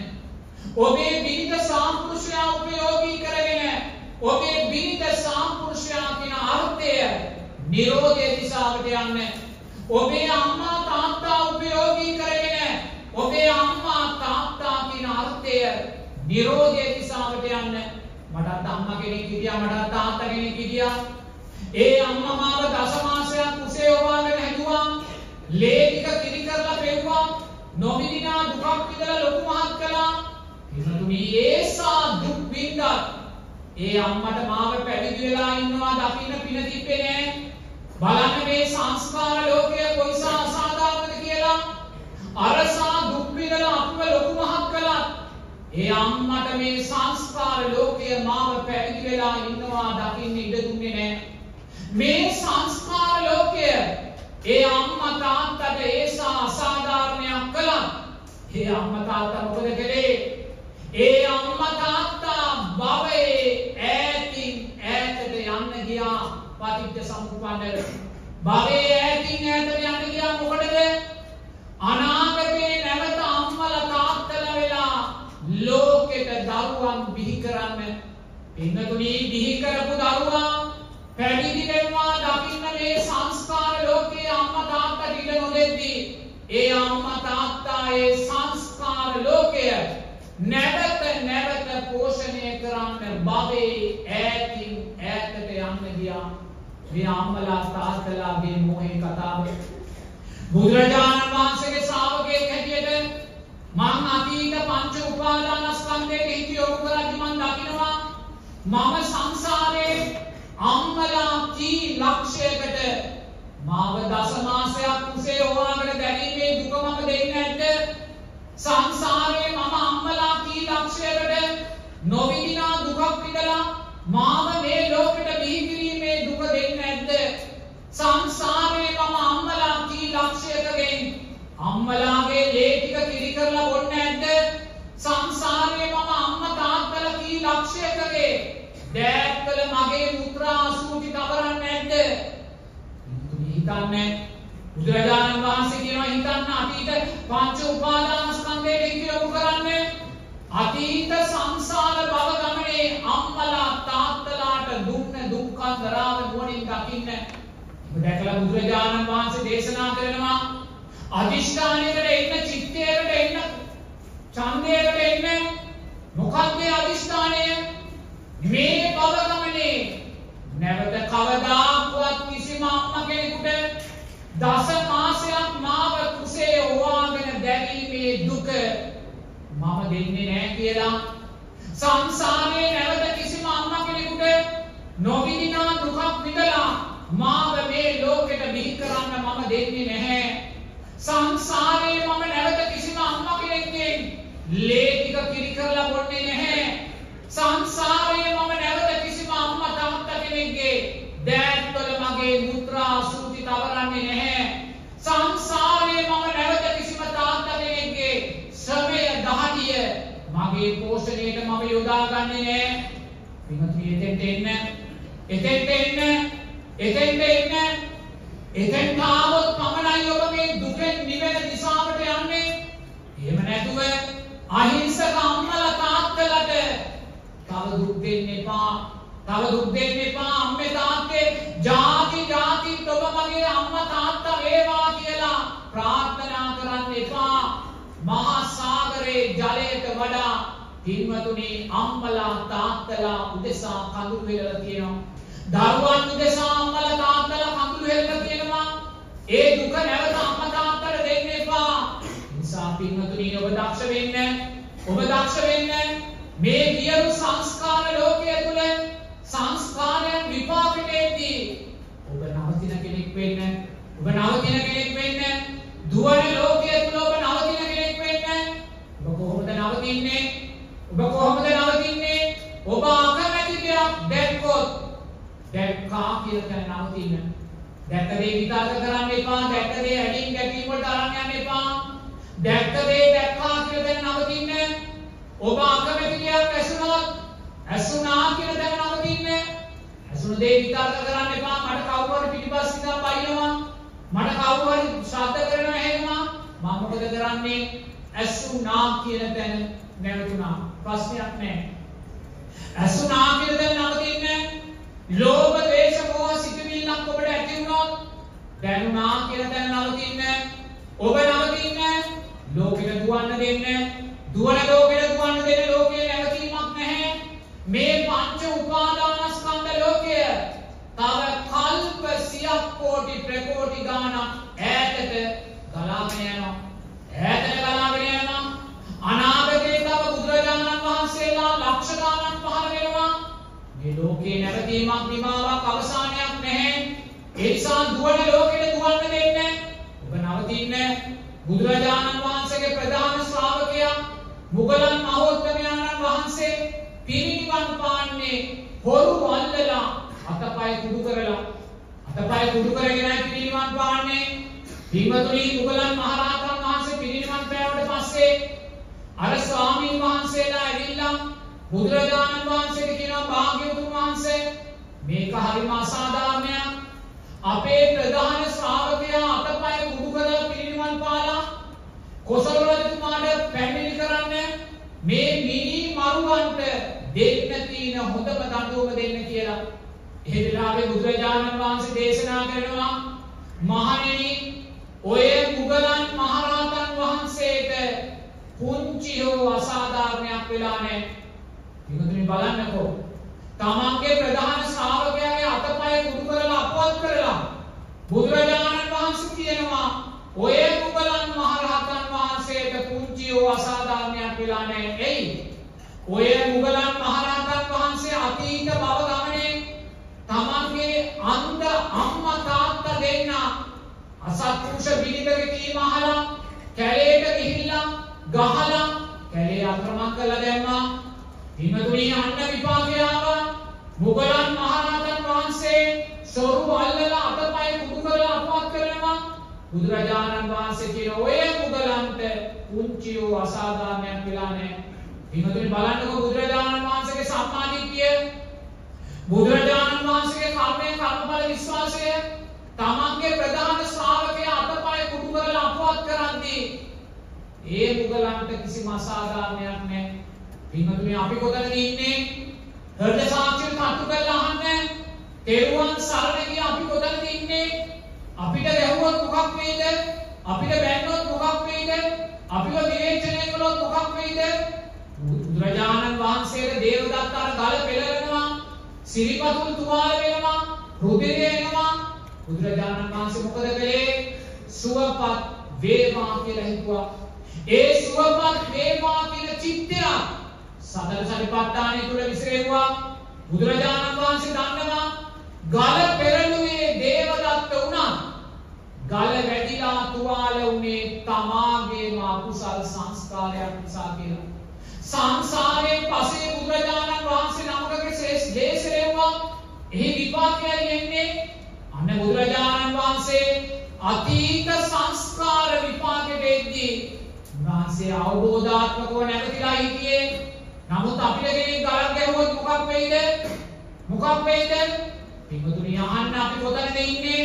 අපේ කර්මයේ කර්මඵල විශ්වාසය කොතනද තියෙන්නේ? අපි කවදාද මේ සංස්කාර ලෝකයෙන් ගැලවෙන්නේ? ඒ නිසා බුදුරජාණන් වහන්සේ ඔබට දේශනා කරනවා ලෝකය හදන්න යන්න එපා මේ ලෝකය නිවැරදි කරන්න බැහැ. ලෝකයේ අර්ථය පැඩෙන බිඳෙන විසිරෙන ස්වභාවයයි. ඒ නිසා ගුටි කාගෙන මේකෙන් නිදහස් වෙලා යන්න. බැලුම් අහගෙන මේකෙන් නිදහස් වෙලා යන්න. විවේචනය ලබමින් මේකෙන් නිදහස් වෙලා යන්න. පින්වතුනි දුවන ලෝකෙට දුවන්න දීලා ඔබ නවතින්න කියලා බුදුරජාණන් වහන්සේ දේශනා කරන සාධුකියන.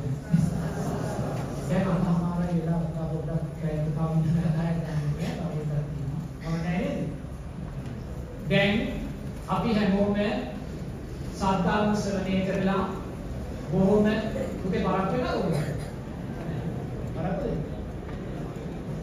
දැන් මේ වෙලාවේ හැමෝම සද්ධාර්ම ශ්‍රවණය කරලා බොහොම සමාධිමත් සිතකින් පස් වෙන මොහොතක්.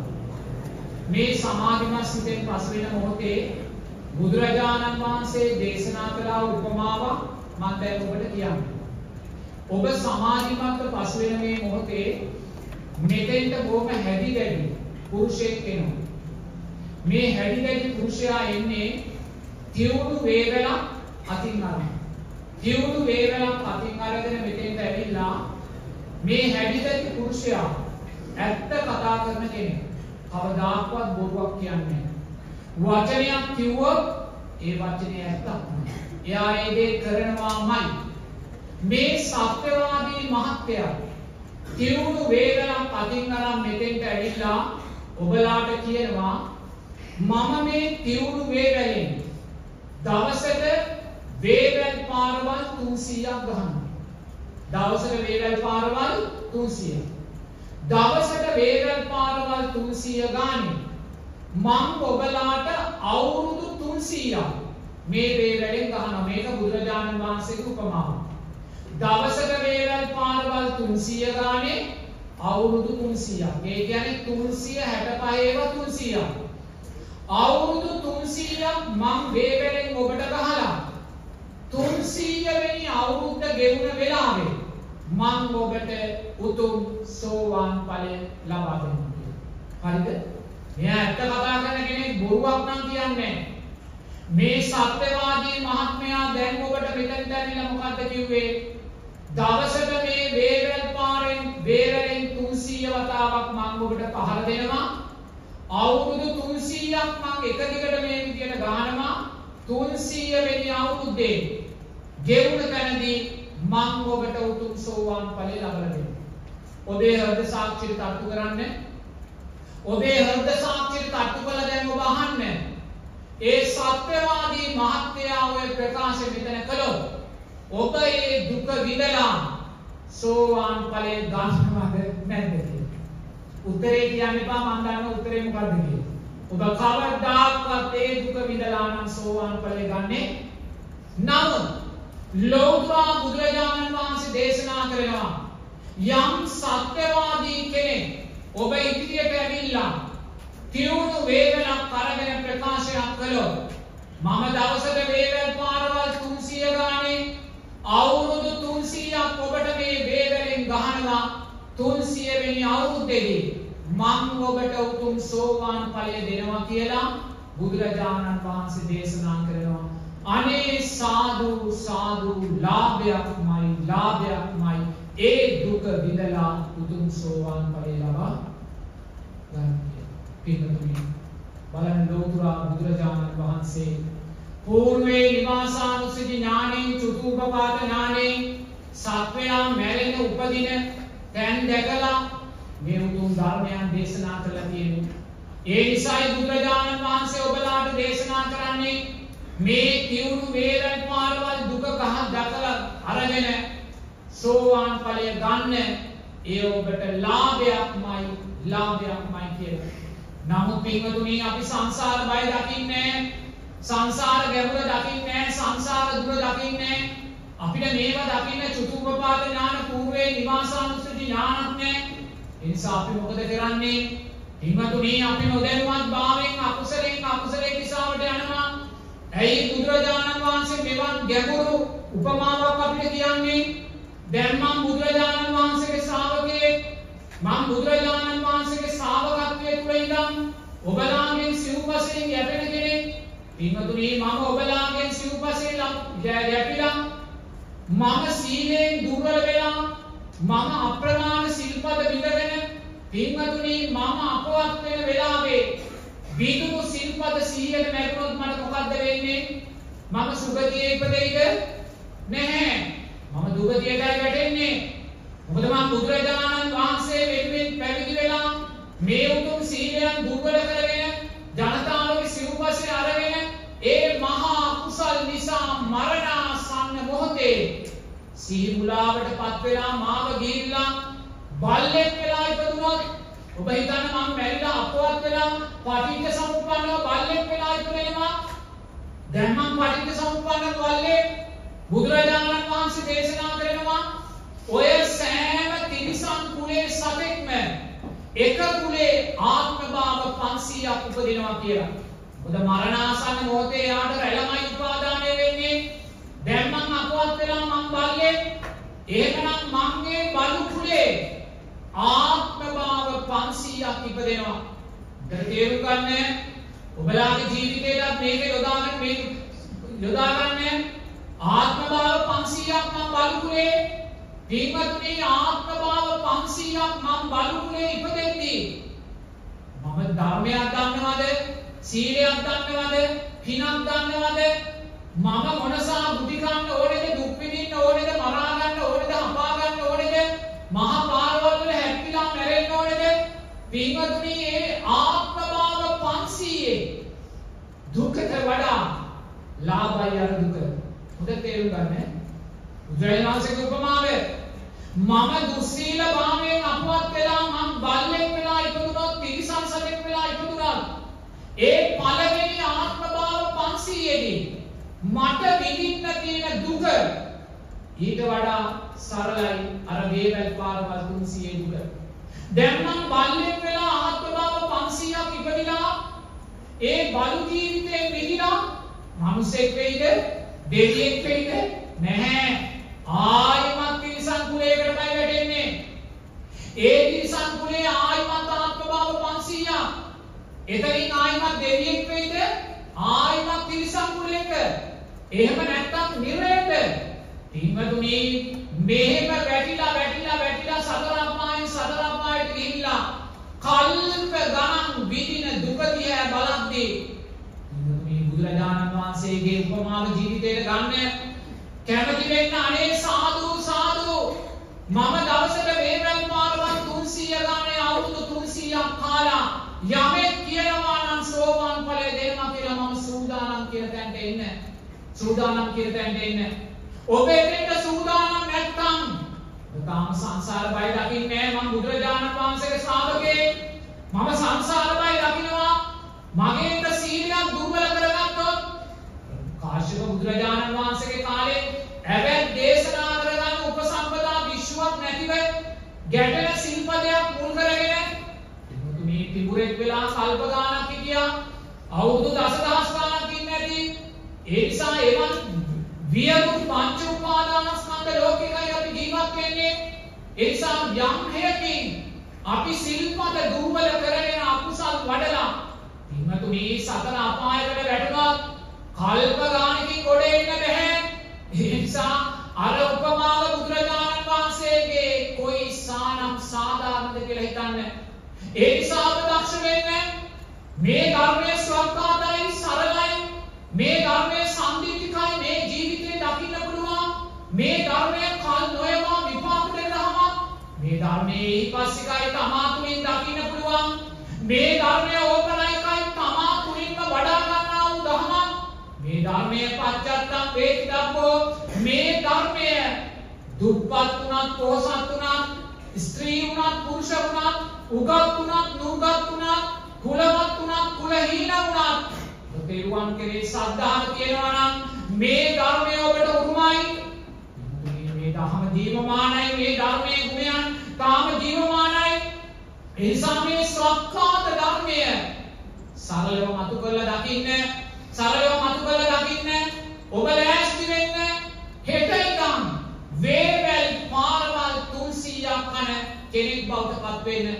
පින්වතුනි හෙට ඉඳන් ඔබ ලෑස්ති වෙන්න. දවසක වේවැල් පාරවල් 300ක් කන කෙනෙක් බවට පත් වෙන්න. බුදුරජාණන් වහන්සේගේ ශ්‍රාවකෙක් හැටියට මම මෙතන වාඩි වෙලා දැන් පැය තුනමාරක් හතරක් වෙනවා. මේ පැය තුනමාර හතරට මම වේවැල් පාරවල් සිය ගානක් කෑවා.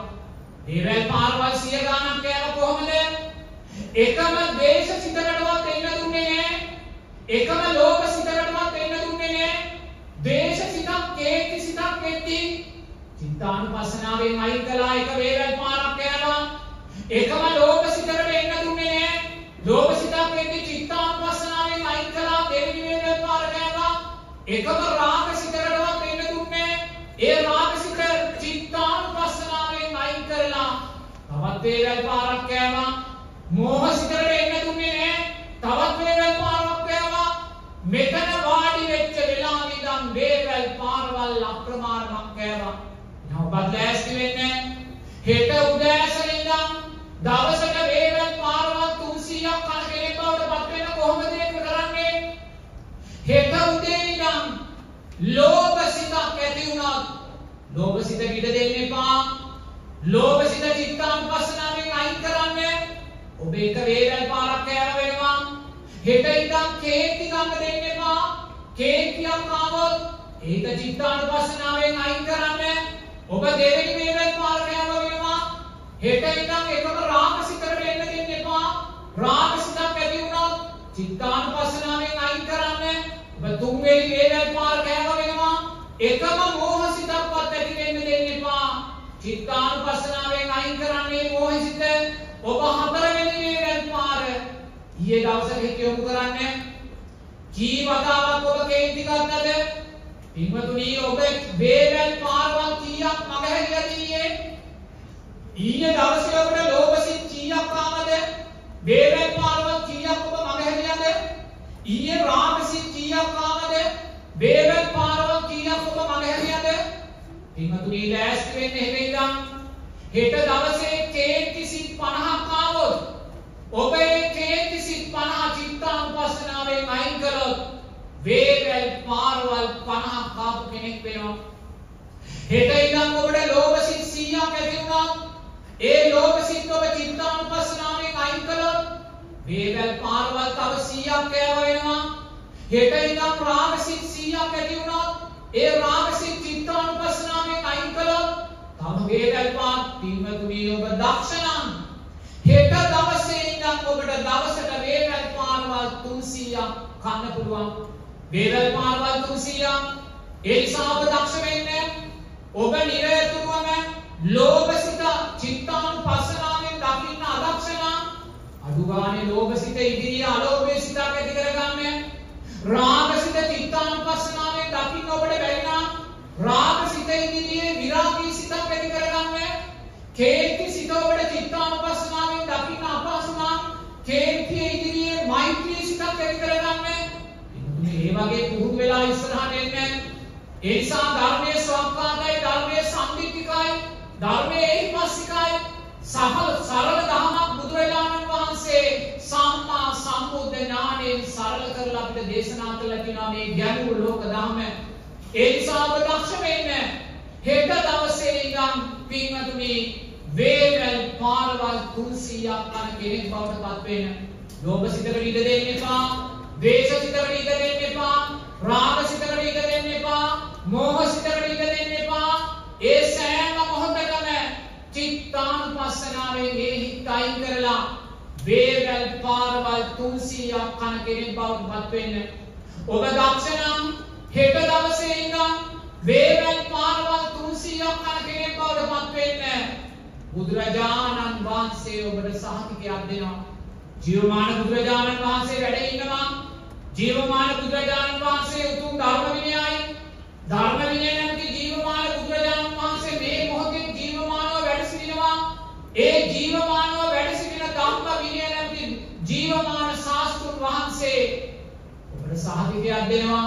ඔබට සහතිකයක් දෙනවා. ඔබ හෙට ඉඳන් වේවැල් පාරවල් 300ක් කන කෙනෙක් බවට පත් වුණා. ඔබට බුදුරජාණන් වහන්සේ සහතිකයක් දෙනවා මේ ජීවිතේ ඇස් දෙක පිය වෙන අවසානයේ මොහොතේ වූ ඔබට උතුම් සෝවාන් ඵලය සාක්ෂාත් කර දෙනවා සාදු. පින්වතුන් අප්‍රමාණ සතුටපත් වෙන්න අපි විදර්ශනාමය ධර්ම දේශනාමය පින්කමක් සිද්ධ කරලා ජීවිතය තුළින් අප්‍රමාණ සැනසෙල්ලක් අත් කරගත්තා. ඒ නිසා කල්පනා කරන්න මේ මොහොතේ මේ රැස් කරගත්තා වූ සෑම පිනක්ම පින්වතුන්ලාට සැමදා මඟ පෙන්වන අති පූජනීය කෝන්ගම්ගේ මේදන්තර නායක ස්වාමීන් වහන්සේ ඇතුළු සියලුම ගෞරවනීය ස්වාමීන් වහන්සේලාට ඒ වගේම පින්වත් උපකුලපතිතුමන් වන රියල් අර්ජුනරාල් ධම්මික කුමාර මහතා ඇතුළු පවුලේ සියලුම දෙනාට ඒ වගේම පින්වත් නියෝජ්‍ය උපකුලපතිතුමන් මේජර් ජනරල් චින්තක වික්‍රමසිංහ මහතා ඇතුළු පවුලේ සියලුම දෙනා ඒ වගේම විශ්වවිද්‍යාල පරිපාලනය හා සහ සම්බන්ධ සෑම සියලු දෙනාමත් ඒ වගේම ආචාර්ය නාමලි සිරිසෝම මහත්මිය ඇතුළු පිරිසත් ඒ වගේම දුෂ්යන්ති ලොකුගේ මෙලවිය ඇතුළු පවුලේ සෑම දෙනා ඉන්දික තිලකරත්න මහතා ඇතුළු පවුලේ සියලු දෙනා හසලි දියණිය ඇතුළු පවුලේ සියලු දෙනා ඉමේන්ද්‍රා වතුවේවා මහත්මිය ඇතුළු පවුලේ සියලු දෙනාට ලක්ෂානී මහත්මිය ඇතුළු පවුලේ සියලු දෙනාට ඒ වගේම පශ්චාත් උපාධි අපේක්ෂක සියලුම ශිෂ්‍ය ශිෂ්‍යාවන් සියලුම දෙනාට ආහාරපාන සකසා දීමට උපකාර කර ඒ වගේම පරිසරය අලංකාර දුන් ගායනී මහත්මිය ඇතුළු සෑම දිලීප මහතා ඇතුළු පවුලේ සියලු දෙනාට නන් අයුරින් උපකාර කළා වූ සියලුම දෙනාටත් ඒ වගේම මේ උතුම් සද්ධර්ම ශ්‍රවණය ශ්‍රවණය කිරීමට පැමිණි පින්වත් ඔබ සියලුම දෙනාටත් මේ සකස් කරගත්තා වූ ධර්ම දානමය පින් නිදුක් නිරෝගී සුවපත්භාවයේ දීර්ඝායුෂ උතුම් චතුරාර්ය සත්‍ය දැකීමට මේ පින් උත්තම ශක්තියක් වේවා කියලා සාදුනා. ඒ වගේම මේ රැස් කරගත්තා වූ සෑම පිනක්ම ඒ උත්තරීතර මහානායක ස්වාමින් වහන්සේලා ඇතුළු සියලුම වන්දනීය මහා සංඝරත්නයටත් කල්යාණ මිත්‍රභාවයෙන් සහ සම්බන්ධ වෙන ගෞරවනීය රන්මුතුගල බුද්ධවංශ ගෞරවනීය ස්වාමින් වහන්සේට කල්යාණ මිත්‍රභාවයෙන් සහ සම්බන්ධ වෙන පින්වතුන්ලා සියලුම දෙනාටත් මේ පින් නිදුක් නිරෝගී සුවපත් භාවය දීර්ඝායුෂ පිණිසම හේතු වේවා කියලා සාදුකියනවා. ඒ වගේම මේ රැස් කරගත්තා වූ සෑම පිනක්ම පින්වතුන්ලා නමින් මිය පරලොව ගොස් පින් බලාපොරොත්තුව ජීවත් වන්නේ නම් දයාබර අම්මල තාත්තල ආච්චිල සීයල ඇතුළු පින් බලාපොරොත්තුව ජීවත් වන සියලු සත්වයෝ. ඒ වගේම මේ ආයතනයේ අතීතයේ රාජකාරී කටයුතු කරලා මිය පරලව ගොස් පින් බලාපොරොත්තුව ජීවත් වෙන යම් පින්වතුන් පින්වතියන් වේද ඒ සෑම දෙනාමත් තමන්ගේම දෑකින් කරගත්තා වූ පින්කම් සේසිතා මේ පින් දකිත්වා සතුටු වෙත්වා අනුමෝදම් වෙත්වා. පරලව ජීවිතයේ වර්ණය සැපේ බලය ප්‍රඥාව පිණිසම මේ පින් උත්තම ශක්තියක් වේවා කියලා දස දිසාවේම පින් බලාපොරොත්තුව ජීවත් වන සියලු සත්‍යයෝ සිහියට නගාගෙන මේ පින අනුමෝදන් කරන්න ඉදම් මේ ඥාති නම්බෝතු ගාථාව ශබ්ද නගල කියන්න. ඉදම් මේ ඥාති නම්බෝතු සුවිතා හොන්තු ඥාතයෝ. ඉදම් මේ ඥාති නම්බෝතු සුවිතා හොන්තු ඥාතයෝ. ඉදම් මේ ඥාති නම්බෝතු සුවිතා හොන්තු ඥාතයෝ. ඒ වගේම මේ රැස්කර ගත්තා වූ සෑම පිනක්ම මහේශාක්‍ය අල්පේශාක්‍ය අප්‍රමාණ දිව්‍ය රාජ සමූහයා මේ ගම්බිල් සුරකින දෙවියෝ මේ උතුම් සම්මා සම්බුද්ධ ශාසනය සුරකින සප්‍ර දෙවියන් සතරවරන් දෙවියන් ඇතුළු දිව්‍ය රාජ සමූහයා මේ පින් දකිත්වා සතුටු වෙත්වා. දෙවියන්ගේ ආශිර්වාදේ පින්වතුල්ලා කරන කියන ව්‍යාපාර රැකී රක්ෂා දුවා දරුවන්ගේ කටයුතු වේ නම් පින්ගන්නා වූ දෙවියන්ගේ ආශිර්වාදයෙන් ඒවා ශස්ත්‍රීක භාවයට පත්වේවා සෞභාග්‍යමත් භාවයට පත්වේවා.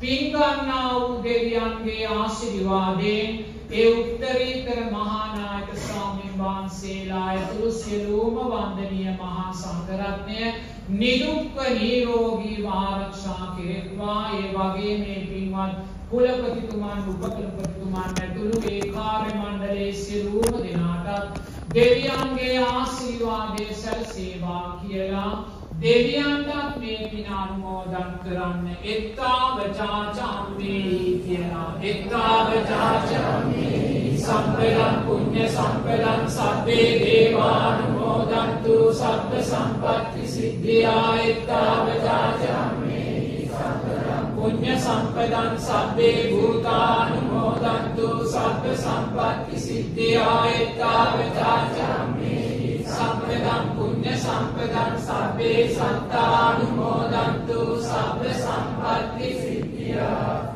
මා සමග ශබ්ද නගල කියන්න නමෝ තස්ස භගවතෝ වරහතෝ සම්මා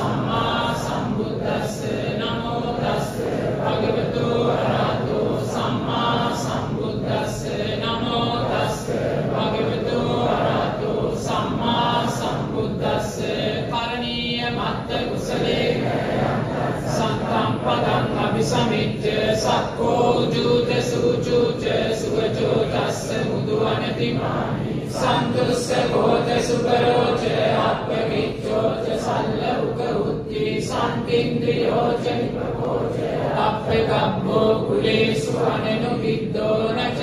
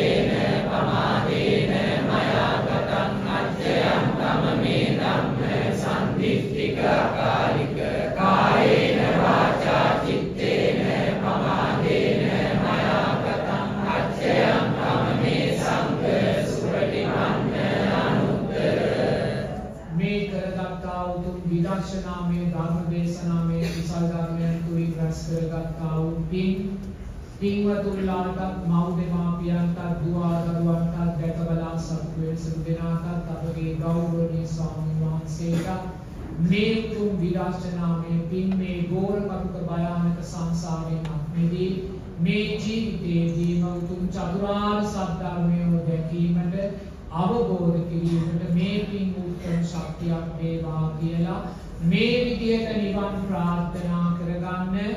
ඉදම් මේ පුඤ්ඤම් ඉදම් මේ පුඤ්ඤම් ආසවක්්‍යා වහන්ගෝතු ආසවක්්‍යා වහන්ගෝතු මේ පින නිවන් අවබෝධ වීම පිණිසම නිවන් අවබෝධ